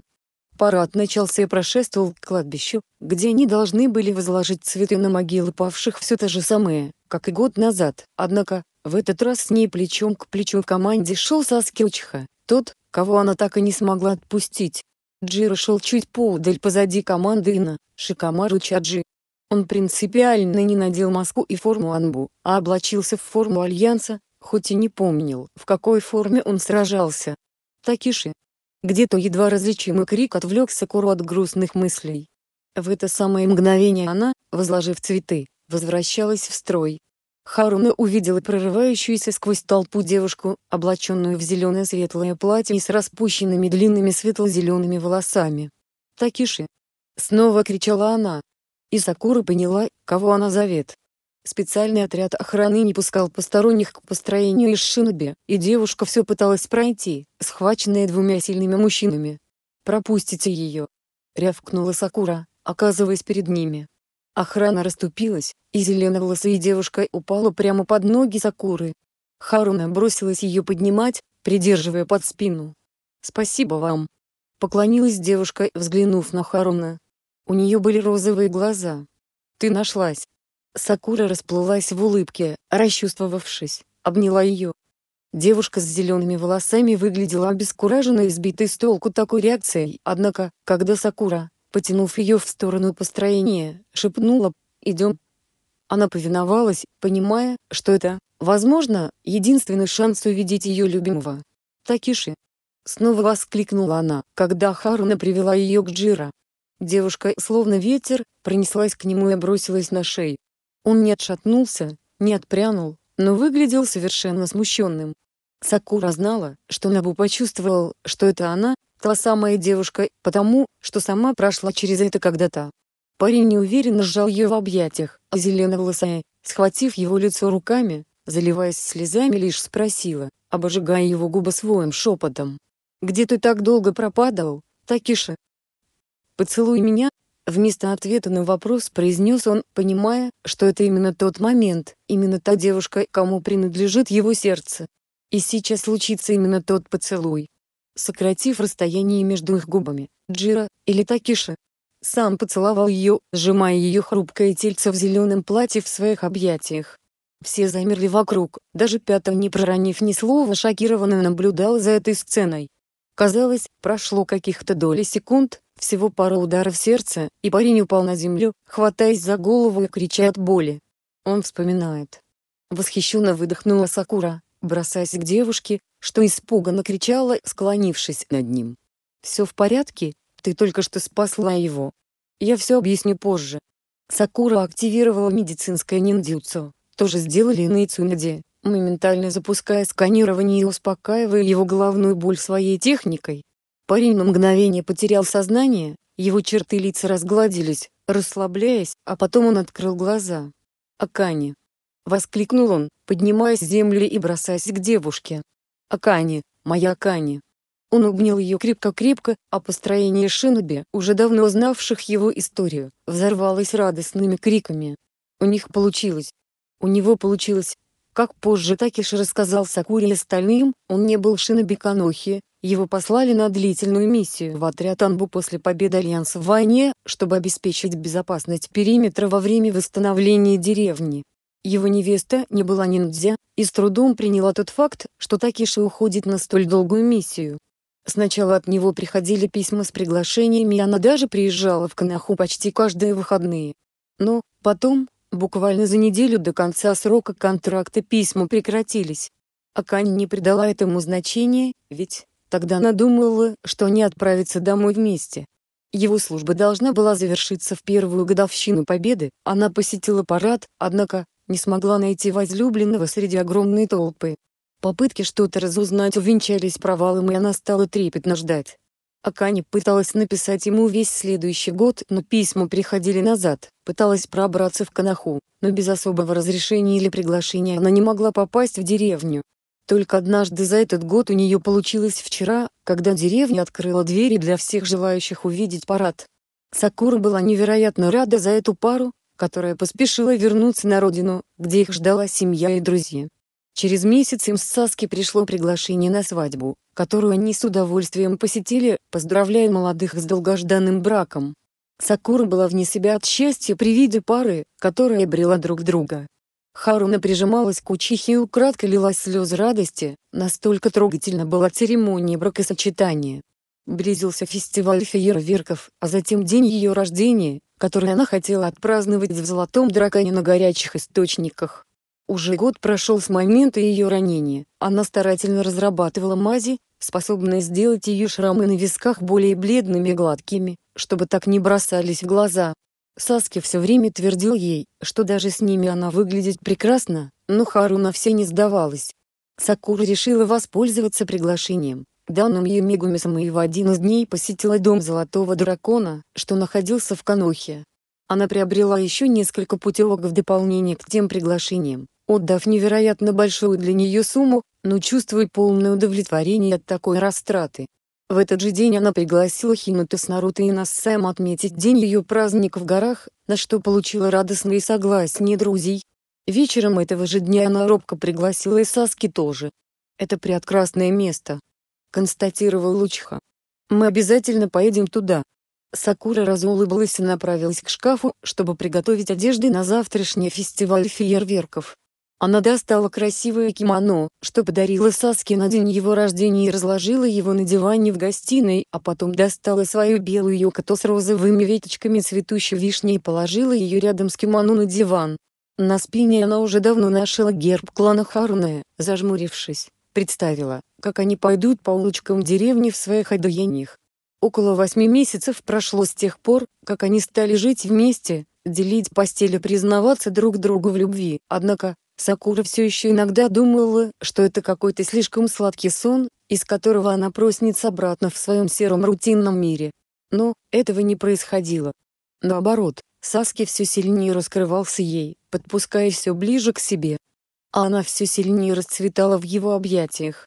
Вечером в день фестиваля, когда все гуляли по улицам деревни, покупая сладости, слушая музыку и смотря спектакли, Саски попросил Сакуру пройти с ним до обзорной площадки, пока там еще безлюдно, чтобы полюбоваться видом огней деревни и цветущей старейшей вишни, распростершей свои ветви широко над площадкой.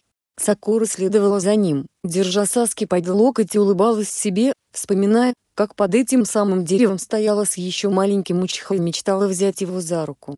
«О, Сакура, Саски!» «Привет!» — послышалось смущенное щебетание Тентин. Они спускались с Меджи с обзорной площадки, держась за руки. Волосы Такахаши были распущены и каскадом не спадали вниз. «Какая ты красивая!» Восхищенно выдохнула Сакура.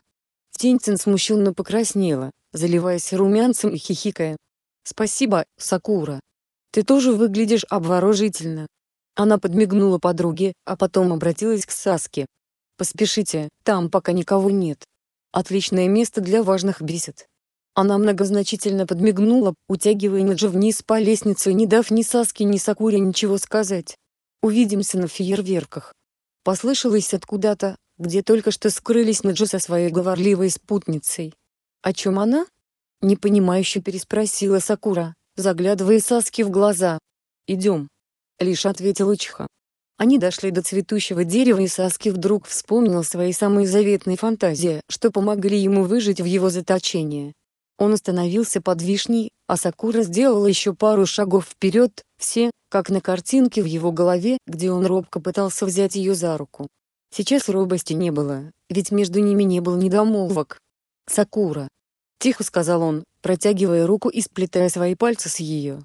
«Это действительно прекрасное место. Но, я хотел бы показать тебе еще кое-что». Харуна затаила дыхание, Слушая его голос, лишь взглянула ему в глаза, ожидая продолжения. Он притянул ее к себе, обнимая за талию одной рукой, их сейчас освещал лишь свет крупной, но не полной луны, пробивавшейся сквозь розовые цветы на ветвях. На мгновение Учих активировал Шаринган и убрал падавшие на Риниган волосы.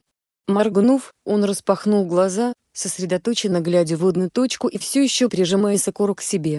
Воздух перед ними задрожал, продернулся вихревыми потоками, а затем распахнулся, отворяя дверь в другой мир. «Идем. Я должен тебе это показать», — шепнул Саски и Сакура последовала за ним. Как только воронка за их спинами растворилась, Харуна огляделась и ахнула. Это был тот самый мир, что на ее глазах рассыпался миллиардами светящихся осколков, когда они с Учихой его покинули. Саски. Это... Да. Я нашел этот мир случайно, Просто однажды задумался, вспоминая о нем и открыл портал. Шепнул Учиха. Его шепот утонул в шуме водопада, но Сакура слышала. Они шли по поляне из цветов, держась за руки и оглядываясь по сторонам. Для Сакуры это был незнакомый, прекрасный мир, а для Саски тюрьма, ставшая когда-то раем. Он не скучал по заточению, но этот мир стал для него местом искупления и перерождения. Отсюда обновленным Саски ступил назад, где его ждали Любиля. Да, он точно знал. Любиля. У этого мира больше нет стен. Смотри. Учиха взял ее за руку и потянул в сторону через лес. Возле одного из деревьев Саски притормозил, протягивая руку вперед. «Здесь заканчивалась моя тюрьма, идем, я покажу тебе что-то». Они вышли из леса, уже не окруженного невидимыми стенами, и их глазам предстала огромная долина, простирающаяся до самого горизонта. Редкие невысокие холмы, укрытые зеленой травой, возвышались с нескольких сторон, а в самом центре лежало что-то невероятно знакомое. «Саски!» — выдохнула Сакура. «Что это?» «Я хотел спросить тебя об этом», — уточнил Учиха. «Это принадлежит миру Шиноби». Сакура высвободила ладони из руки Саски и перешла на бег. На мгновение ее посетила странная мысль. Второй раз она появляется в этом мире в Юкате и неудобных гетто. Это уже похоже на традицию. Харуна чувствовала, как Учиха поравнялся с ней, придерживаясь ее скорости бега, отчего ее губы на мгновение растянулись в улыбке. Кунаичи остановилась у огромного белого полотна, исписанного запечатывающими символами. «Это почерк Сая», — прошептала Харуна, гладя рукой полотно. А потом ахнула. «Саски. Это страж. Это то, что пыталось прорваться в этот мир, когда Какаши Сенси открыл портал. Это значило, что продолжение поиски нашли бы его гораздо раньше. Чувство неловкости и вины вдруг начало душить девушку. Учиха тем временем сосредоточенно смотрел на свиток печати с помощью Шарингана и Ринигана. «Он пуст», — прошептал Саски. «Что?» «Свиток пуст, там внутри ничего нет», — заключил он, а потом, активировав Чидари, атаковает полотно, рассыпавшееся от удара и обнажающее пустую деревянную клетку. «Он освободился?» — ахнула Сакура. «Тогда нам скорее нужно уходить. Он очень опасен». Харуна схватила Саски за руку и потянула на себя. Ей стало очень страшно. Не за себя, а за него. Вдруг этот страж охранял именно Учиху и решит, что нужно уничтожить беглого пленника. Нет. Этого стража нет. И не было вовсе. Он перевел напряженный взгляд на Сакуру. «Помнишь, я говорил, что не чувствовал свою чакру? Что ее не было во мне я не мог ею пользоваться?» Харуна кивнула, прикусывая нижнюю губу, а Учиха подошел вплотную к деревянной клетке, прикасаясь к ней и проводя ладонью вниз. Он на миг закрыл глаза, втянул носом воздух, а затем открыл их снова сосредоточенно глядя в глаза Сакури. Это был не электрический страж. Это была моя чакра. Я чувствую ее след на этой деревянной клетке. Это я ранил тебя, Сакура. Я причинил боль. Его голос дрогнул, в этот момент Харуна уверенным шагом подошла к нему и обняла, нежно прижавшись щекой к его груди, в которой у Скайриона жило сердце. «Саски, ты был в заточении. Мудрец шести путей запретил искать тебя, но его запрет был нарушен. Не ты атаковал меня, не ты прорывался в наш мир, ты страдал в одиночестве в это время. Мы поплатились за нарушение правил. Все твои ошибки тоже были искуплены. Забудь об этом. Она сжала кулачки на его груди, голос ее дрогнул. «Пожалуйста, хватит искать в себе виноватого во всем. Просто начни жить». Она всхлипнула, но не расплакалась, держалась изо всех сил. А потом почувствовала, как он крепко-крепко обнял ее в ответ. «Сакура, спасибо тебе!» В очередной раз произнес он. Они не стали задерживаться у места, что напоминало о страже и ранении Харуна просто не сговариваясь в один момент повернулись и двинулись в сторону пруда, возле которого росло красивое вишневое дерево.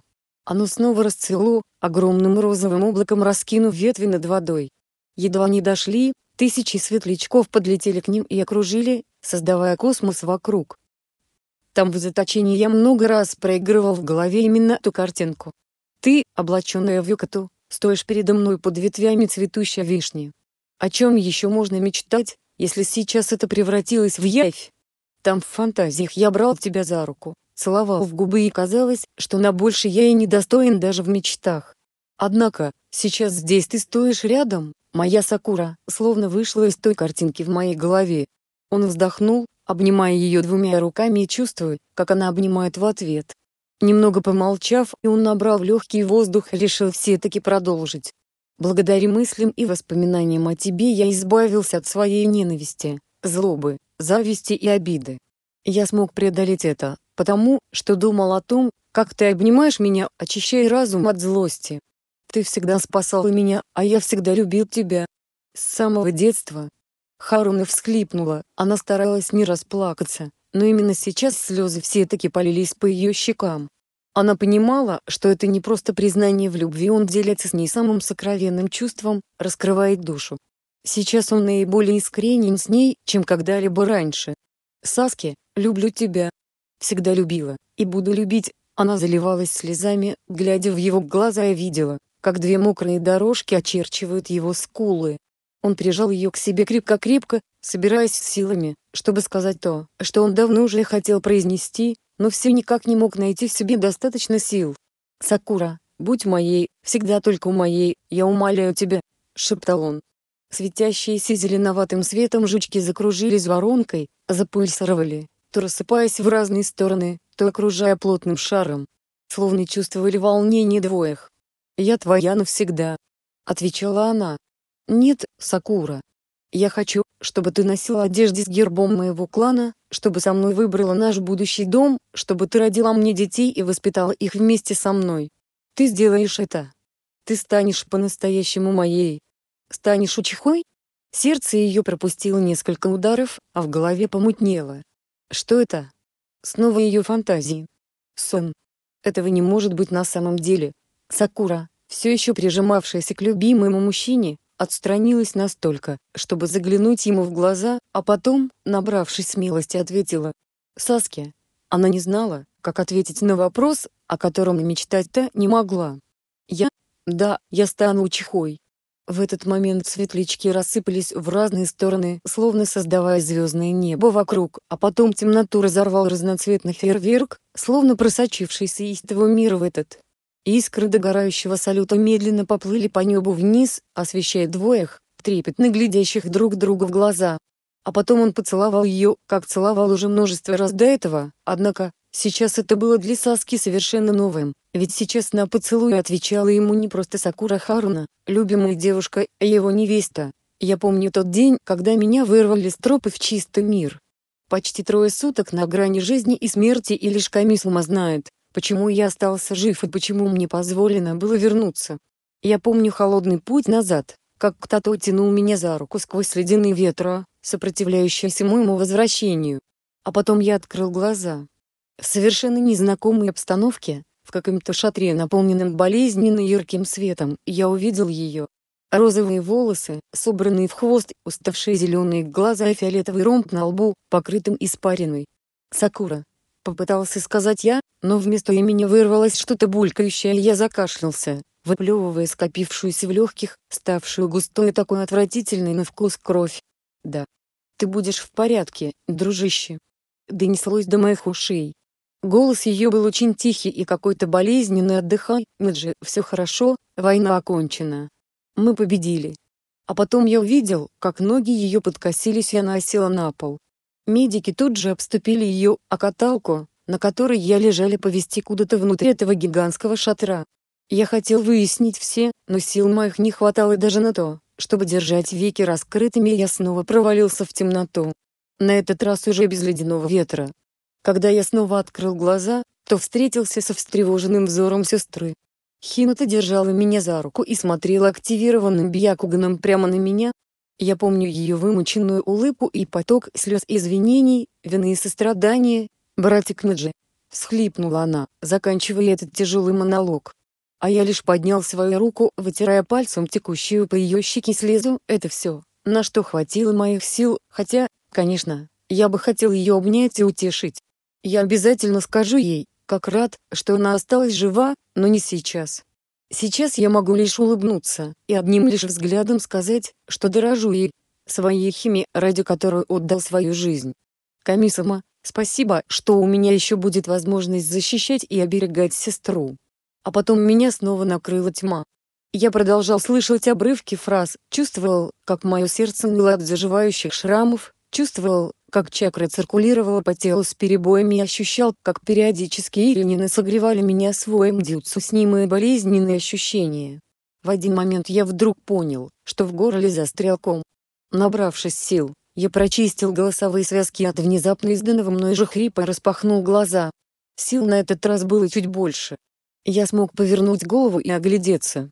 Была глубокая ночь и я понял, что нахожусь в одноместной палате, в здании, так как стены были бетонными, а не тканевыми. Я попытался повернуть голову вправо и увидел Тентин, которая сидела в кресле рядом с кроватью и дремала, облокотившись на край моей кровати. Шевельнув рукой, я коснулся ее распушенных волос, водопадом лежащих на спине.